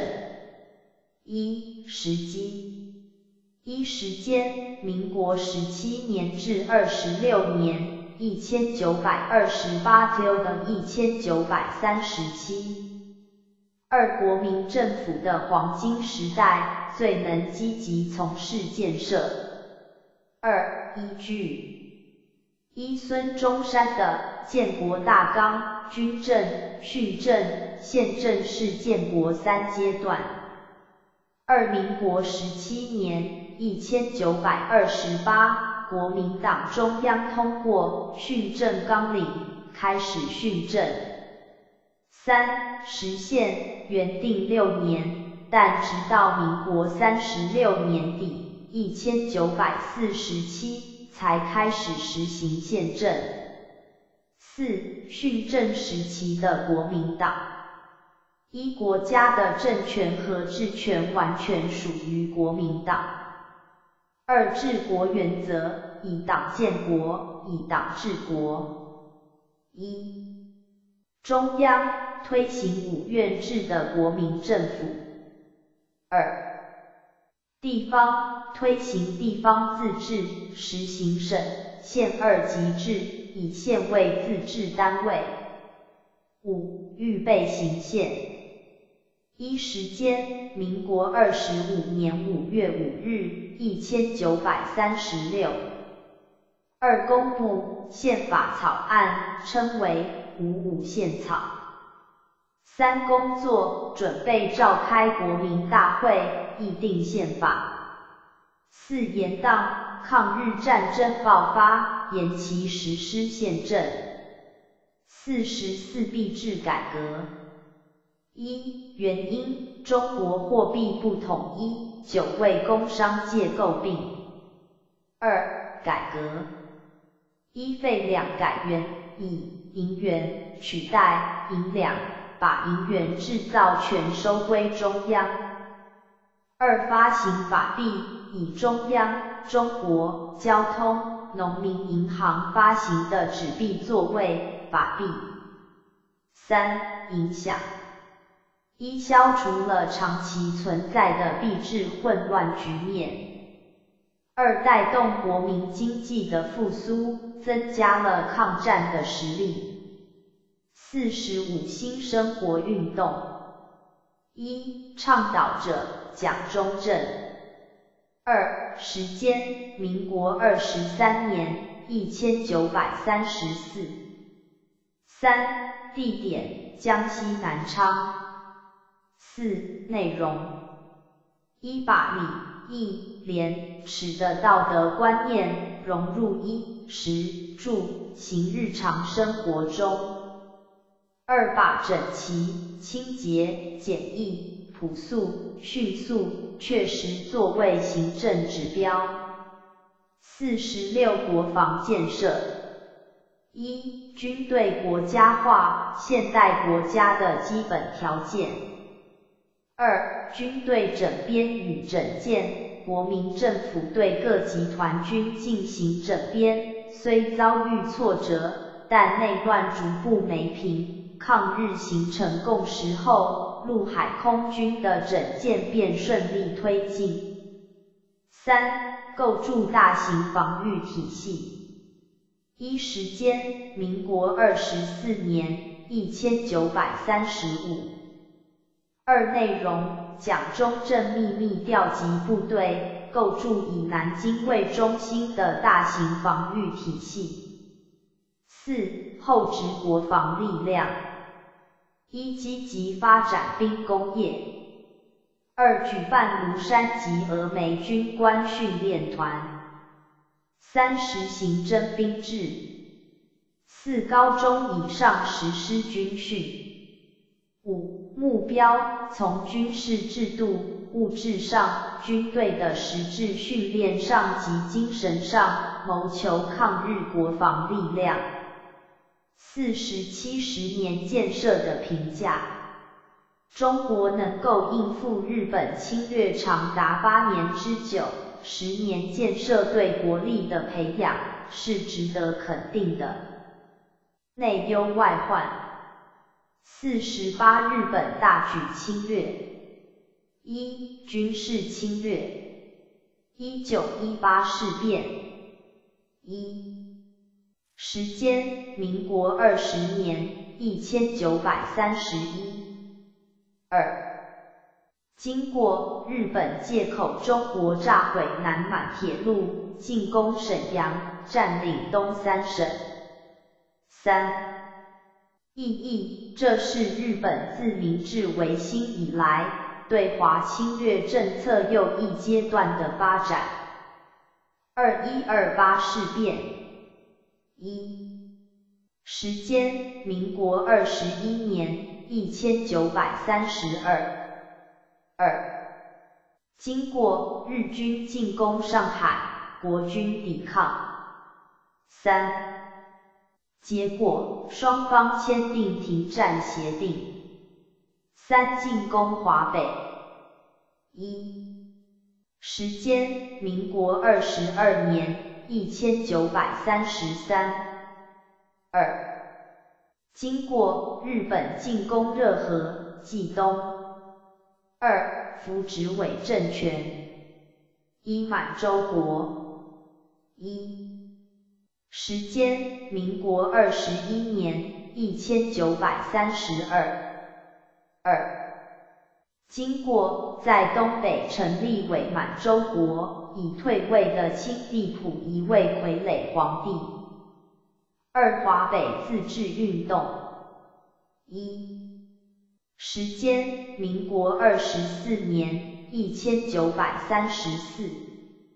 二、经过，日本企图将华北纳入日本势力范围。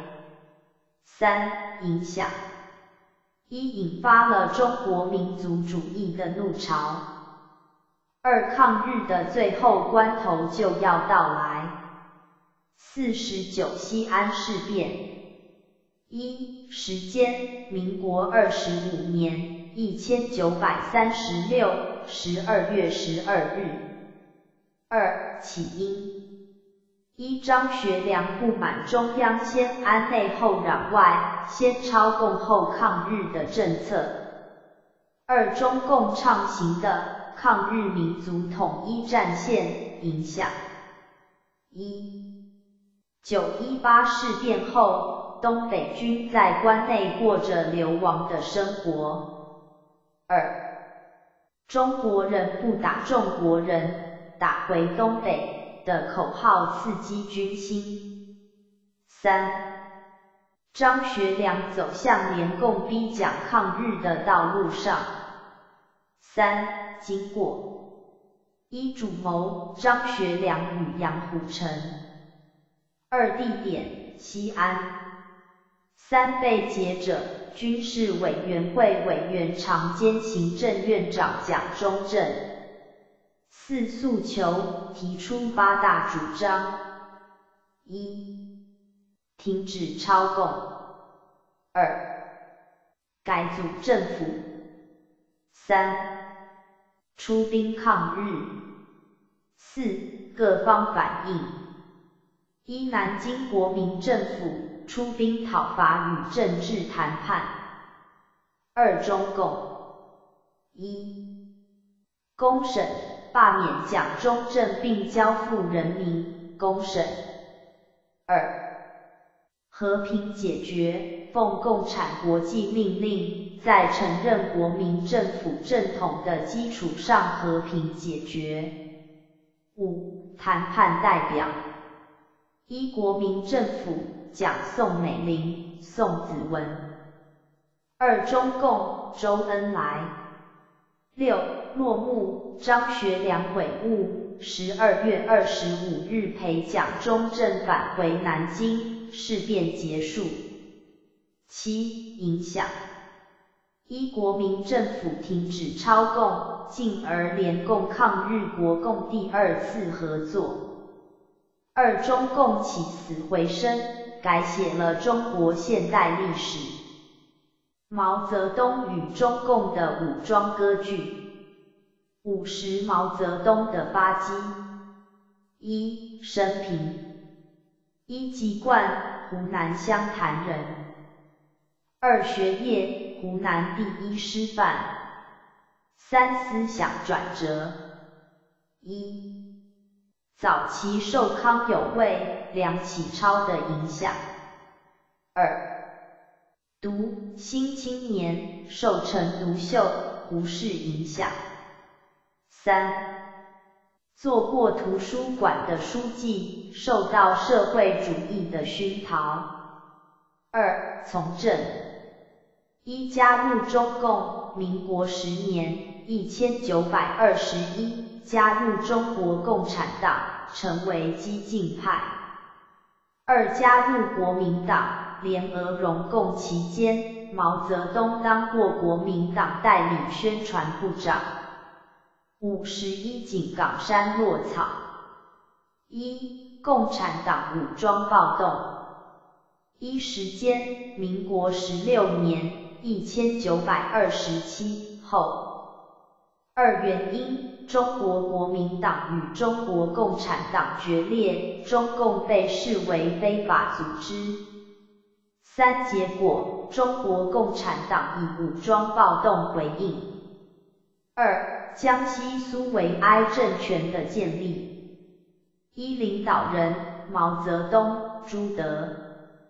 二原因，毛泽东于秋收暴动失败后，逃入江西井冈山据的称王。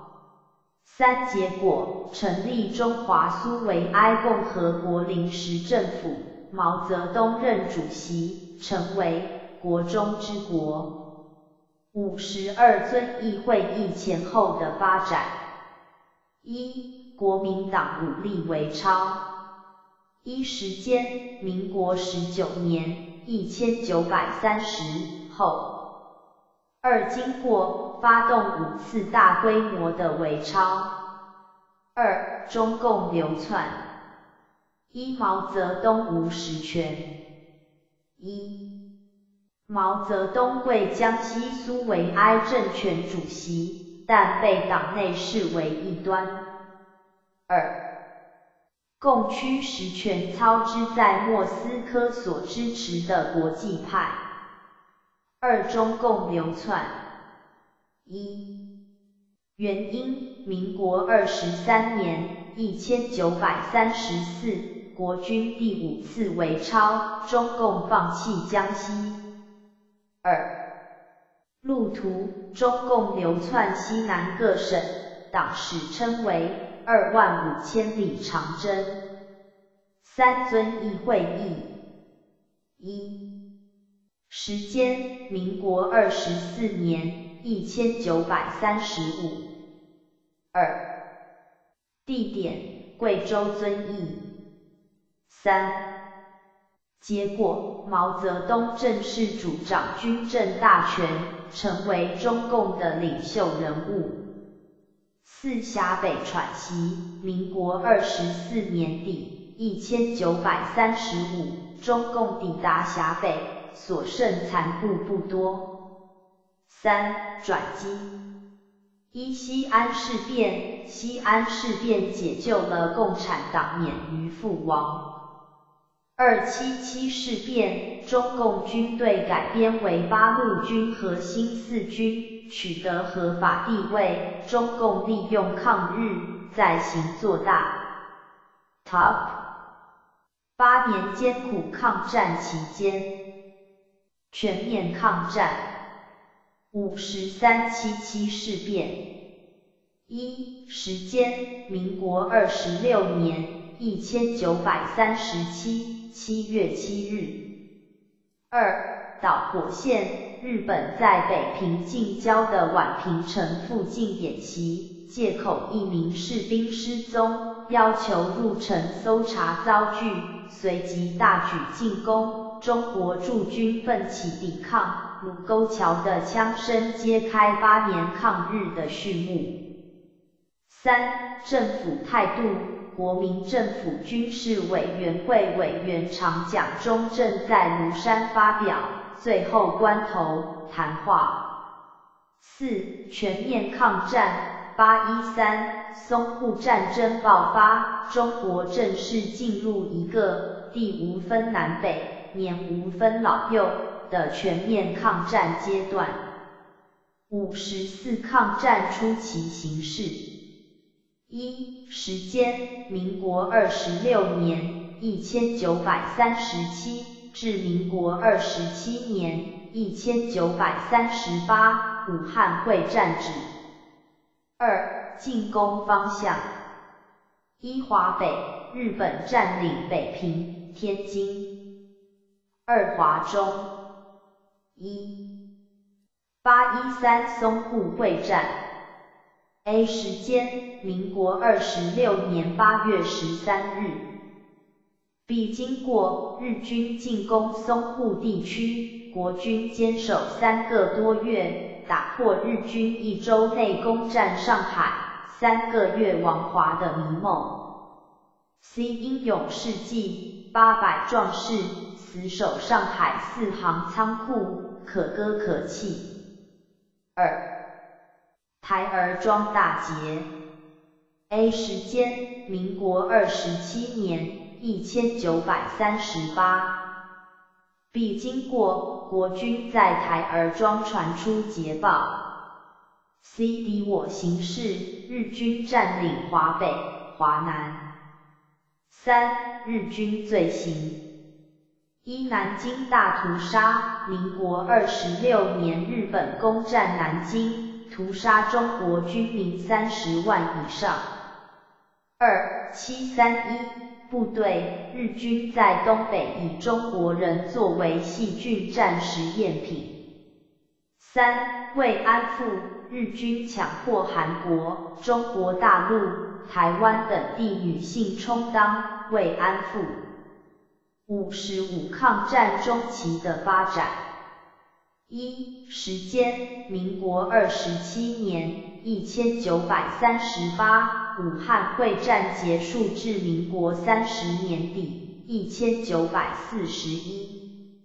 二双方相持阶段持久战，中方一固守山区。一九三九年第二次世界大战爆发，西方国家自顾不暇。国军只能苦撑待变，退入山区，依险固守。二游击战，沦陷区以游击战消耗并牵制日军战力。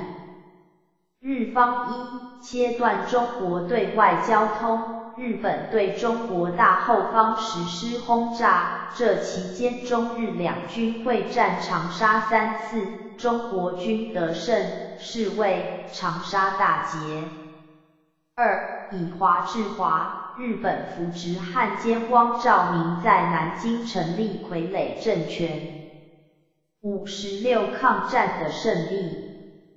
一、时间：民国三十年底，一千九百四十一至民国三十四年，一千九百四十五。二、重要战役会议时间：战役或会议重要经过：民国三十年，一千九百四十一，太平洋战争，日本偷袭美国珍珠港。太平洋战争爆发，中美英开始并肩作战。民国三十一年元旦，一千九百四十二，联合国宣言五，中国参与二十六国签署联合国宣言。六，蒋中正担任盟军中国战区最高统帅。民国三十二年一月。一千九百四十三，中美、中英签订平等新约五，英美宣布放弃在华特权，另订平等新约，一百年来不平等条约的枷锁终告解除。六，中国成为世界四强之一。开罗会议，蒋中正参加中美英三巨头的开罗会议。决定战后东亚的国际新形势。民国三十三年，一千九百四十四，日本打通大陆交通线。青年从军运动期，盟军的欧洲第一策略，中国战场未受重视。八四月，日本企图打通大陆交通线，震动昆明和重庆。九八月，政府号召青年从军，组成青年军，远征缅甸，打通中印公路五。民国三十一年，中国远征军进入缅甸，解英军之围。六打通中印公路。有助战局扭转。民国三十四年，一千九百四十五，日本投降五。四月，国军总反攻。六八月，美国在日本广岛长崎投下原子弹，日本于八月十四日宣布无条件投降。七，中国八年对日抗战，终获最后胜利。中国之巨变。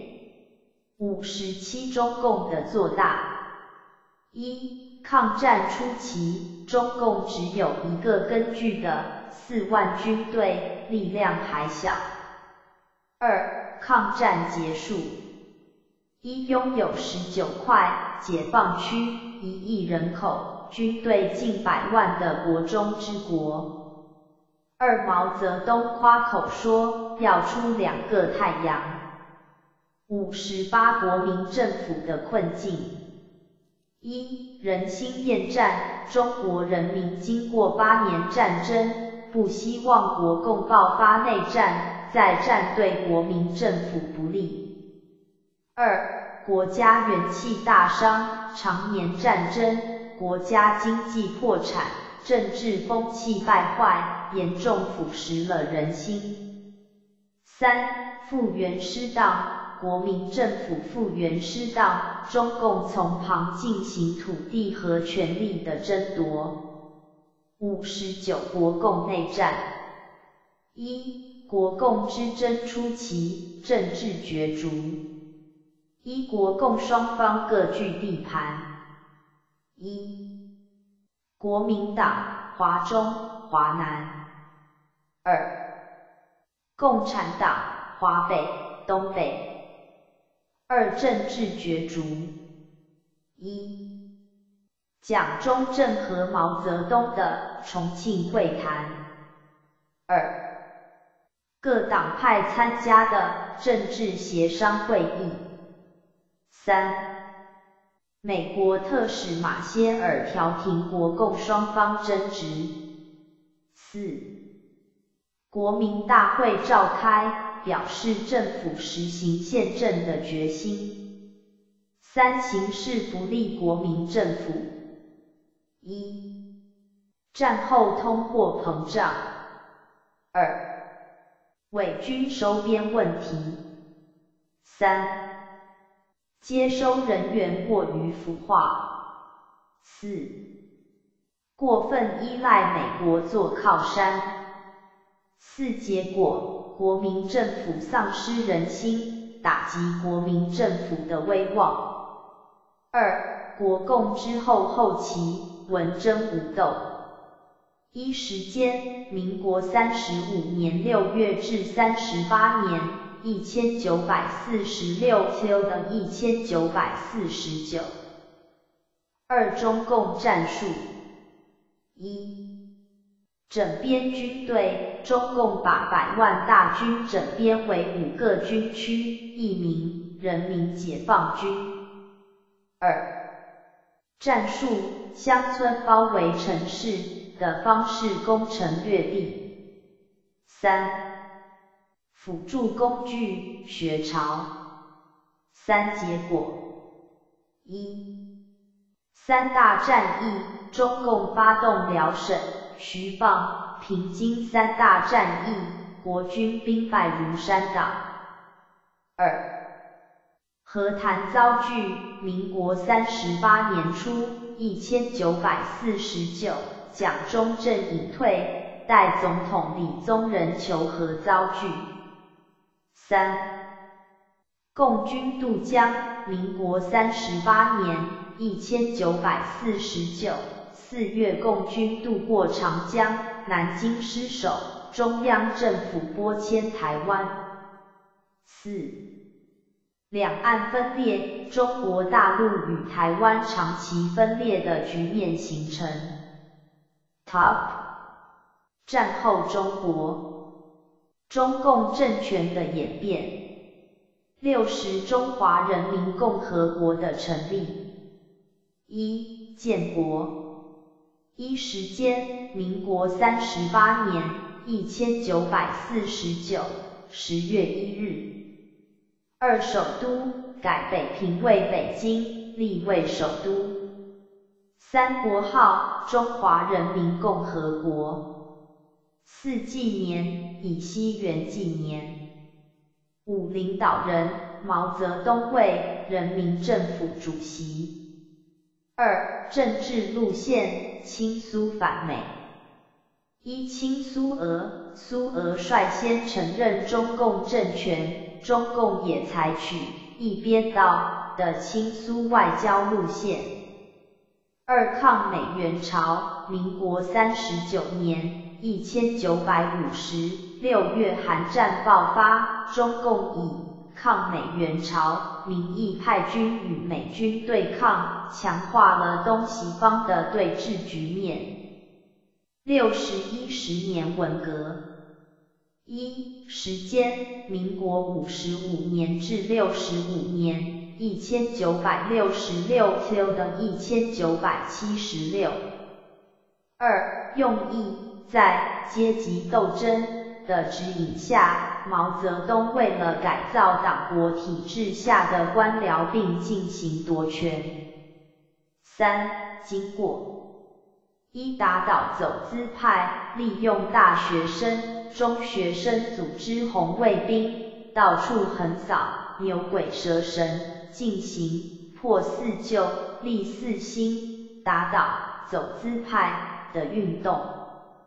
二、塑造毛泽东为红色教主，有至少一千一百万手持毛语录、口唱语录歌的红卫兵，涌向北京天安门朝圣，接受毛泽东的检阅。四、浩劫。一几百万人在造反有理的口号下被斗争，走入五七干校劳改。二无数文物惨遭捣毁，上亿人口受到株连迫害，全国陷入一片混乱。五结果，一林彪叛逃，文革期间，毛泽东指定林彪为继承人，林却叛逃身亡。二四人帮接手，大权落入以江青为首的四人帮手中。三四人帮被铲除。民国六十五年九月，一千九百七十六，毛泽东病死，四人帮被铲除。文革十年浩劫结束。六十二文革之后的发展。一、邓小平的改革开放。一时间，民国六十七年，一千九百七十八后。二、务实主张，摸着石头过河，白猫黑猫，能抓老鼠便是好猫。三、务实路线。一、不再搞政治运动，以改革开放代替阶级斗争。二、开放市场经济，在所谓具有中国特色的社会主义下，大陆市场经济开始与世界经济体系挂钩。三、经济挂帅，中国社会由政治挂帅变成经济挂帅，大家一起向前看。四结果：一、西装取代毛装，不断革命论踩了刹车；二、党天下不在，党国体制发生动摇；三、经济发展与政治保守的矛盾政策，发生了民国七十八年（一千九百八十九）的六四天安门惨剧。二后邓时代，江泽民掌舵，共产体制能不能和平演变，仍待观察。中华民国在台湾的发展。六十三危急存亡之秋。一、台湾面临人口压力，大陆撤退军民达两百余万，对台湾形成一股压力。二、国际刻意疏远，美国等国家刻意疏远与中华民国的关系。三、政府财政困窘，政府取出抢运来台的黄金救急。四、蒋中正复职，民国三十九年（一千九百五十），蒋中正副总统职，领导台湾军民。六十四、国民党的改造。一、时间：民国三十九年（一千九百五十）。二、经过：一、启用年轻优秀人才，整顿党纪，训练党员。以革命民主政党自居。二实行戒严，国民党为了抗共，民国三十八年（一千九百四十九）五月开始长达三十八年的戒严。三结果：一稳定台湾局势，二民主宪政的推行打了折扣。六十五经济发展。一、土地改革。一、内容：三七五减租工地放领耕者有其田农地种化。二、结果：一、打破租佃制度形成的社会经济地位对比和贫富悬殊现象。二、带动民营企业和工商业发展。二、经济建设。一时间，民国四十丢的六十年代，一千九百五十丢的一千九百七十。二内容，六期的经建计划，十项建设，十二项建设，十四项建设。三结果：一，中产阶级崛起，社会走向多元。二、民主呼声具备了社会基础。六十六政治发展。一、国民党垄断的政治。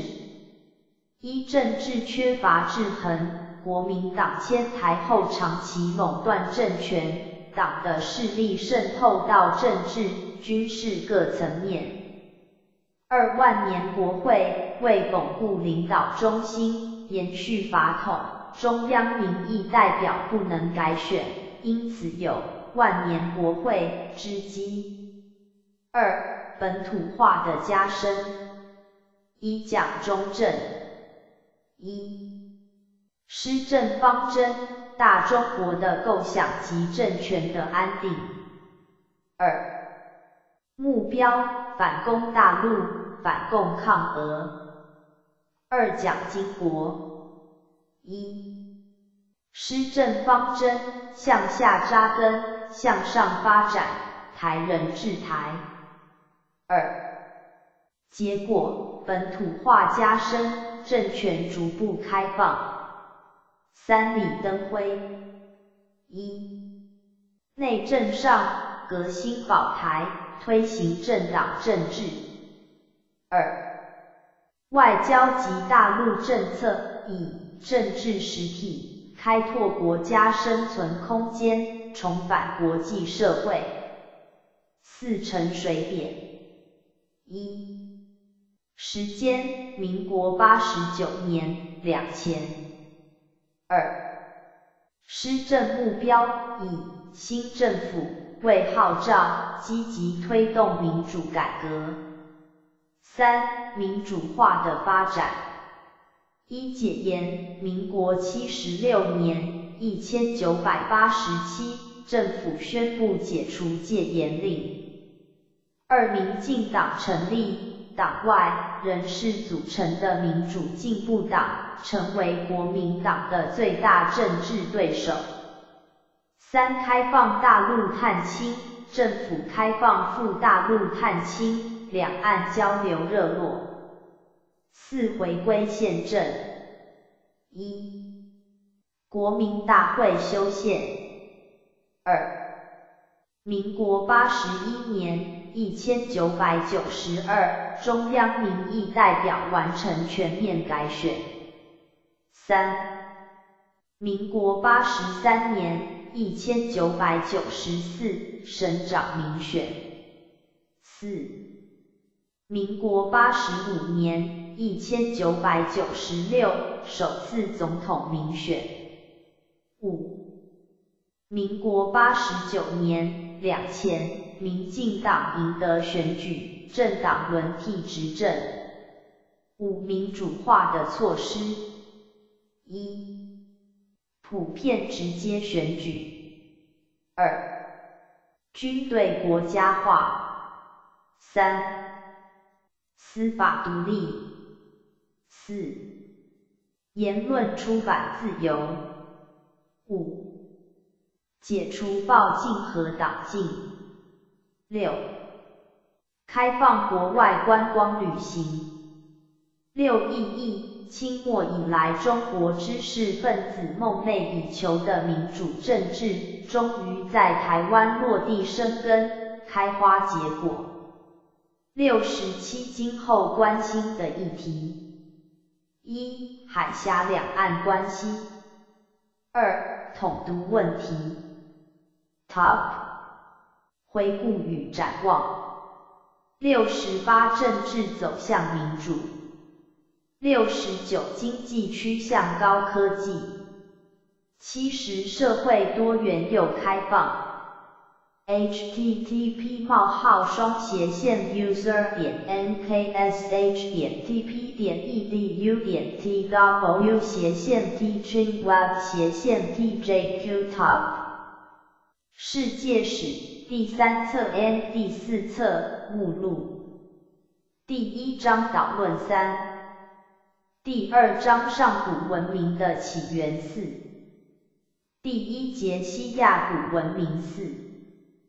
第二节埃及古文明五，第三节希腊城邦的发展七，第四节罗马帝国的形成九，第三章中古欧洲的发展十二，第一节从民族迁徙到封建制度的建立十二，第二节庄园经济与城市兴起十四。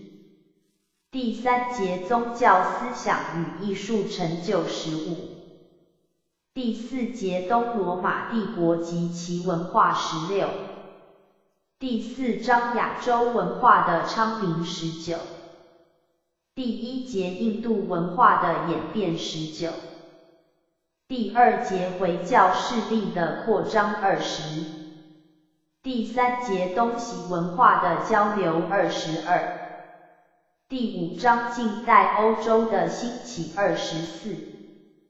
第一节文艺复兴二十四。第二节宗教改革二十六，第三节地理大发现二十八，第四节科学革命三十，第六章从专制到民主三十二，第一节民族国家的兴起与专制政治的盛行三十二，第二节启蒙运动三十三。第三节英国议会政治与美国独立三十四。第七章两大革命与西方的巨变三十七。第一节工业革命三十七。第二节法国大革命三十八。第三节十九世纪上半叶西方的政治与文化四十。第八章民族主义的流行与帝国主义的横行四十三。第一节日耳曼和意大利的统一四十三。第二节拉丁美洲和巴尔干的独立运动四十三。第三节日本的明治维新四十五。第四节新帝国主义四十六。第九章第一次世界大战四十八，第一节结盟危机与战争四十八，第二节和会合约与国际联盟四十九，第十章战间期五十二，第一节亚非国家的独立运动五十二，第二节欧美国家的转变五十三。第三节经济大恐慌和军国主义的猖獗五十四。第四节文化与思想五十六。第十一章第二次世界大战五十八。第一节战争的始末五十八。第二节战时的国际关系五十九。第十二章东西冷战下的世界局势六十一。第一节亚非新兴国家与第三世界六十一。第二节联合国与区域统合六十二。第三节冷战与区域性战争六十四。第四节德国统一与苏联解体六十六。第十三章新时代的来临六十九。第一节高科技与大众文化六十九。第二节时代新挑战七十一。导论：七十一人类的出现与演进。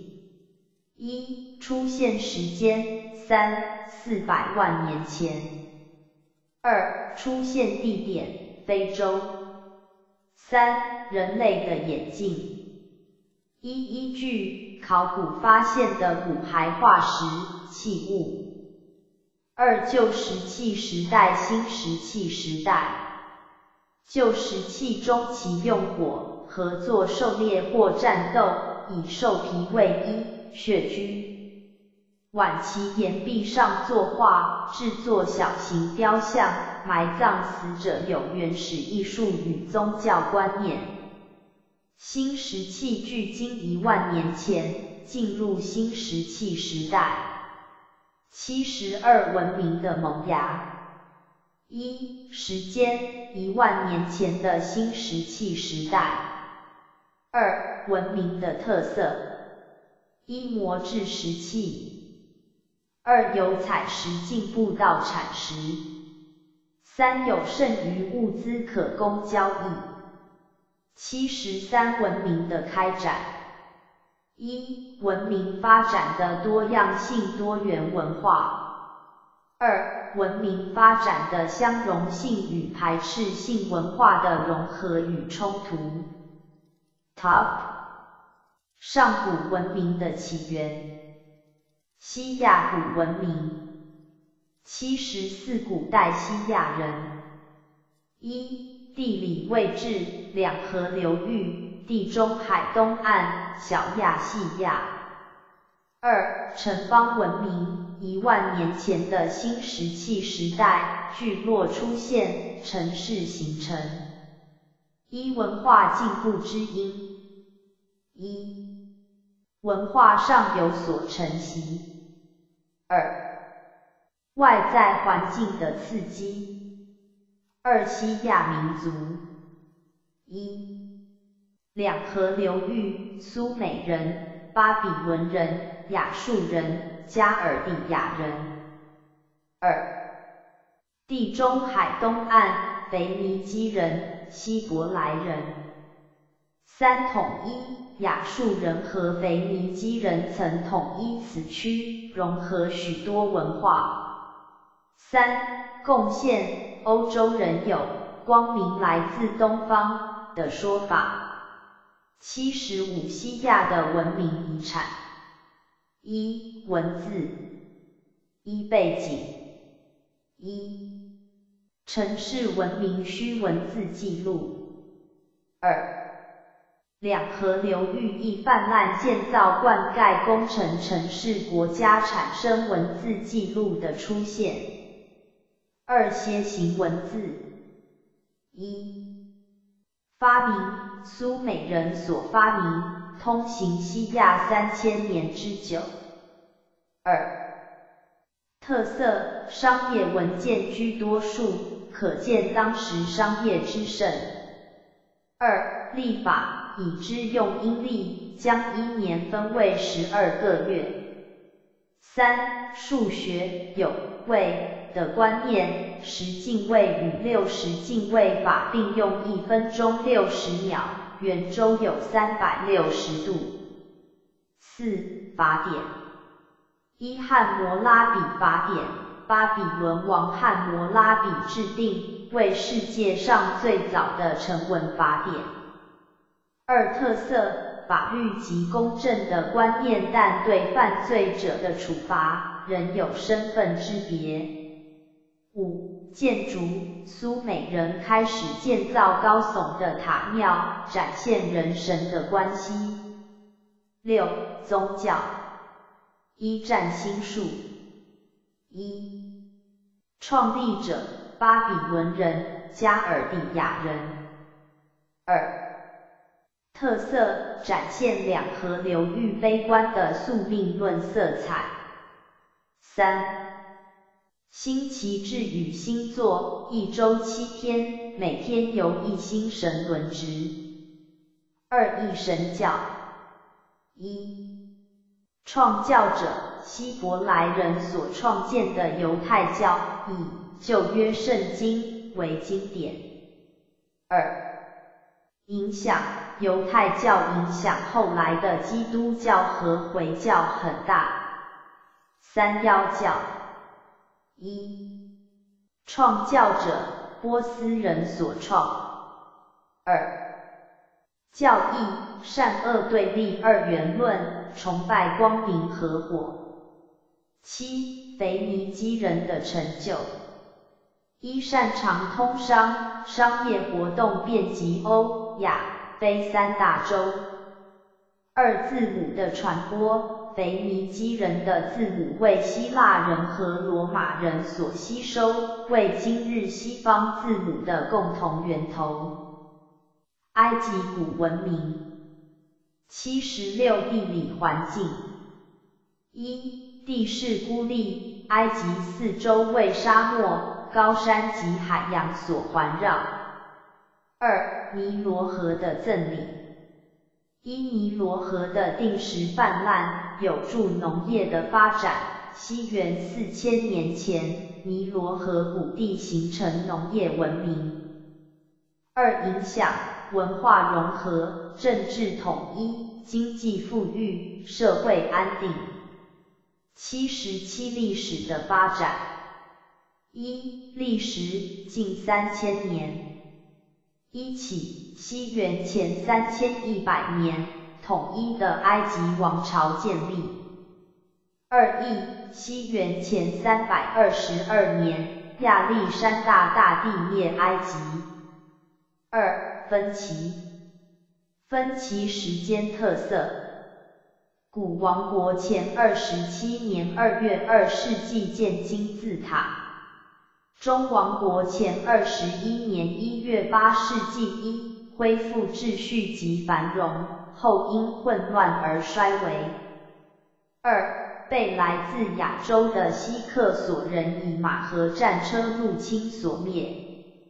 新王国前十六年十一月世纪一驱逐外敌，法老政权权力集中，建立强大军队。二版图辽阔，采马拉战车，使用铁制武器向外征战。七十八古埃及的文明遗产。一多神信仰。一多神信仰，特别相信太阳神和尼罗河神。二相信来生，建金字塔，制作木乃伊。壁画巨大的雕刻以备来生之需。二文字一初期象形文字，二后期表音作用后世字母文字的基础。三天文历法制定阳历。四数学十进位法。五医学丰富的人体和医药知识。六学校，神庙有学校，以培养官吏。希腊城邦的发展。七十九希腊文明的起源与城邦政治。一文明的起源。一时间，西元前一零零零年。二地点，爱琴海岛屿，小亚细亚东岸。巴尔干半岛南部希腊地区。二、城邦的出现。一、形成背景，希腊半岛因山海交错而分成许多小区域，适合独立的城邦发展。二、向外发展。一、原因，希腊半岛的几人多。二、方式建立殖民地，发展工商业，征服邻邦。三、影响希腊人将希腊文明传播至地中海和黑海地区等殖民的。三、城邦政治形态。伊斯巴达勇武著称，但未统一全希腊。二、雅典。一。文化成就，全希腊的学校。二、民主政治，现成年男性公民才有选举权。八十希腊的古典时代与文化成就。一、文化丰富的原因。一、善于吸收外来文化，活泼自由的心灵和质朴纯真的世界观。二波西战争的鼓舞，以寡击众，自由战胜专制的鼓舞。二文化成就。一宗教。一编造神话，解释自然与人事现象，祈求好运和丰收。二举办奥林匹克运动会，运动员展现勇武，以取悦神明。二文学，一史诗，荷马的《伊利亚德》和《奥德赛》两篇史诗反映古代传说与生活。二戏剧、悲剧和喜剧显示作者洞察人生和深厚素养。三史学，希罗多德和修习底德的著作，成为西方史学的经典之作。四哲学，一内容，A 初期探索宇宙本质，B 后期人生问题。二重要哲学家苏格拉底。柏拉图、亚里斯多德。五、艺术。一、特色建筑、雕像、绘画上表现出均衡、比例、和谐之美。二、代表雅典的帕德嫩神庙。六、总结古希腊在科学、文学、哲学和艺术方面成就。都是后世之典范。八十一希腊化文明。一、希腊化文明的由来。一、马其顿的兴起。西元前四世纪，北方马其顿国王腓力二世统一希腊。二、亚历山大帝国。一、建立。腓力二世死后，其子亚历山大继位，率军东征，灭波斯帝国，建立横跨欧亚非三洲的亚历山大帝国。二、分裂，亚历山大死后，帝国分裂。三、影响，亚历山大死后的三百年间，希腊文明和西亚。埃及文明加速融合，时称希腊化时代。二、希腊化时代的文化：一、政治专制统治；二、经济商业兴盛；三、社会贫富悬殊；四、文学艺术注重感情表达。五科学，欧几里得的《几何原本》是世界上使用最久的教科书。罗马帝国的形成。八十二罗马的起源。一建成，西元前八世纪中期，拉丁人在意大利半岛的台伯河畔建立罗马城。二、民族性格，罗马人具有质朴勇毅的民族性，造就伟大的罗马。八十三、罗马历史发展。一、王政，罗马最早的政治形式，西元前六世纪被推翻。二、共和。一、共和初期，贵族把持政权。二共和晚期，一全民共和，平民是军队的来源，平民要求参政，贵族只得让步。二领土扩张，统一意大利，征服地中海沿岸。三帝国一背景一。罗马社会与经济的变化，原先的共和体制已不适用。二，共和末年内战平人，政权落入实力派军人手中。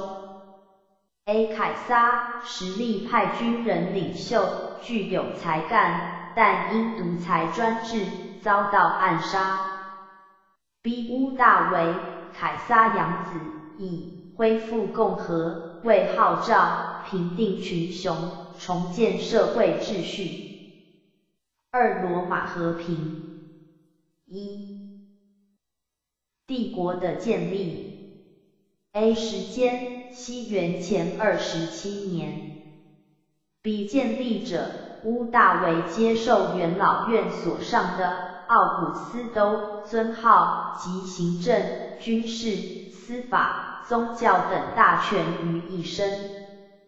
罗马共和名存实亡，进入帝国时期。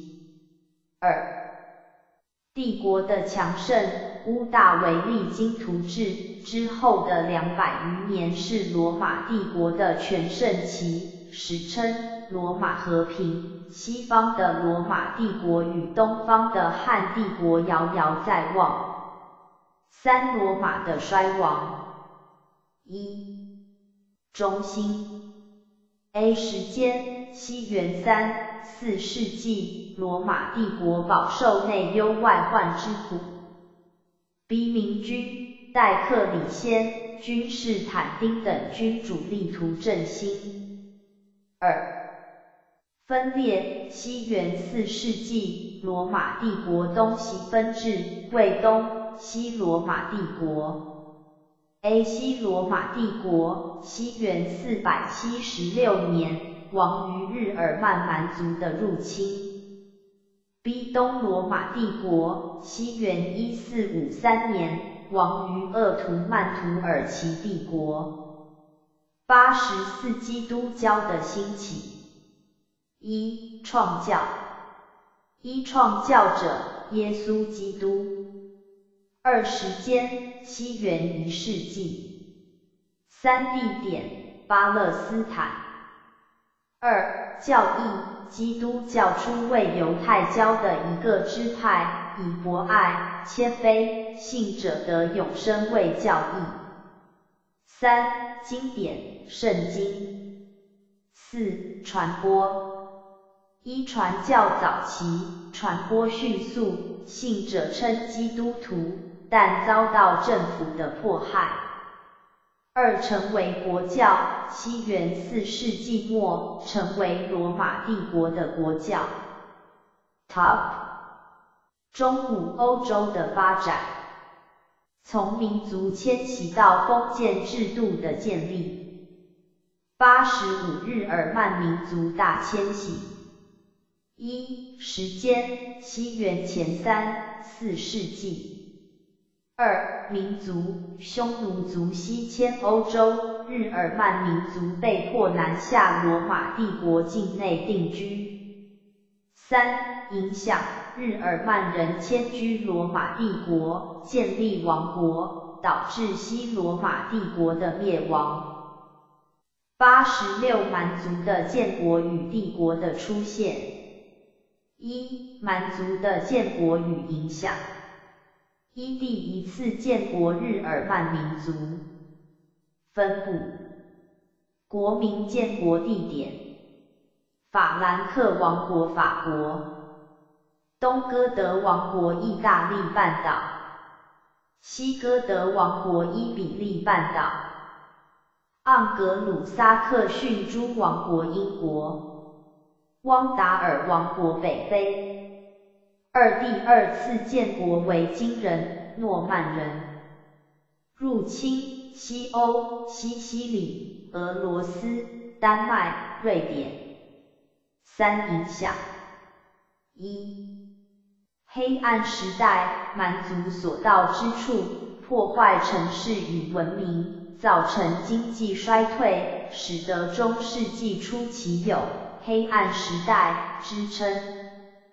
二、基督教的世界，满族初为异教徒，后来改信基督教，欧洲成为基督教的世界。二、帝国的出现。一、查理曼帝国。一、建立者，法兰克王国国王查理曼。二、建国，西元八百年。查理曼被教宗加冕为罗马人的皇帝。三、分裂，九世纪中期，查理曼帝国分裂。二、神圣罗马帝国。一、建立者，鄂图一世。二、建立，十世纪在罗马被教宗加冕为。神圣罗马帝国皇帝。三、特色，帝国皇帝多有名无实，政治实权在地方诸侯手中。四、消失。十九世纪初，帝国被拿破仑消灭。八十七封建制度。一、定义基于土地占领和私人关系的政治形态，根据契约而结成主从关系。一、领主，四的给附庸，并保护附庸。二、附庸效忠领主，为领主服军役。二、封建社会。一、贵族。一、住所城堡。二、头衔因战功或世袭取得。三、特权领地内有行政、司法及征税权利。二、骑士。一、教育养成，骑士自幼接受骑马、斗剑训练，信奉基督教。二、职责效忠领主，为领主与教会作战。三、骑士文学，骑士的勇敢精神和侠义之风，是许多文学作品歌颂的对象。三、农民，农民被束缚在土地上，形同农奴，没有自由。庄园经济与城市兴起。八十八中古前期庄园生活。一、庄园经济，中古封建制度的经济形态，大贵族有多处庄园。二、庄园经济的特色。一、轮耕制，农民在同一耕地上轮植麦类、豆类，之后休耕。维持地利。二、生活清苦，农民生活清苦，生产所得多缴交领主。三、自给自足，除少数物品需交易取得，其余自给自足。八十九中古后期商业复苏。一、商业复苏的原因。一农产品商业化，中世纪农业生产方式的改良，使得耕地扩大，生产量提高，人口增加，带动农产品商业化，商业发展，财富累积。二远距商业的发展，贵族对奢侈品的需求，促成远距离商业的发展。三城市的兴起，货币的流通，金融业的发展，刺激城市的兴起。城市联盟垄断波罗的海贸易的汉萨同盟。二城市的生活形态。一生活环境恶劣，城市生活环境恶劣，容易传播疾病。十四世纪的黑死病。使欧洲减少三分之一的人口。二行会组织。一、优点：城市各行业都有行会，负责保障行会内会员的生计和产品的品质。二、缺点：阻碍了竞争与进步。九十封建制度的衰落。一、欧洲商业复苏；二、城市兴起，贸易盛行；三、火药的使用与战术的改变；宗教思想与艺术成就；九十一信仰的时代。一、特色：中古时代以基督教信仰为重心，政治。经济、社会、教育、学术、艺术均需为基督教会服务。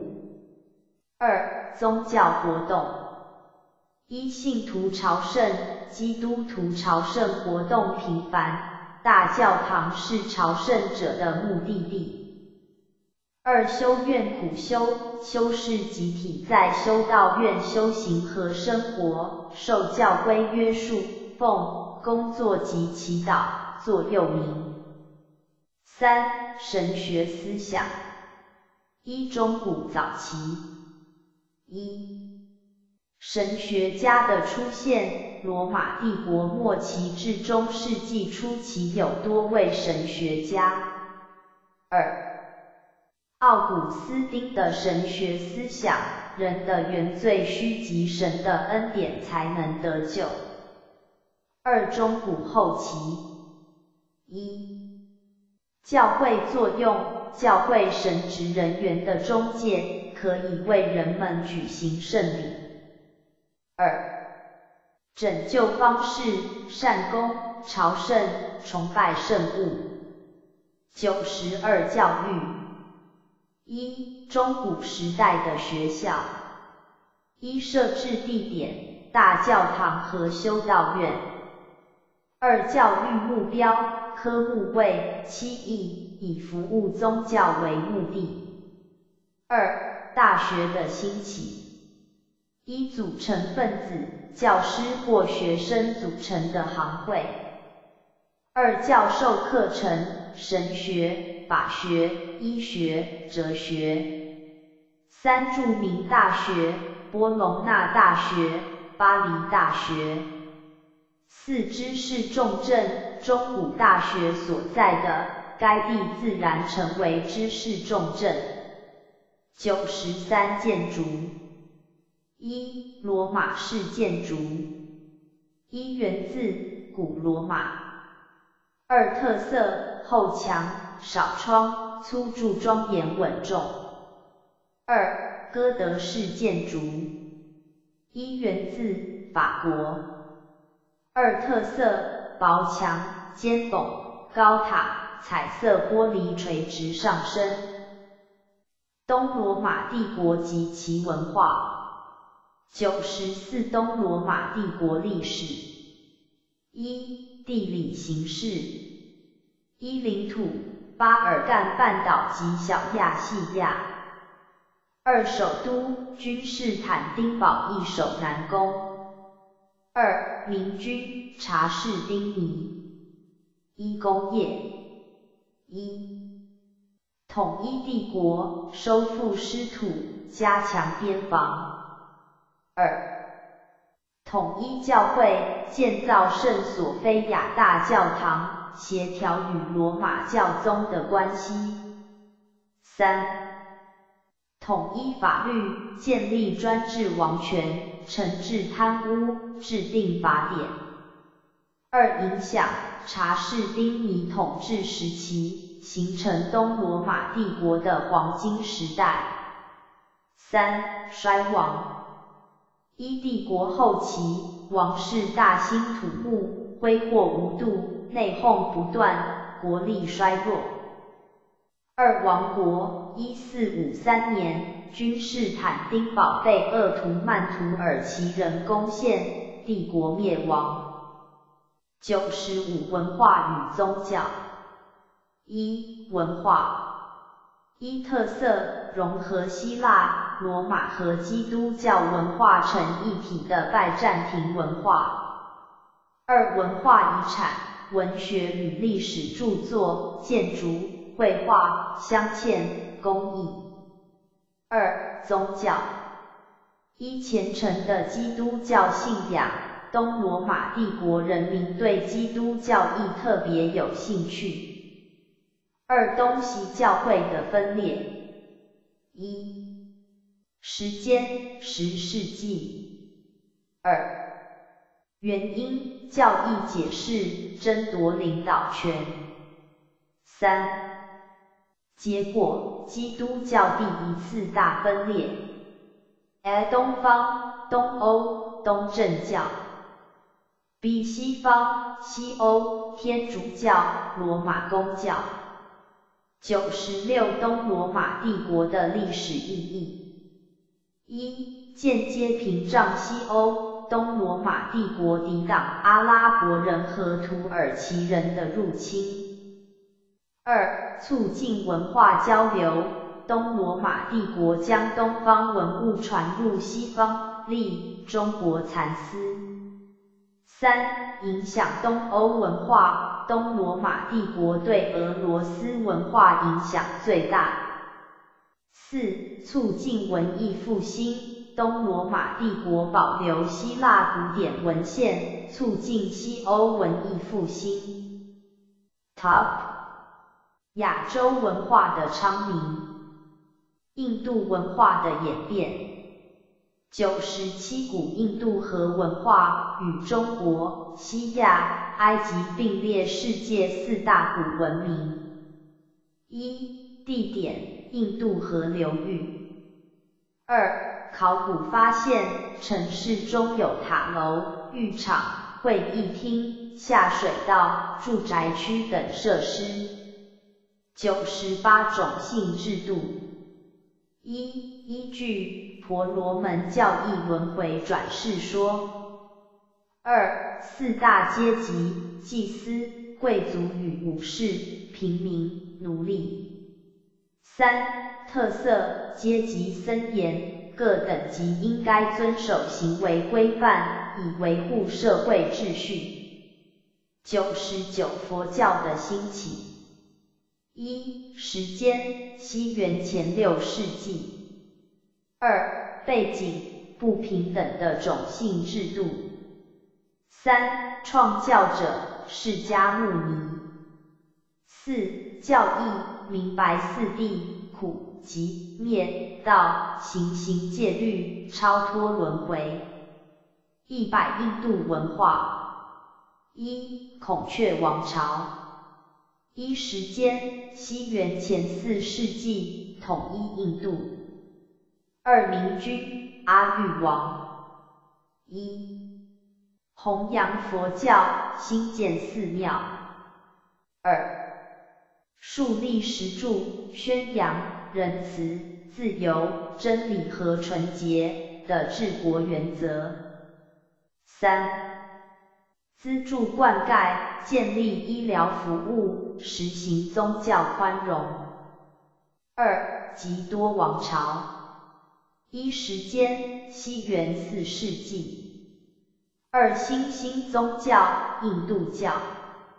一特色，吸收婆罗门教、佛教及民间信仰。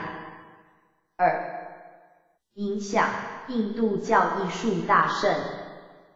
三印度古典文化的黄金时代。一人文发展。梵语文学法典。二、自然科学、医学、数学、天文、历法。回教势力的扩张。一百零一阿拉伯人的兴起。一、宗教重镇，阿拉伯半岛上的麦加。二、外敌入侵，西元六世纪波斯人占领也门。切断阿拉伯向外贸易路线。三、团结对外，阿拉伯人要求统一各部落，抵抗外侮。一百零二回教的创立。一、时间：西元六世纪。二、创教者：穆罕默德。三、创教目的：改革多神信仰。创立一神教。四、教义，信奉唯一真神阿拉为宇宙之神，教徒需奉行教规，参加圣战。五、经典，古兰经。六、传教过程。一初期，传教不顺利，西元六百二十二年，穆罕默德逃到麦地那回教纪元之时。二后期，穆罕默德重返麦加，清除偶像崇拜，回教势力大为发展。一百零三回教世界。一、阿拉伯帝国，中国史书称之为大食。一时间，西元六至十世纪。二领土，横跨欧亚非三大洲。三首都巴格达，四分裂阿拉伯帝国政治发展本土化，形成许多地方小王朝。二塞尔柱土耳其帝国，一时间，西元十一至十三世纪。二领土，中东地区。三大事，占领耶路撒冷，阻挠基督徒朝圣，引发十字军东征。三，鄂图曼土耳其帝国。一时间，西元十四至二十世纪。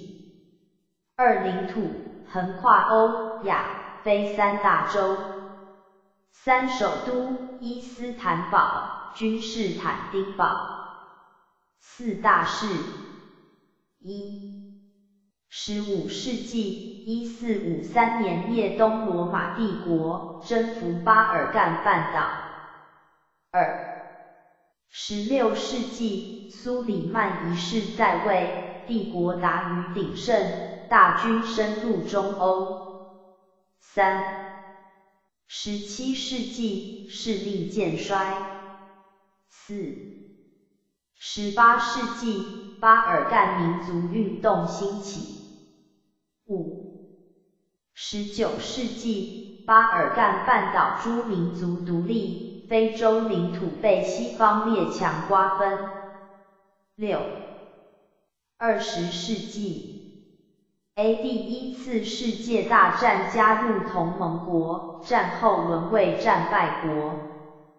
B 一九二三年凯末尔推翻帝制，建立土耳其共和国。一百零四阿拉伯文化。一、文化特性。一、民族融合性强，阿拉伯人移民各地，皆与当地民族融合。二宗教扩张性强，阿拉伯人透过各种方式让许多人改信回教。三文化包容性大，阿拉伯人重视学习并保留各地文化。四古兰经知识性强。一古兰经。鼓励人们重视知识、研究学问，创造多元辉煌的阿拉伯文化。二，古兰经的阅读使阿拉伯语成为回教世界的通用语。二，文化气息。一，流星文化发展。西元七世纪，阿拉伯人重武力扩张。八世纪后。阿拉伯人流星文化发展。二世界文化之都，帝国首都巴格达建有图书馆、学校，学者云集，缔造丰富的阿拉伯文化。一百零五阿拉伯文化的历史意义：一、东西文化交流的媒介。二、希腊文化与欧洲文艺复兴之间的桥梁。东西文化的交流。一百零六东西文化交流的路线。一、北线，横贯欧亚草原，游牧民族与农业民族从事竞争与贸易。二、中线，经过中亚绿洲的。丝路，中国丝绸辗转运到罗马。三南线，联系地中海到南海水域的水道，罗马人在一世纪就利用季风航行至印度洋。一百零七东西文化交流的媒介者。一战士。一造指数。一达罗斯之役。阿拉伯帝国击败唐朝军队，造纸术传到巴格达。二，十字军东征，十字军将造纸术传到欧洲。二，印刷术、火药，蒙古西征，将中国发明传到欧洲。二，商旅，伊波斯，阿拉伯商人。一。西传传入西域的历法、音乐、美术、舞蹈、玻璃。二，东传中国人发明的罗盘经，阿拉伯人传到欧洲。二、欧洲商人，威尼斯商人马可·波罗在元世祖忽必烈时畅游中国，回国后将东方见闻写成游记，激发欧洲人找寻往东方的新航路。三、中国商人，中国商人将丝绸、茶叶、瓷器等商品和制作方法传到方方。三、僧侣，一、西方僧侣，传教士，传入佛教、景教、妖教、回教。二、东方僧侣，名僧法显，玄奘要印度取经，使佛教在中国蓬勃发展。一百零八、东西文化交流的影响。一、东方影响西方。一、饮食文化，东方的饮茶习惯成为西方人的爱好。二、科技发明，影响中古欧洲的政治、经济、社会与文化。二、西方影响东方，宗教思想、艺术风格与新蔬果，丰富中国文化与生活的内涵。明代传到中国的新作物。番薯、玉米、花生、马铃薯。Top。近代欧洲的兴起。文艺复兴。一百零九文艺复兴的意义。一、时间：十四世纪至十六世纪。二、地点：意大利中部的佛罗伦斯，后传播到欧洲各地。三。意义一文化再生，文艺复兴是古典文化的再生，创造力的复兴。二近代欧洲文明的开始，文艺复兴以多方面成就的全才为理想，是人才辈出的时代。一百一十文艺复兴的起因，一文化基础。意大利半岛是古罗马帝国核心，留下许多文化遗迹。二、经济基础，位居东西贸易与文化交流要冲，商业发达，货币流通。三、政治基础，一、城市兴起，中产阶级掌握政权。二、统治阶层的鼓励与资助。四、东方文物西传。一、东罗马帝国学者西迁，将希腊古典文献带到西方。二、中国造纸术、印刷术西传，加速西方书籍的流通。一百一十一文艺复兴的精神，人文主义。一、人文主义的特色。一阳气中古时代以神为本位的想法。二以人为中心。三肯定现世与人的价值。四歌颂人生与大自然。二人文主义学者，人文主义之父佩托拉克说：“我自己是凡人，我只追求凡人的幸福。”一百一十二文艺复兴的成就。一、文学方言文学。一、方言文学的兴起背景。一、民族意识的萌发。二、对人生的歌颂。二、代表性文学家。文学家著作。但丁《神曲》。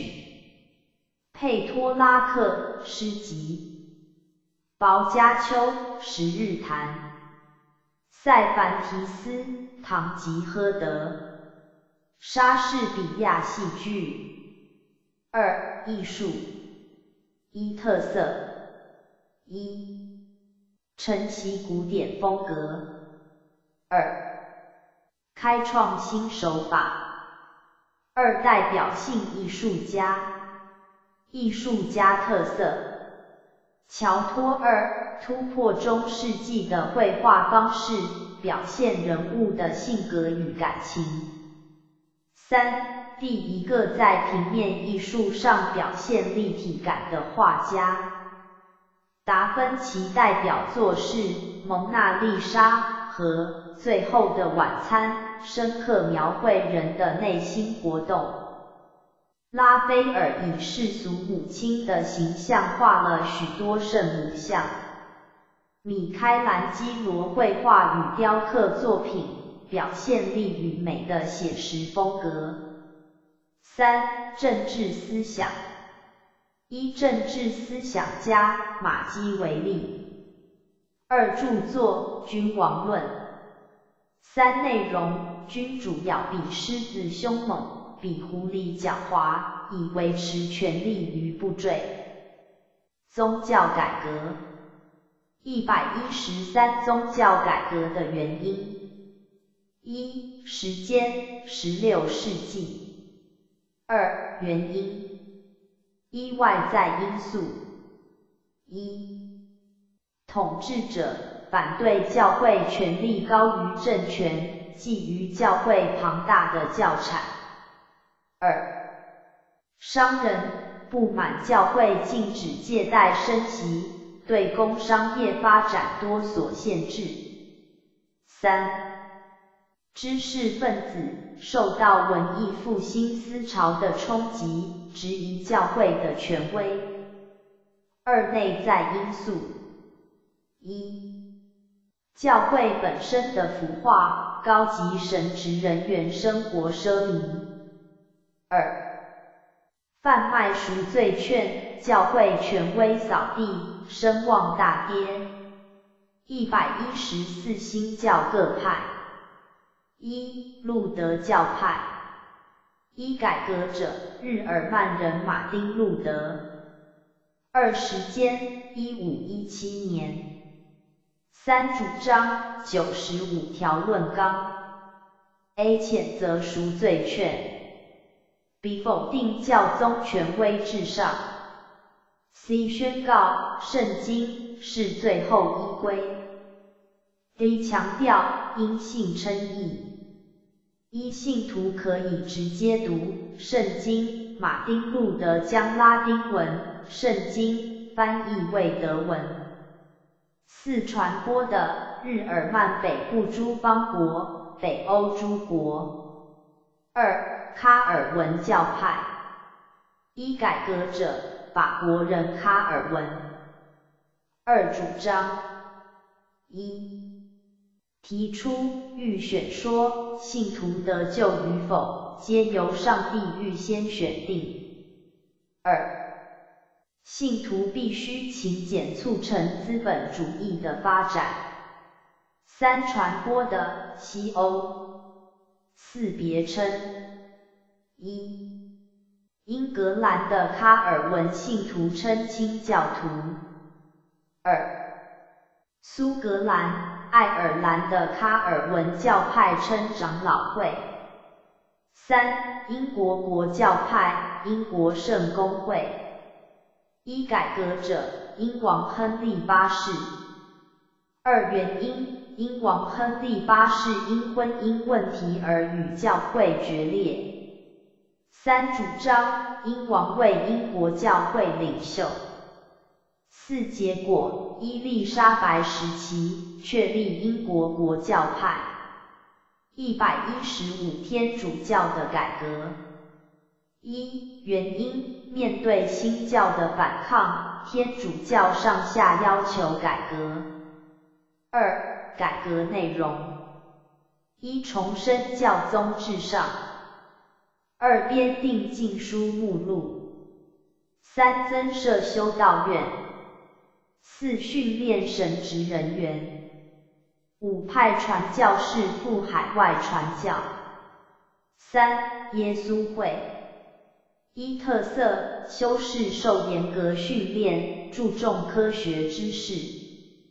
二传教积极在异教徒区域传教，明末来华的利玛窦。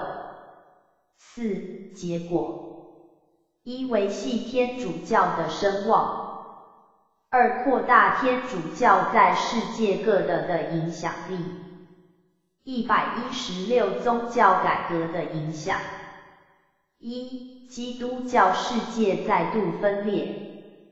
二、君主权力加强。三、宗教战争导致宗教宽容，教派分歧产生宗教战争，战后各国政府制定宗教宽容的法律。四、促进教育的发展，宗教改革家倡导以母语读圣经，带动欧洲教育的发展与识字率的提升。地理大发现，一百一十七欧洲人远航的动机。一、东方陆路交通的阻绝。一、东方货品需透过阿拉伯人和土耳其人的转手贸易，价格高昂。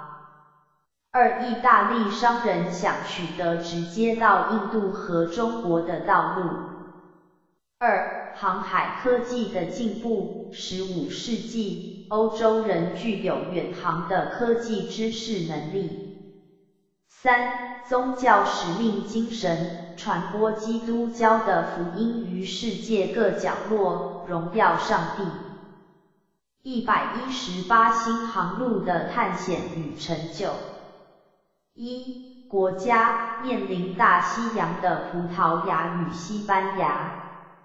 二、葡萄牙的成就。一、航海家。一。亨利亲王设航海学校，鼓励水手离开西非海岸航行。二，达伽马发现非洲好望角，于一四五八年抵达印度。二，葡萄牙帝国的霸业。一，东方商业中心。印度果阿的贸易战突破阿拉伯人对东方贸易的垄断。二、亚洲据点，中国的澳门。三、西班牙的成就。一、发现新大陆。一、时间，一四九二年。二、航海家相信的原说的意大利人哥伦布。三，结果哥伦布得到西班牙女王支持，到达今日之加勒比海岛屿，他以为到了印度外围岛屿，故命名为西印度群岛。四，美洲的命名。航海家亚美利哥最早指出哥伦布发现一个新大陆，后人因之命名为美洲。二环绕地球一周。一时间十六世纪。二航海家麦哲伦。三结果麦哲伦虽然在菲律宾丧生。但他的船队最后回到西班牙，完成绕行地球一周的壮举。四、影响证明地球是圆的，向西航行可以抵达东方。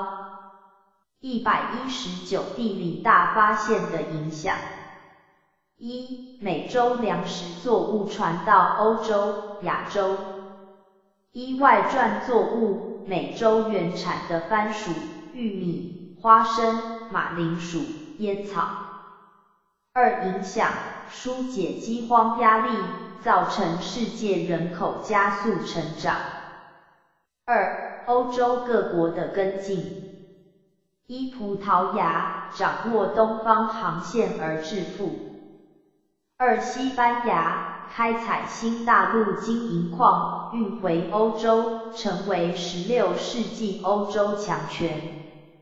三他国跟进，荷兰、英国、法国竞相加入地理发现的行列。三大西洋时代的来临。一全球交通，欧洲人在世界各地广建贸易站、殖民地、传教据点。二帝国主义，欧洲人的海外扩张，形成帝国主义的侵略行动。科学革命，一百二十科学革命的原因：一、文艺复兴时代的推动。一、科学家哥白尼、伽利略、达芬奇、哈维。二、新见解，探索宇宙真相，生理学。二、地理大发现的影响，新事物令欧洲人眼界大开。三、印刷术的推广，探索新知的书籍增加，新思想普及化。四、工商业发达。一百二十一新工具与新方法。一、新工具。一、望远镜、显微镜、气压计和温度计等新工具改进观察与测量的准确度。二、数学计算方法的改进，研究自然的重要条件。二、新方法。一、英国的培根。一、自诩新知识世界的哥伦布。二、主张。A、提倡用归纳法解决问题。B、创办促进科学研究的学会。二、法国的笛卡尔。一、主张提倡演绎法，质疑传统知识的正确性。二、名言：我思故我在，以理性思考和了解所有概念。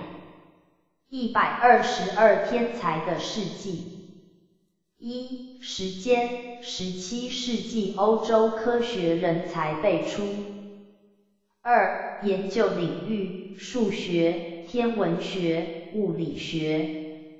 三、不足处：受科学仪器限制，理论科学成就高于应用科学。四、代表性科学家：牛顿。一、牛顿的理念：站在巨人的肩上，所以看得远。二、牛顿的研究领域：数学、光学、物理学。三、牛顿的贡献：三大运动定律、万有引力定律。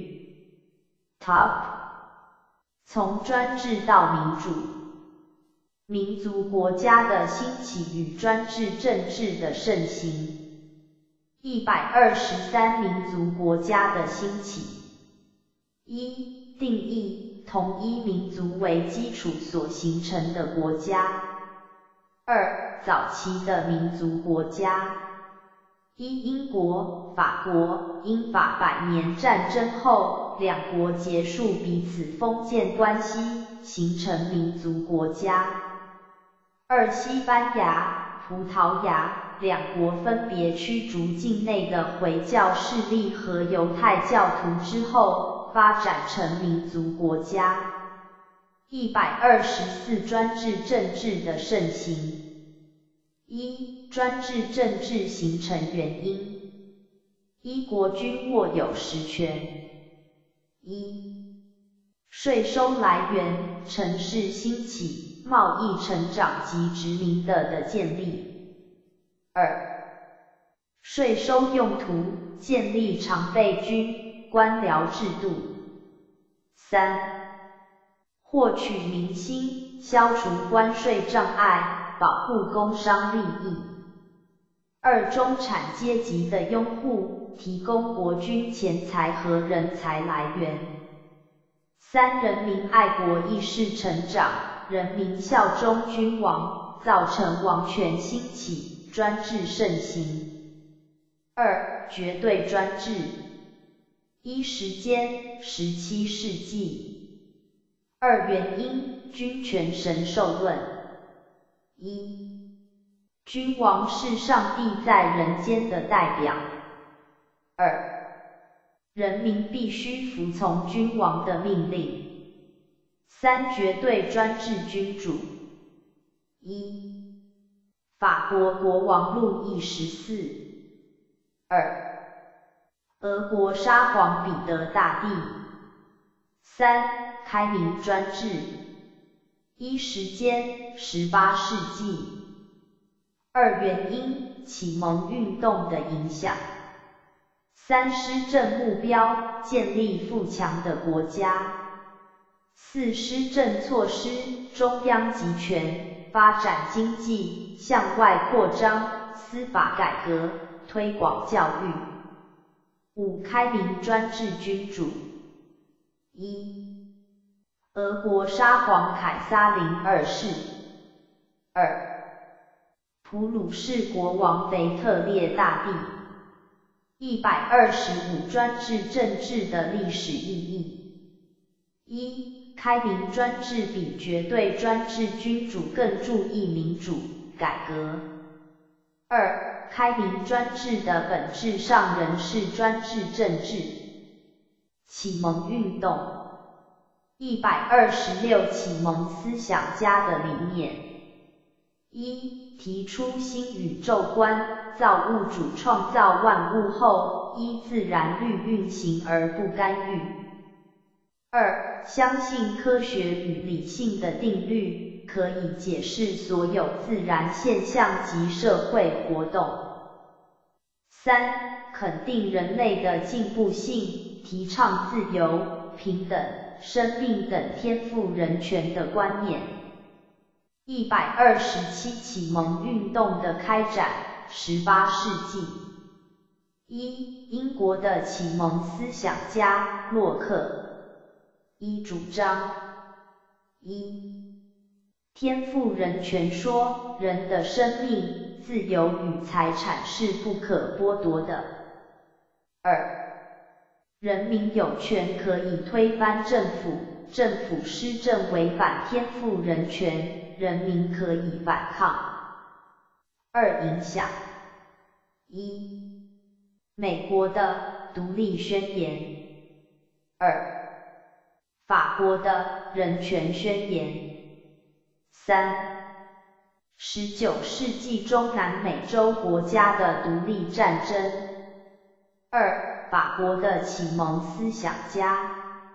伊伏尔泰，一称赞英国的制度，二攻击法国天主教会及社会不公平之事，三要求言论自由，二孟德斯鸠，一著作法义，二。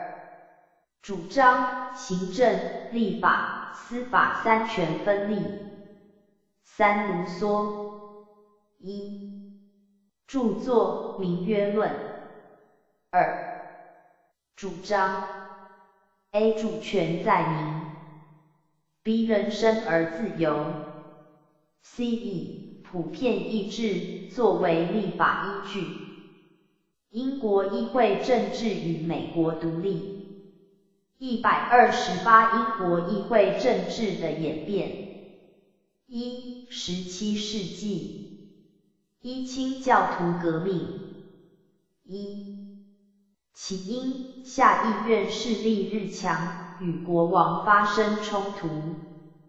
二、结果，议会得胜，处死英王查理一世。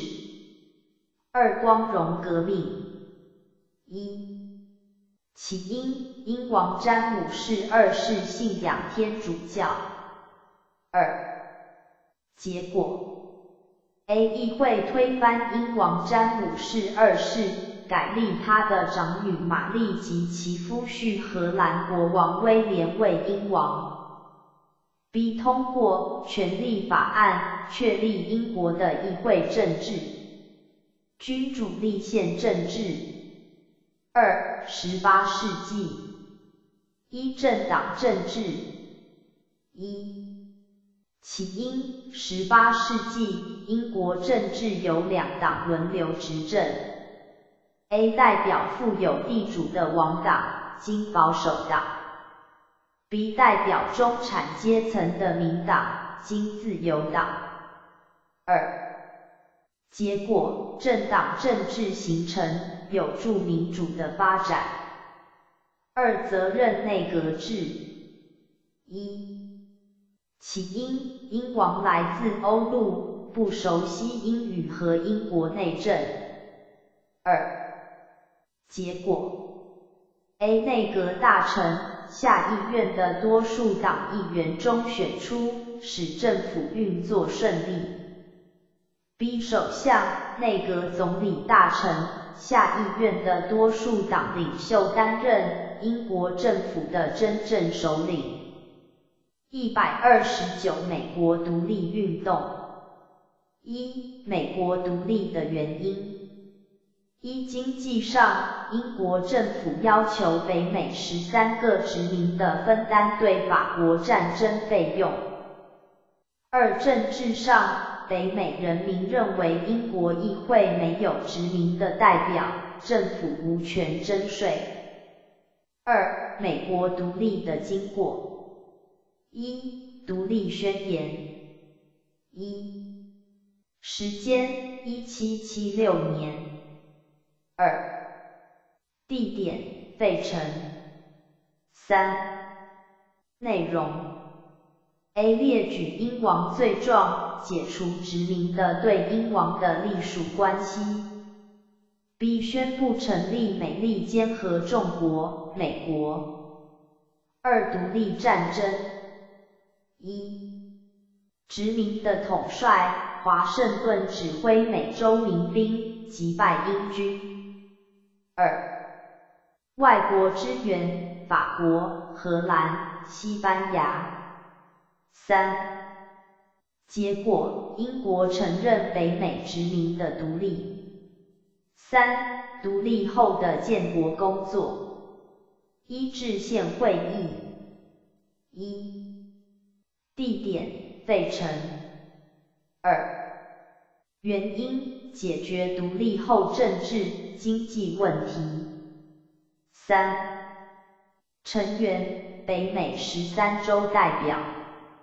四，结果，A 定出世界上第一部成文宪法，B 成立世界上第一个三权分立的民主政府，C 选华盛顿为美国第一任总统。二、宪法修正案。一，一七九一年于宪法中增列十条修正案。二。目的保障人民自由与权利，总称权利典章。Top 两大革命与西方的巨变。工业革命。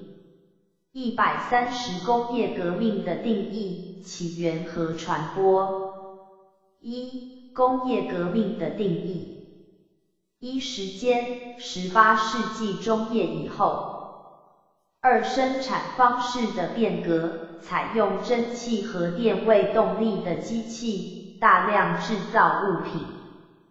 二、工业革命的起源，英国。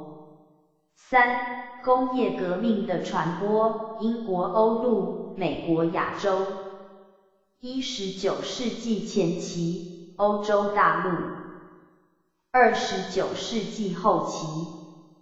一。中国自强运动。二、日本明治维新。一百三十一工业革命的原因。一、地理大发现以来，运输和日用品的需求，刺激生产方式的改变。二、英国的有利条件。一、对外贸易累积大量资金。二、企业人才集中。三、煤矿工业领先欧洲。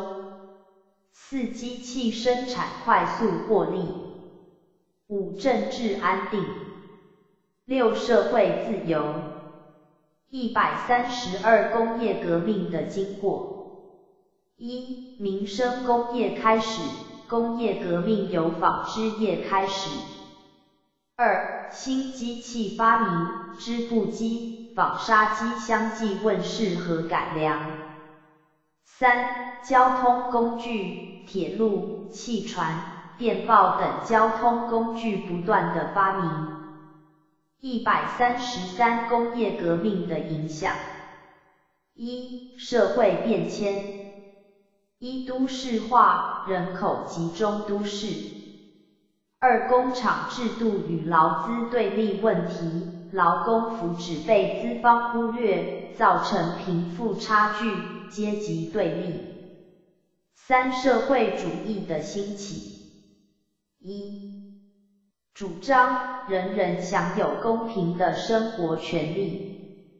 二、激进派马克思的共产主义。二、政治变革，人民要求政治参与，扩大选举权。三、新发明层出不穷。一、科学理论与技术密切结合。二十九世纪末，工业先进国家开始用电。四、工业革命与帝国主义结合。一、列强争夺殖民的，欧洲列强在亚洲、非洲争夺殖民的的原料市场。二世界大战的浩劫，欧洲列强的贸易竞争和军备竞赛，导致两次世界大战的爆发。法国大革命，一百三十四革命的背景：一、国会没有权力，法国三级会议权力不如英国议会。二、政府财政吃紧。法王路易十四好大喜功，国家财政面临崩溃。三、社会赋税不公。一、阶级社会，法国社会分成教士、贵族、平民三大阶级。二、赋税不公，贵族与平民享有特权，只有平民需缴纳税务及服劳役。四、司法不公平。五、启蒙思想影响，启蒙思想家鼓吹自由平等观念深入民心。六、美国独立革命的刺激。一百三十五革命的经过。一、三级会议的召开。一、时间：一七八九年。二、起因。法王路易十六为解决财政问题，召开三级会议。三结果，平民代表不满投票表决方式，自行集会，成立国民会议。二大革命的引爆点。一时间，一七八九年七月十四日。二起因，巴黎市民攻陷巴士底监狱。三结果，法国大革命的开始。三国民会议的成就。一人权宣言的通过，保障人权及建立法治。二建立共和国，废除国王统治，处死法王路易十六。四外国的干涉。一原因。欧洲各国君主避免法国革命波及本国和自己安全。二入侵法国，路易十六死后，各国组成反法联盟，进军法国。五恐怖统治。一原因，应付外国入侵和内部叛乱。二手段，逮捕并处死有反革命嫌疑者。三结束，恐怖统治随激进派领导人罗伯斯比尔被处死而结束。六督政府一制定新宪法，法国政府由五位领导人负责。二失败一领导人只关心自己的权利，腐败无能。二政府无力面对外部威胁和国内不满的困境。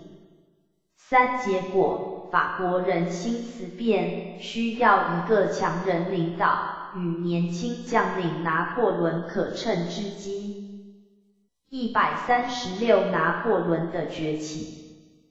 一、崛起原因，数度击败反法联军，国内声望极高。二、夺取政权。一、废除都政府，自任第一执政。二、称帝。一八零四年，拿破仑称帝。三、施政。一、内政，确立法国财政、教育制度。二、外交，解决宗教问题，与教宗修好。三、司法，制定拿破仑法典。十九世纪上半叶西方的政治与文化。一百三十七，政治民族主义与自由主义。一、民族主义。一、原因。一、拿破仑将法国大革命的自由、平等、博爱的观念向外传播。二、拿破仑的占领激起占领区人民的民族感情。二结果，民族主义与自由主义结合。一，欧洲各地发生反对专制统治的革命。二，中南美洲殖民的要求独立。二，自由主义。一，政治改革或革命目的，放宽成年男子选举权，制定保护人权的法律。二、英国的改革。一、改革法案，一八三二年及以后的改革法案，扩大选举权。二、结果，政府更民主而稳定，人民更为自由。三、法国的再革命。一、革命，一八三零年的七月革命。一八四八年的二月革命。二、革命目的，争取自由。三、结果，选举权逐渐放宽，加速社会与经济的变革。一百三十八文艺浪漫主义。一、时间，十九世纪前期。二、起因。民族主义与自由主义的影响。三、主张：一、反启蒙运动，反对理性，强调感情、民族情感。二、怀古念旧，憧憬中世纪与异国情调。三、关怀人道与自由，重视社会公正，崇拜英雄。四、歌颂大自然。四、代表性文学家与艺术家，国际文学家与艺术家作品，英国拜伦诗篇，德国歌德《少年维特的烦恼》，德国贝多芬交响曲，一百三十九科学的普及与应用，一、生物学物种进化论。一提出者，英国生物学达尔文。二内容，物竞天择，适者生存。三结果，种族主义、殖民主义、帝国主义的猖狂。二医学，麻醉剂的发现，减少病人痛苦，增加外科手术成功的机会。Top。民族主义的流行与帝国主义的横行。第十一节日耳曼和意大利的统一。统一前日耳曼意大利。小邦林立中古时期，神圣罗马帝国与罗马教宗的政教冲突，造成日耳曼和意大利的分裂，小邦林立。拿破仑占领期间一。大幅减少小邦数目。二、激励两地民族主义的情绪。最大障碍，奥国，法国。领导国普鲁士萨丁尼亚，统一基础一，强大的陆军。二，领导北方各邦成立关税同盟，奠定经济统一的基础。一，意大利境内唯一本土王室统一的王国。二，实施宪政。名相比斯麦，铁血宰相加富尔。统一过程筹划一，对内富国强兵。二，对外排除奥法势力。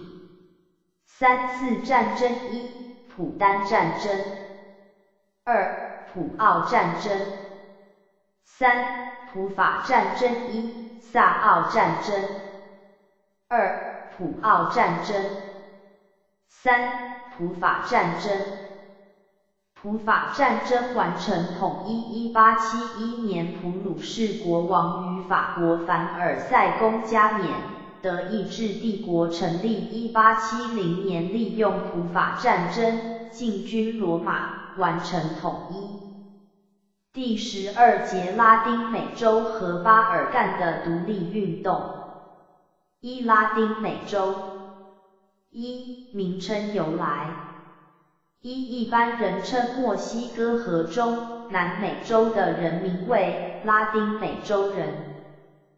二、早期殖民墨西哥和中南美洲的民族为拉丁民族，他们使用的语言，西班牙语、葡萄牙语、法语，皆源自拉丁语文。二、欧洲人入侵前的古文明：一、墨西哥阿兹提克文明 （Aztec）；二、秘鲁印加文明 （Inca）；三、独立运动。一、背景：一、内在的不满：欧洲殖民者殖民拉丁美洲数百年。造成当地经济和社会的冲突，以及印第安人种族和文化的被摧残。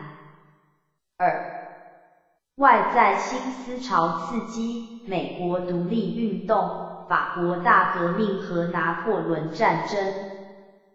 二时机，十九世纪初，趁法军占领西班牙和葡萄牙之际。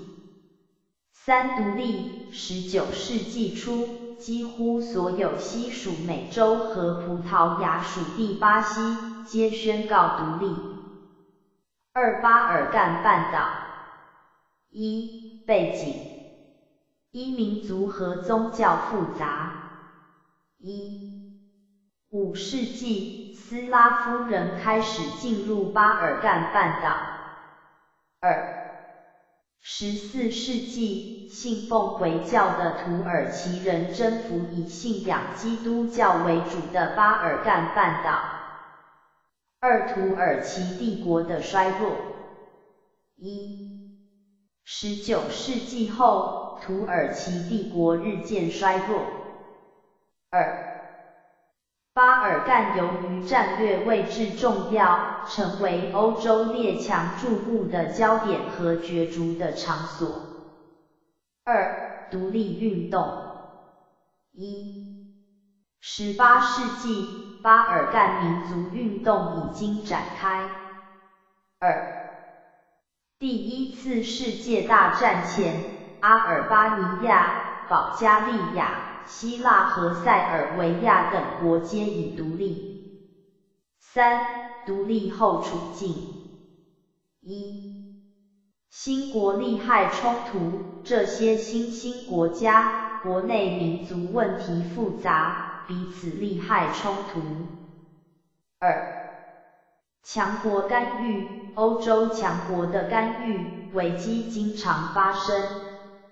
三、成为欧洲火药库。第一次世界大战在巴尔干地区爆发。第十三节日本的明治维新。一十九世纪的日本，国内秩序瓦解，欧美列强环伺民族意识觉醒，明治维新成为帝国主义国家。二时代背景。一对内。一政治上。一中央。十二世纪起，日本政治实权落入幕府将军手中，天皇形同傀儡。二地方。地方诸侯各据一方，征战不已。二社会上阶级划分森严。一万世一系的天皇制度。二神道教。三武士道精神。二对外。一结束锁国时期。一十七世纪德川幕府实施锁国政策。二，十九世纪，美国舰队率先胁迫结束日本的锁国时期。二，日本被迫与欧美各国签订不平等条约。三，尊王攘夷运动，迫使德川幕府将大政奉还给明治天皇。三维新内容：一，政治改革。颁布宪法，设立国会，并集军政大权于天皇。二、社会改革，实行军国民教育，全国人民不再有贵贱之分。三、经济改革，发展工商业和交通。四、军事改革，实行征兵制，建立新式海陆军。四结果与影响：一、维新成功，成为亚洲第一个工业化和现代化国家。二、向外侵略：一甲午战争，打败中国，占有台湾、朝鲜。二日俄战争，成为世界强国。三、影响。日本成为亚洲的帝国主义侵略者。第十四节新帝国主义一形成背景一大势上殖民帝国的重新扩张一十六世纪至十八世纪一国家葡萄牙、西班牙、荷兰、英国、法国。二、侵略地区：美洲、亚洲。二十九世纪后期，殖民帝国重新扩张。二、经济上为原料市场与保护贸易。一、工业革命后，各国为了原料、投资和市场，加紧扩张殖民的。二、国际敌对竞争与冲突严重，各国为了保护自己的贸易利益。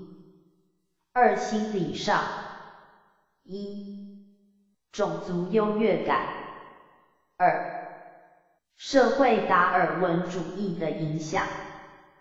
二、代表国家：一、旧有的帝国主义国家，西班牙、葡萄牙、荷兰、英国。法国、俄国；二、新加入帝国主义国家，德国、比利时、美国、意大利、日本。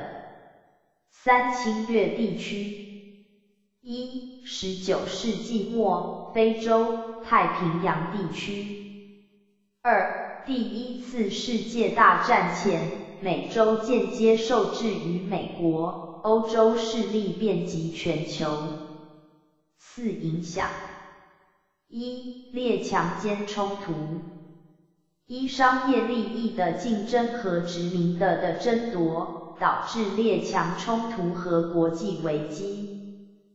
二、例子：日俄战争。二、被侵略者反抗。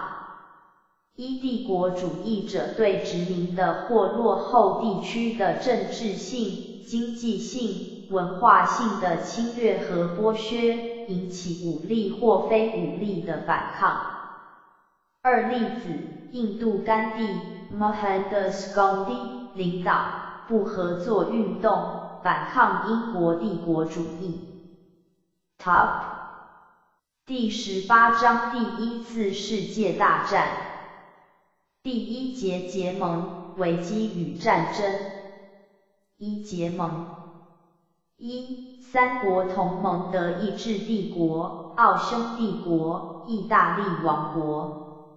一形成之因普法战争后，俾斯麦为孤立法国而与奥国、意大利缔结盟约，是为三国同盟。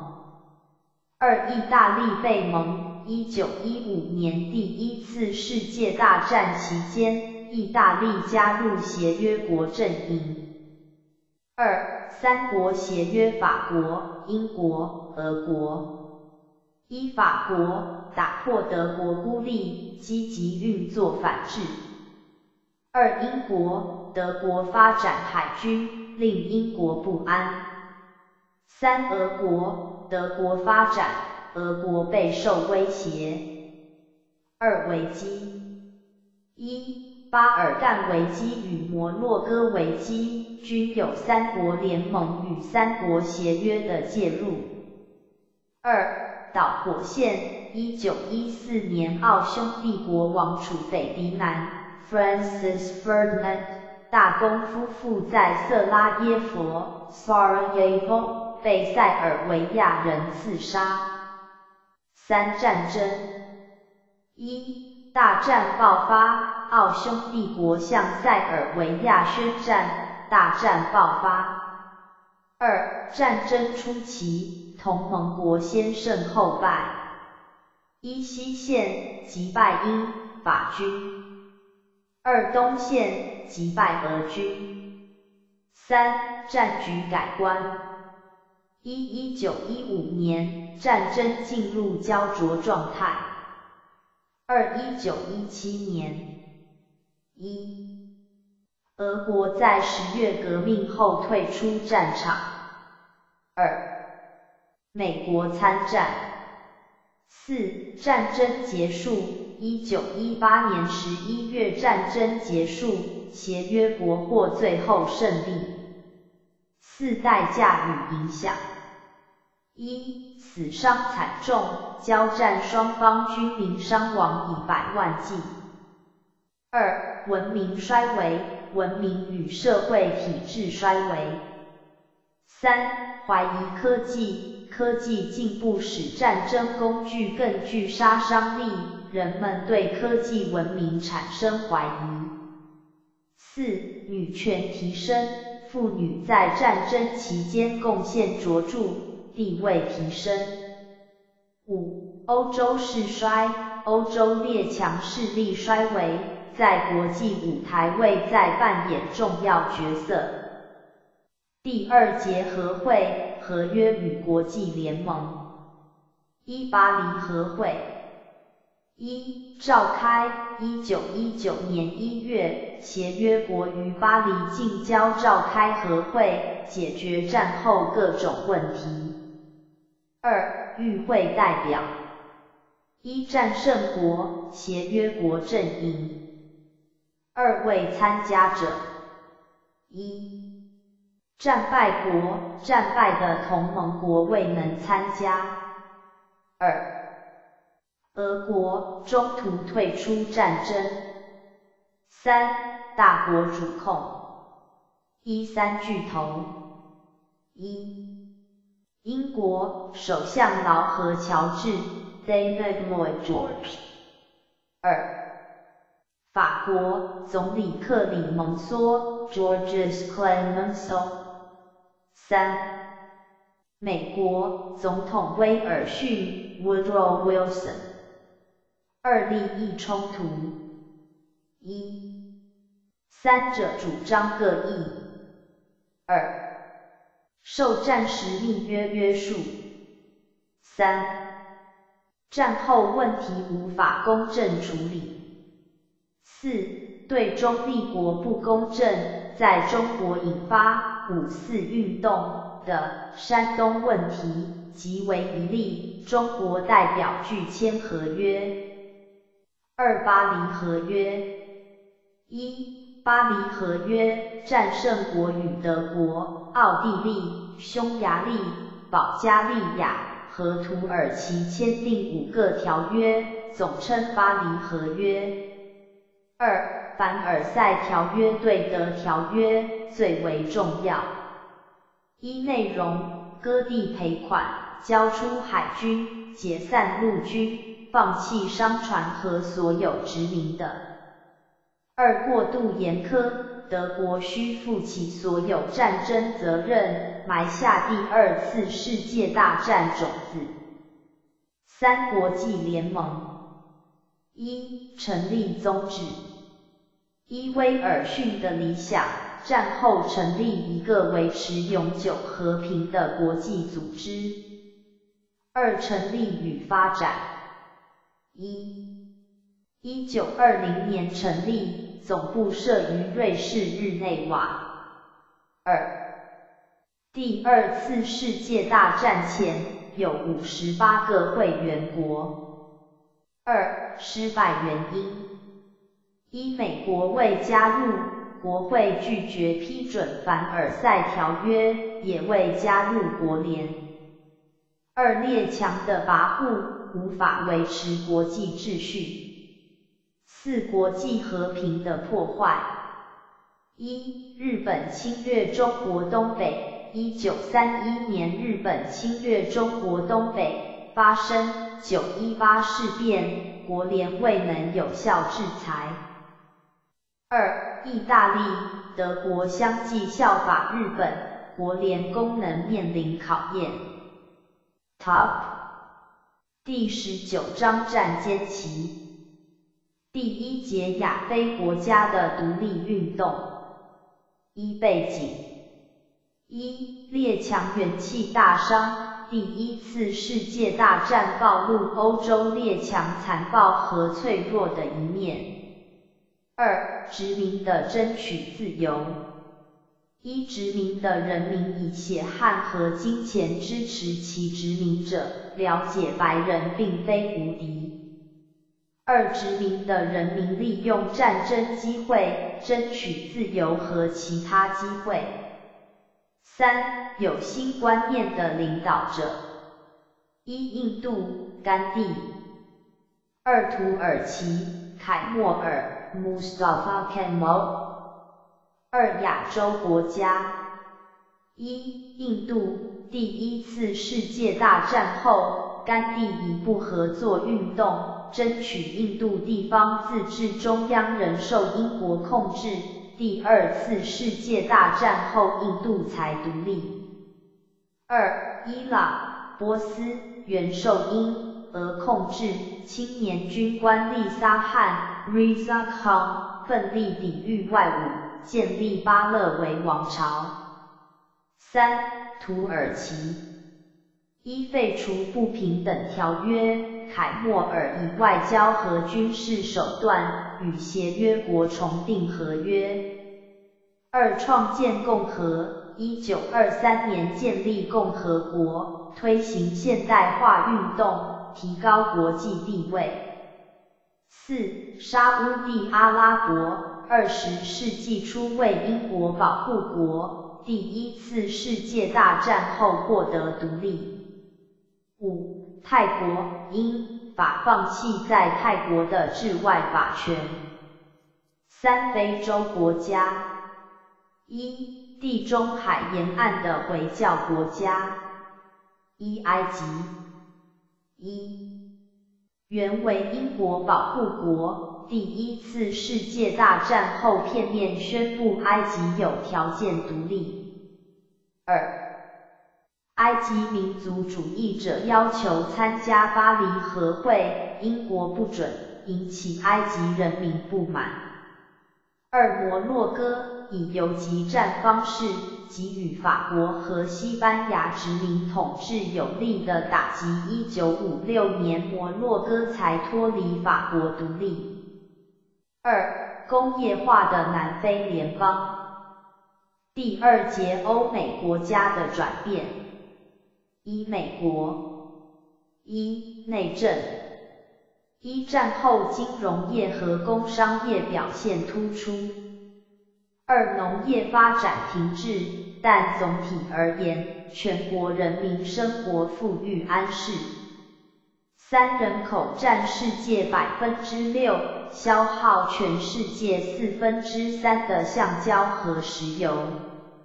二外交实行孤立主义，拒绝干预欧洲事务。二欧洲一法国。一战后政治不稳，经济困难。二潘加莱总理主政后才恢复繁荣。二德国一第一次世界大战后，第二帝国灭亡，俾斯麦所建立的德意志帝国。二威玛共和建立。一初期社会动乱不安，马克大幅贬值，贫富差距扩大。二中期，A 全民努力，政局主稳，所制定之威玛共和宪法成为其他国家宪法的典范。B 人民怀念过去德国的光辉，对德国屈服他国的现状甚不满意。三、英国一工业丧失国际竞争优势，政府不愿让英镑贬值，使出口困难。二、爱尔兰独立运动一、第一次世界大战后，爱尔兰自治，但北爱尔兰仍属英国。二、第二次世界大战后，南爱尔兰独立。但北爱归属问题直到二十世纪末才解决。三苏联一革命后的混乱期，实施共产制度，农工生产大幅滑落，饥荒和瘟疫随之而来。二共产党政权的稳定。一外交，列宁 Nikolai Lenin 成立共产国际。作为控制世界各地共产主义运动的机构。二内政一采行新经济政策。A 一九二一年列宁推行新经济政策，吸引外资，恢复农民和商人的经济自由。B 大型工业国有化继续进行。二独裁统治。A 一九二四年列宁病死，史达林 Joseph Stalin 继任，独裁统治苏联二十五年。B 一九二七年，苏联的农工生产已超越战前。第三节经济大恐慌和军国主义的猖獗。一经济大恐慌。一起因，一生产过剩，供过于求。一，美国提高产能，供应海外民生物资。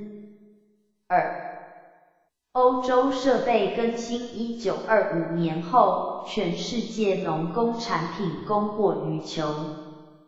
二，关税壁垒，各国采取关税保护政策。防止他国货物入侵，互相抵制，经济陷入困境。二、恐慌情形。一、股票崩盘。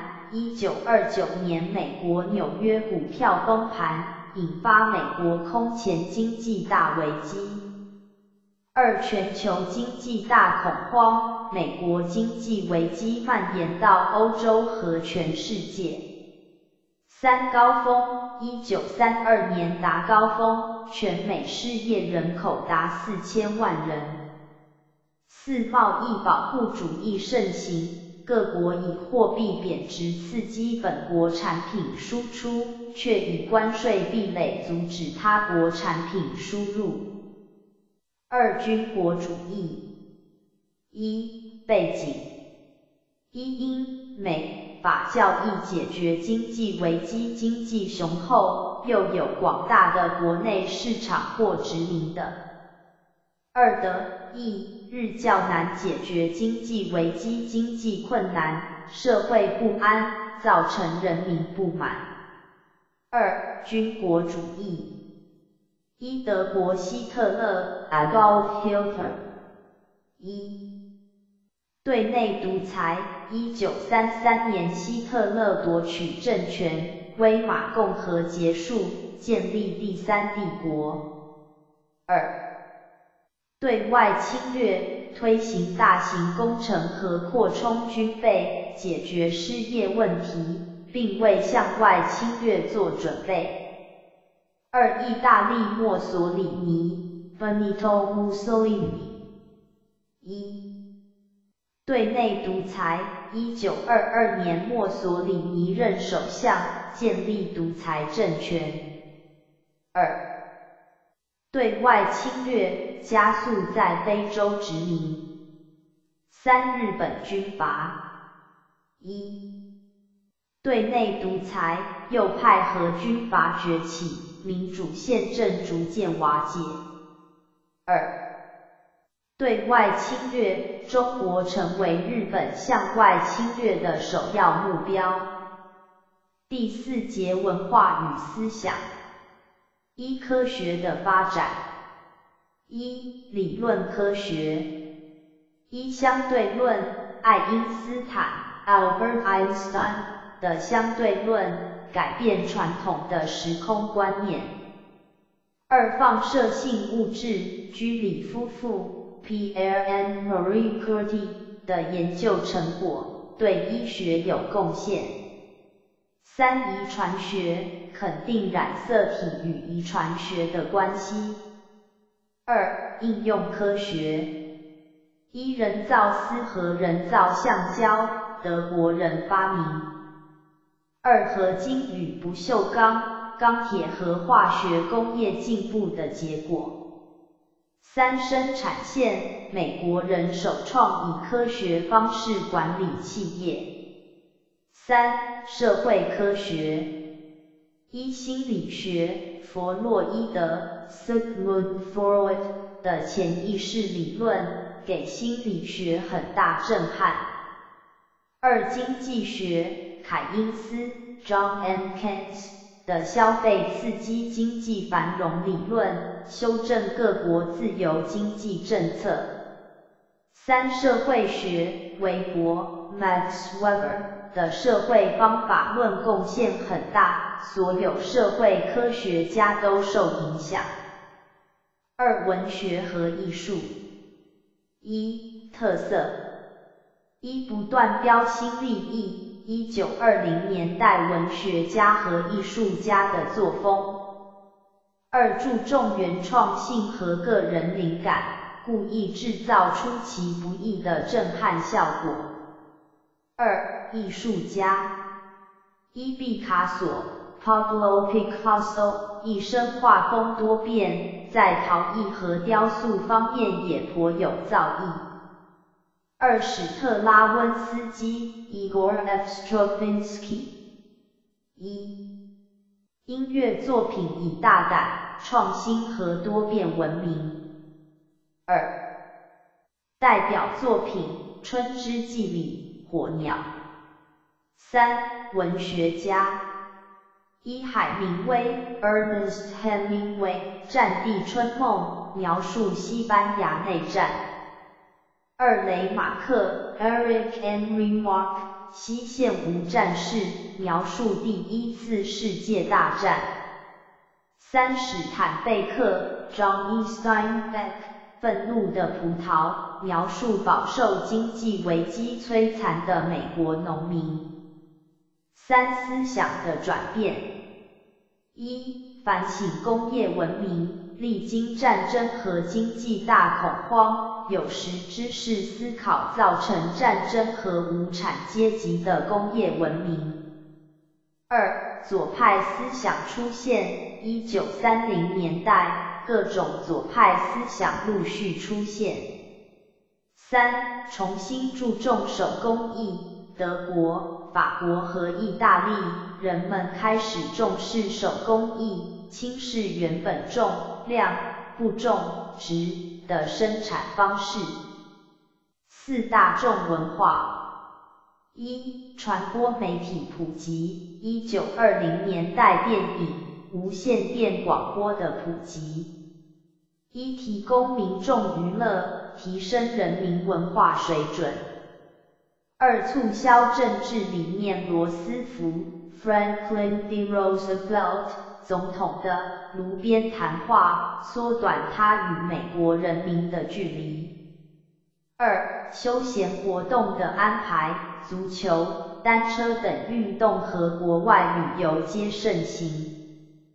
Top 第二次世界大战，战争的始末。五轴心国的侵略。一、日本。一、一九三一年九一八事变侵略中国东北。二、一九三七年卢沟桥事变全面侵略中国。二、意大利一九三五年吞并伊索比亚。三、德国兼并奥国和捷克。六战争经过：一、战争爆发。一、姑息因法院采姑息主义，助长侵略气馁。二、宣战。一九三九年，德国进军波兰，因法向德宣战，第二次世界大战爆发。二、初期。一、先攻西线。德军闪电战席卷欧陆，为遭丘吉尔 （Winston S. Churchill） 领导的英国顽强抵抗。二在攻东线，一九四一年德军东侵苏联，德苏战争爆发。三后期，一珍珠港事变。一，一九四一年。日本偷袭美国珍珠港。二、同盟国的抵抗。A. 美国对轴心国宣战，中国也对德国、意大利宣战。B. 中、美、英、苏等同盟国对抗轴心国的局面形成。C. 美国成为民主国家的兵工厂，大力支援同盟国。二同盟国反败为胜。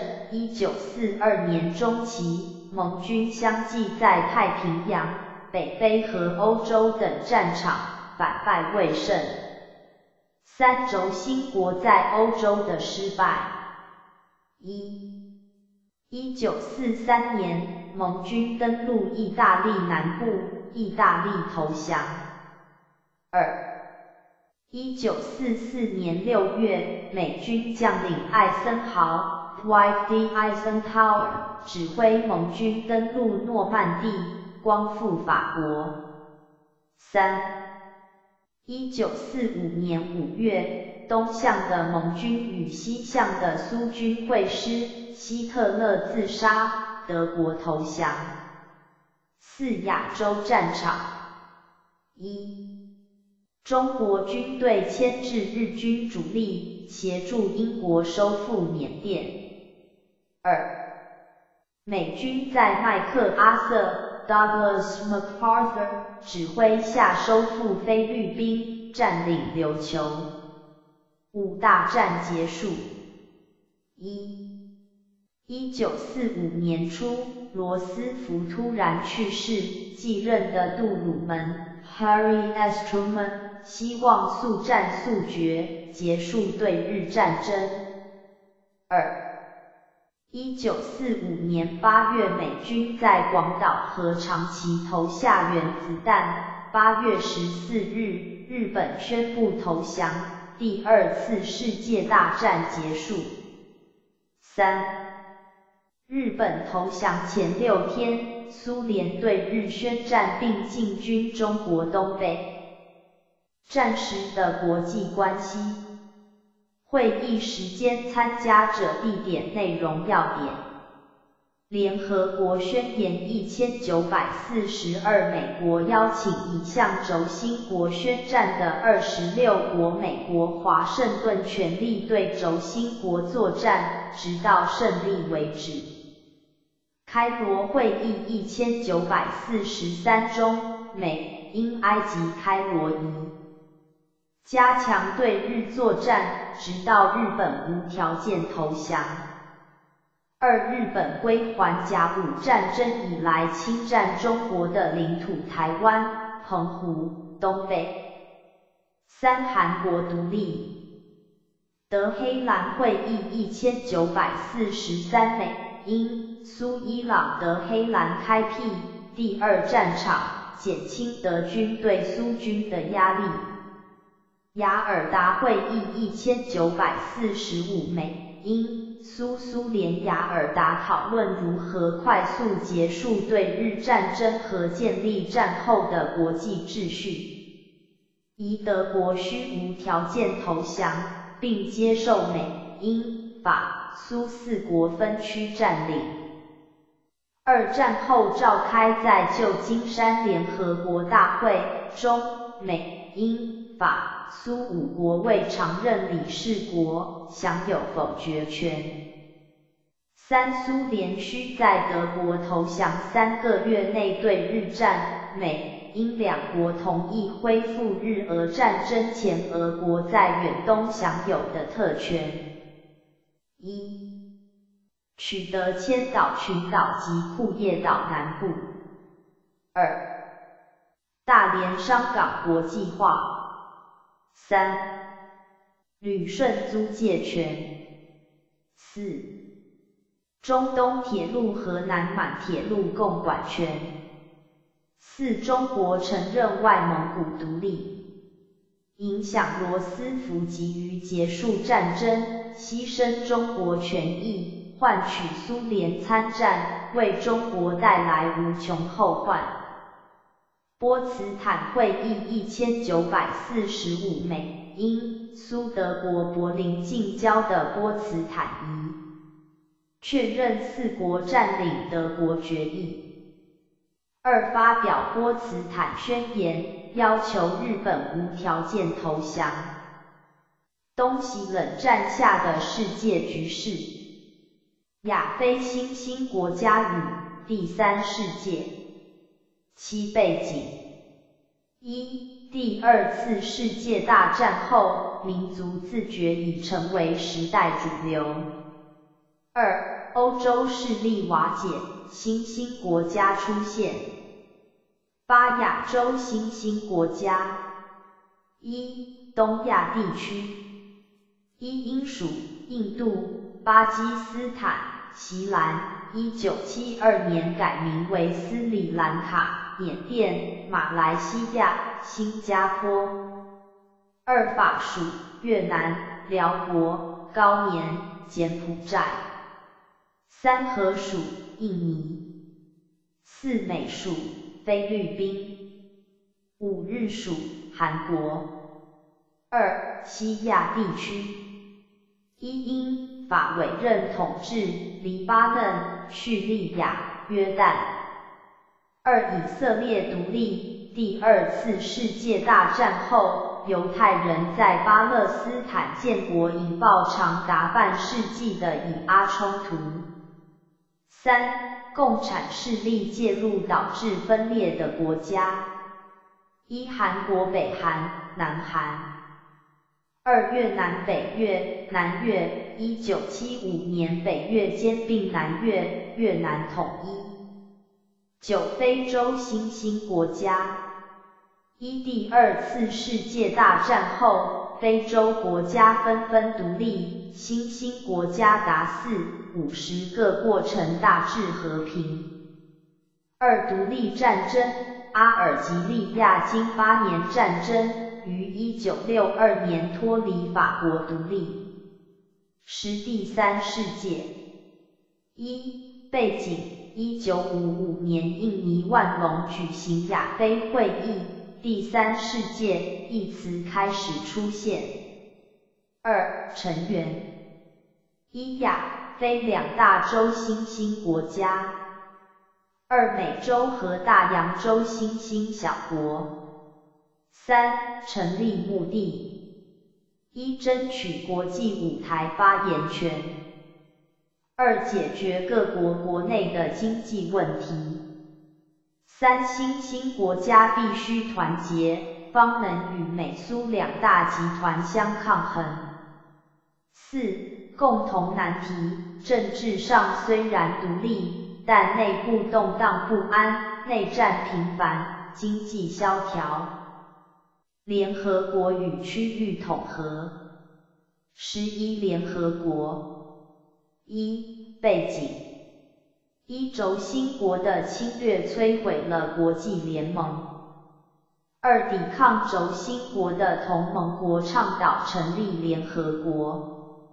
二根据1945年雅尔达会议的决定，三成立过程：一1945年4月于旧金山召开成立大会，通过联合国宪章；二1945年10月，联合国正式成立，设总部于纽约。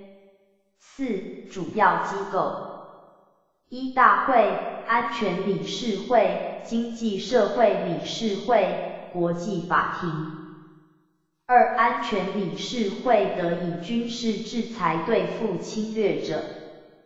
五、功能受限。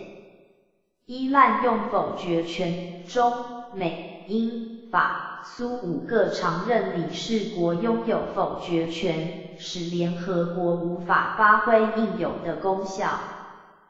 二、和平部队功能有限，联合国派遣和平部队赴多事地区维持和平，但功能有限。三、小会员国太多，小国太多，使联合国大会议事缺乏效率。六、贡献主要在人权、卫生、救灾、文教等方面。十二、区域统合。一、统合的条件，相同历史或地理渊源的国家。二、统合的目的，提升国际竞争力。三、重要的区域统合组织。一、欧洲联盟 EU。一、背景，第二次世界大战后，欧洲在美国马歇尔计划。的援助下，欧洲经济快速复兴。二、成立。一九五八年，法国、意大利、荷兰、比利时、卢森堡六国组成欧洲经济共同体，又称欧洲共同市场。三、发展。欧洲共同体欧洲联盟。A 快速发展。初期以经济为目的，后会员国越来越多，达原先之三倍。B 统合的范围由经济扩展至货币、金融和警政。C 外交影响力足够和美苏抗衡。D 冷战结束后，欧洲联盟与北大西洋公约组织 （NATO）。华沙公约组织 （WP） 河流。二、非洲非洲团结组织 （OAU）。三、中东阿拉伯国家联盟 （LOS）。四、亚洲。一、东南亚国协，A C O。A 会员国：菲律宾、印尼、马来西亚、新加坡。泰国、越南、柬埔寨、汶莱、缅甸、辽国。B 目的总部设于印尼雅加达，进行经济文化的区域性合作。二、亚太经合会 APEC。A 成立，前澳洲总理霍克 Bob Hawke 于1989年发起组成。B 目的，达成太平洋地区贸易和投资的自由化。五北美洲北美自由贸易协定 （NAFTA）。冷战与区域性战争。十三美苏集团的形成。一、美国领导西欧民主国家，组成北大西洋公约组织对抗苏联。二、苏联领导东欧共产集团，组成华沙公约组织抗衡北约。十四、冷战。一、背景。一、避免核子大战，双方皆有强大的核子武力，因此尽量避免引发核子大战。二、以各种方式明争暗斗。一、政治经济影响力。二、军备竞赛。三、情报战。二、战场。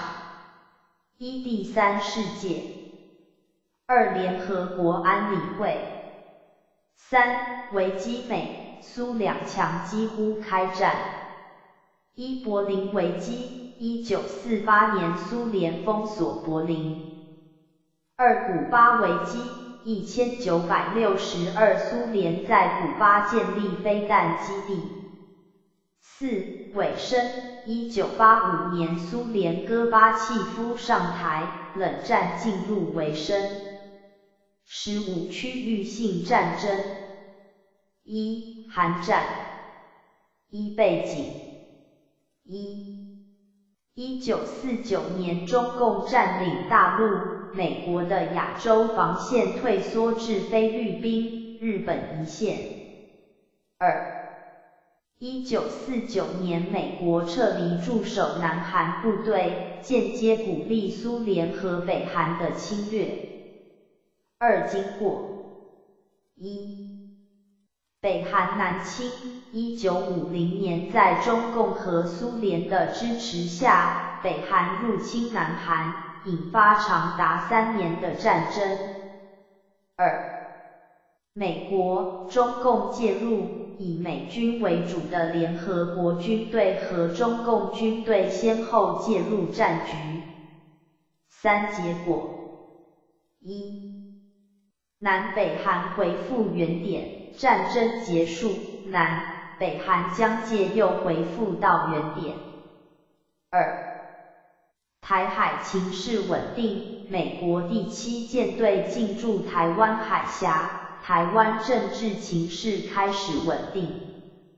三，自由日，一九五四年一月二十三日，一万四千名参战被俘的中共官兵不愿遣回大陆，而选择台湾。一百二十三自由日的由来。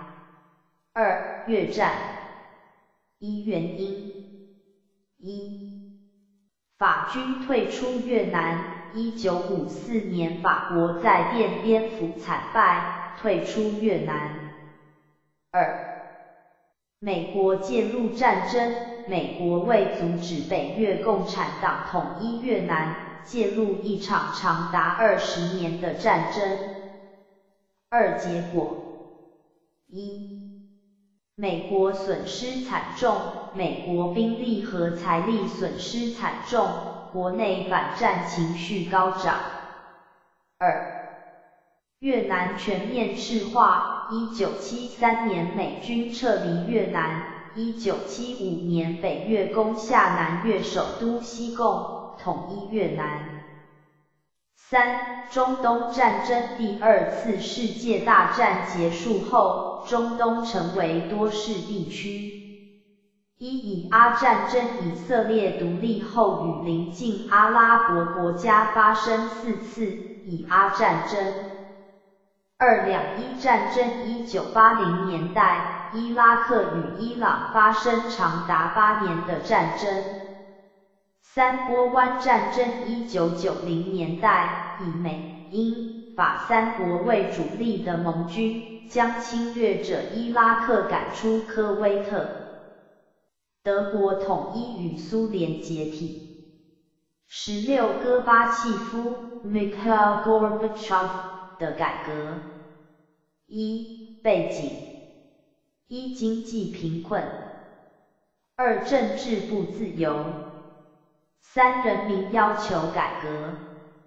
二、改革：一、对内推动政治和经济改革；二、对外：一、改善与欧美民主国家的紧张关系；二、放松对东欧共产国家的干预；三、影响：一、冷战的结束；二、苏联的解体；三、东欧的非共化；四、德国的统一；十七、东欧的非共化。一、背景：苏联的改革与东欧共产国家的改革运动很大的鼓舞。二、改革：东欧国家以自由选择或革命手段，先后结束共党一党专制。匈牙利共产党易名为社会党。三、结果：一、民主自由。东欧民主之风一时大盛。二、经济困难与共党东山再起之机会。三、共党再起，共党在许多国家选举中又逐渐获得选民认同。十八、德国的统一。一、背景：一、两德关系逐渐改善。一。第二次世界大战后，德国分成东德、苏联占领区和西德、美、英、法占领区。二，一九七零年代后，东西德实质关系逐渐改善。二，苏联外交政策改变，戈巴契夫的改革和外交政策加速东西德统一。三化解法，苏一律西德的努力化解两德统一的最大障碍。四东德经济困难，东德的经济问题由西德接手解决。二统一，一九九零年两德正式统一，国号德意志联邦共和国，定都柏林。十九苏联解体。一、背景：一、改革的风潮；二、民族自觉的影响。苏联十五个加盟共和国放弃共党专政，宣布独立。二、解体：一、一九九一年，十一个加盟共和国在俄罗斯总统叶尔辛 （Boris Yeltsin）。领导下组织独立国家国协。二、苏联总统戈巴契夫辞职，苏联瓦解享国七十四年。苏联历史一千九百一十七至一九九一年。Top 新时代的来临，高科技与大众文化。二十探索宇宙奥秘。一、背景：二十世纪下半叶，随高科技发展，人们探险目标转移到宇宙。二、美苏太空竞赛。一、苏联。一、一九五七年发射第一颗人造卫星。二、一九六一年完成首次载人到太空飞行。二、美国。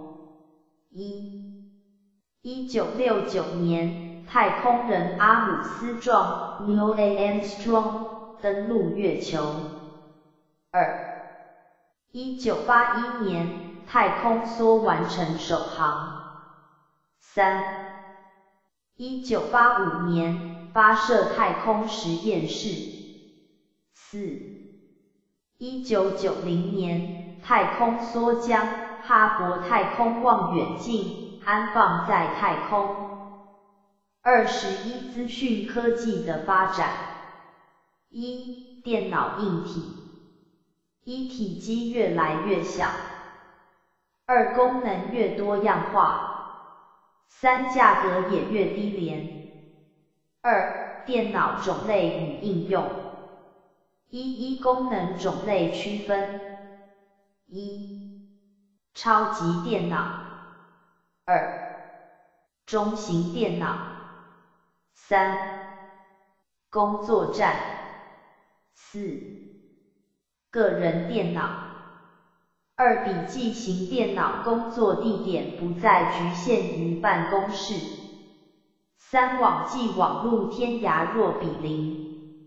四数据机电话使用者得以利用网际网路资源。五唯独光碟机多媒体市场急剧发展。三未来发展。一计算速度更快。更快速处理器的出现和智慧型电脑的成熟。二、自动化事物的普及，自动驾驶车、家用机器人的发明。二十二、人造卫星与大众文化。一、人造卫星的功能。一、预测气象。二、开发资源。三、保护生态。四、搜求考古遗址。五、革新电讯和传播事业。二、对大众文化的影响。一、文化无国界，世界各地同步收视地球上的重要事件，文化国界逐渐消失。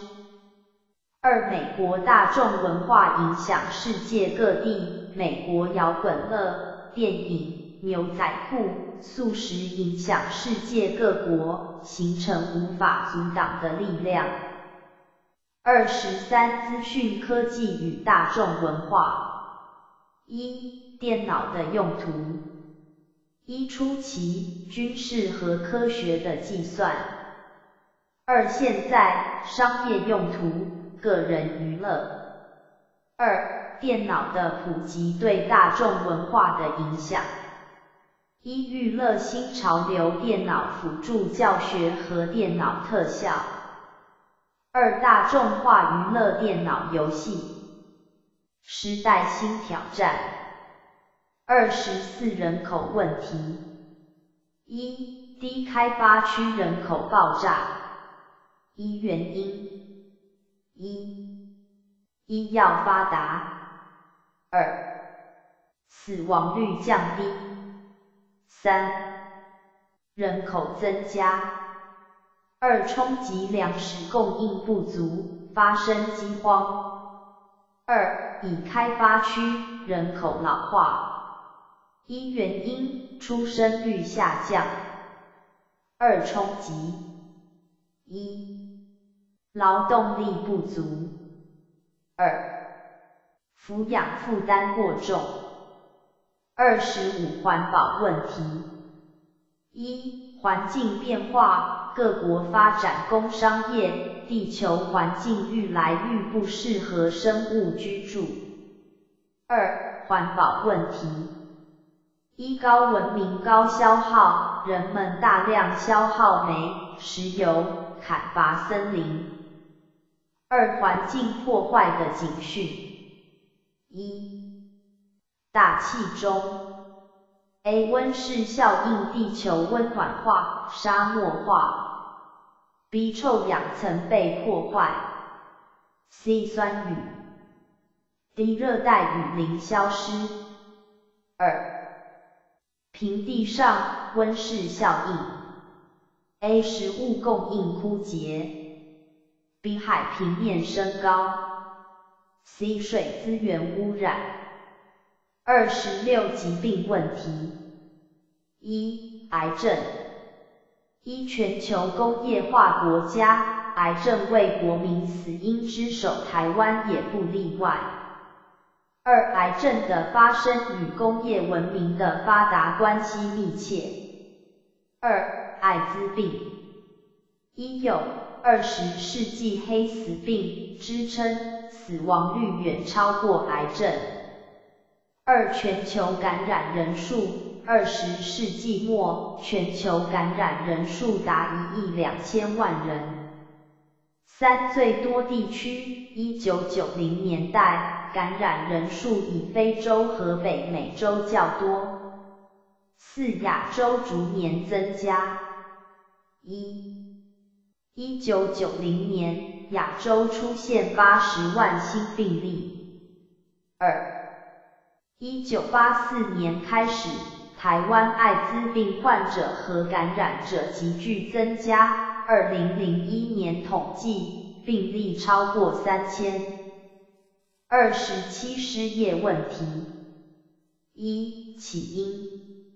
一机器取代人工。二劳工供过于求。三人口不断增加。二面临的难题。一解决失业问题。二安排休闲问题。三、改变人们的生活方式和价值观念。Http: 冒号双斜线 user 点 nksh 点 tp 点 edu 点 tw 斜线 teaching web 斜线 tjq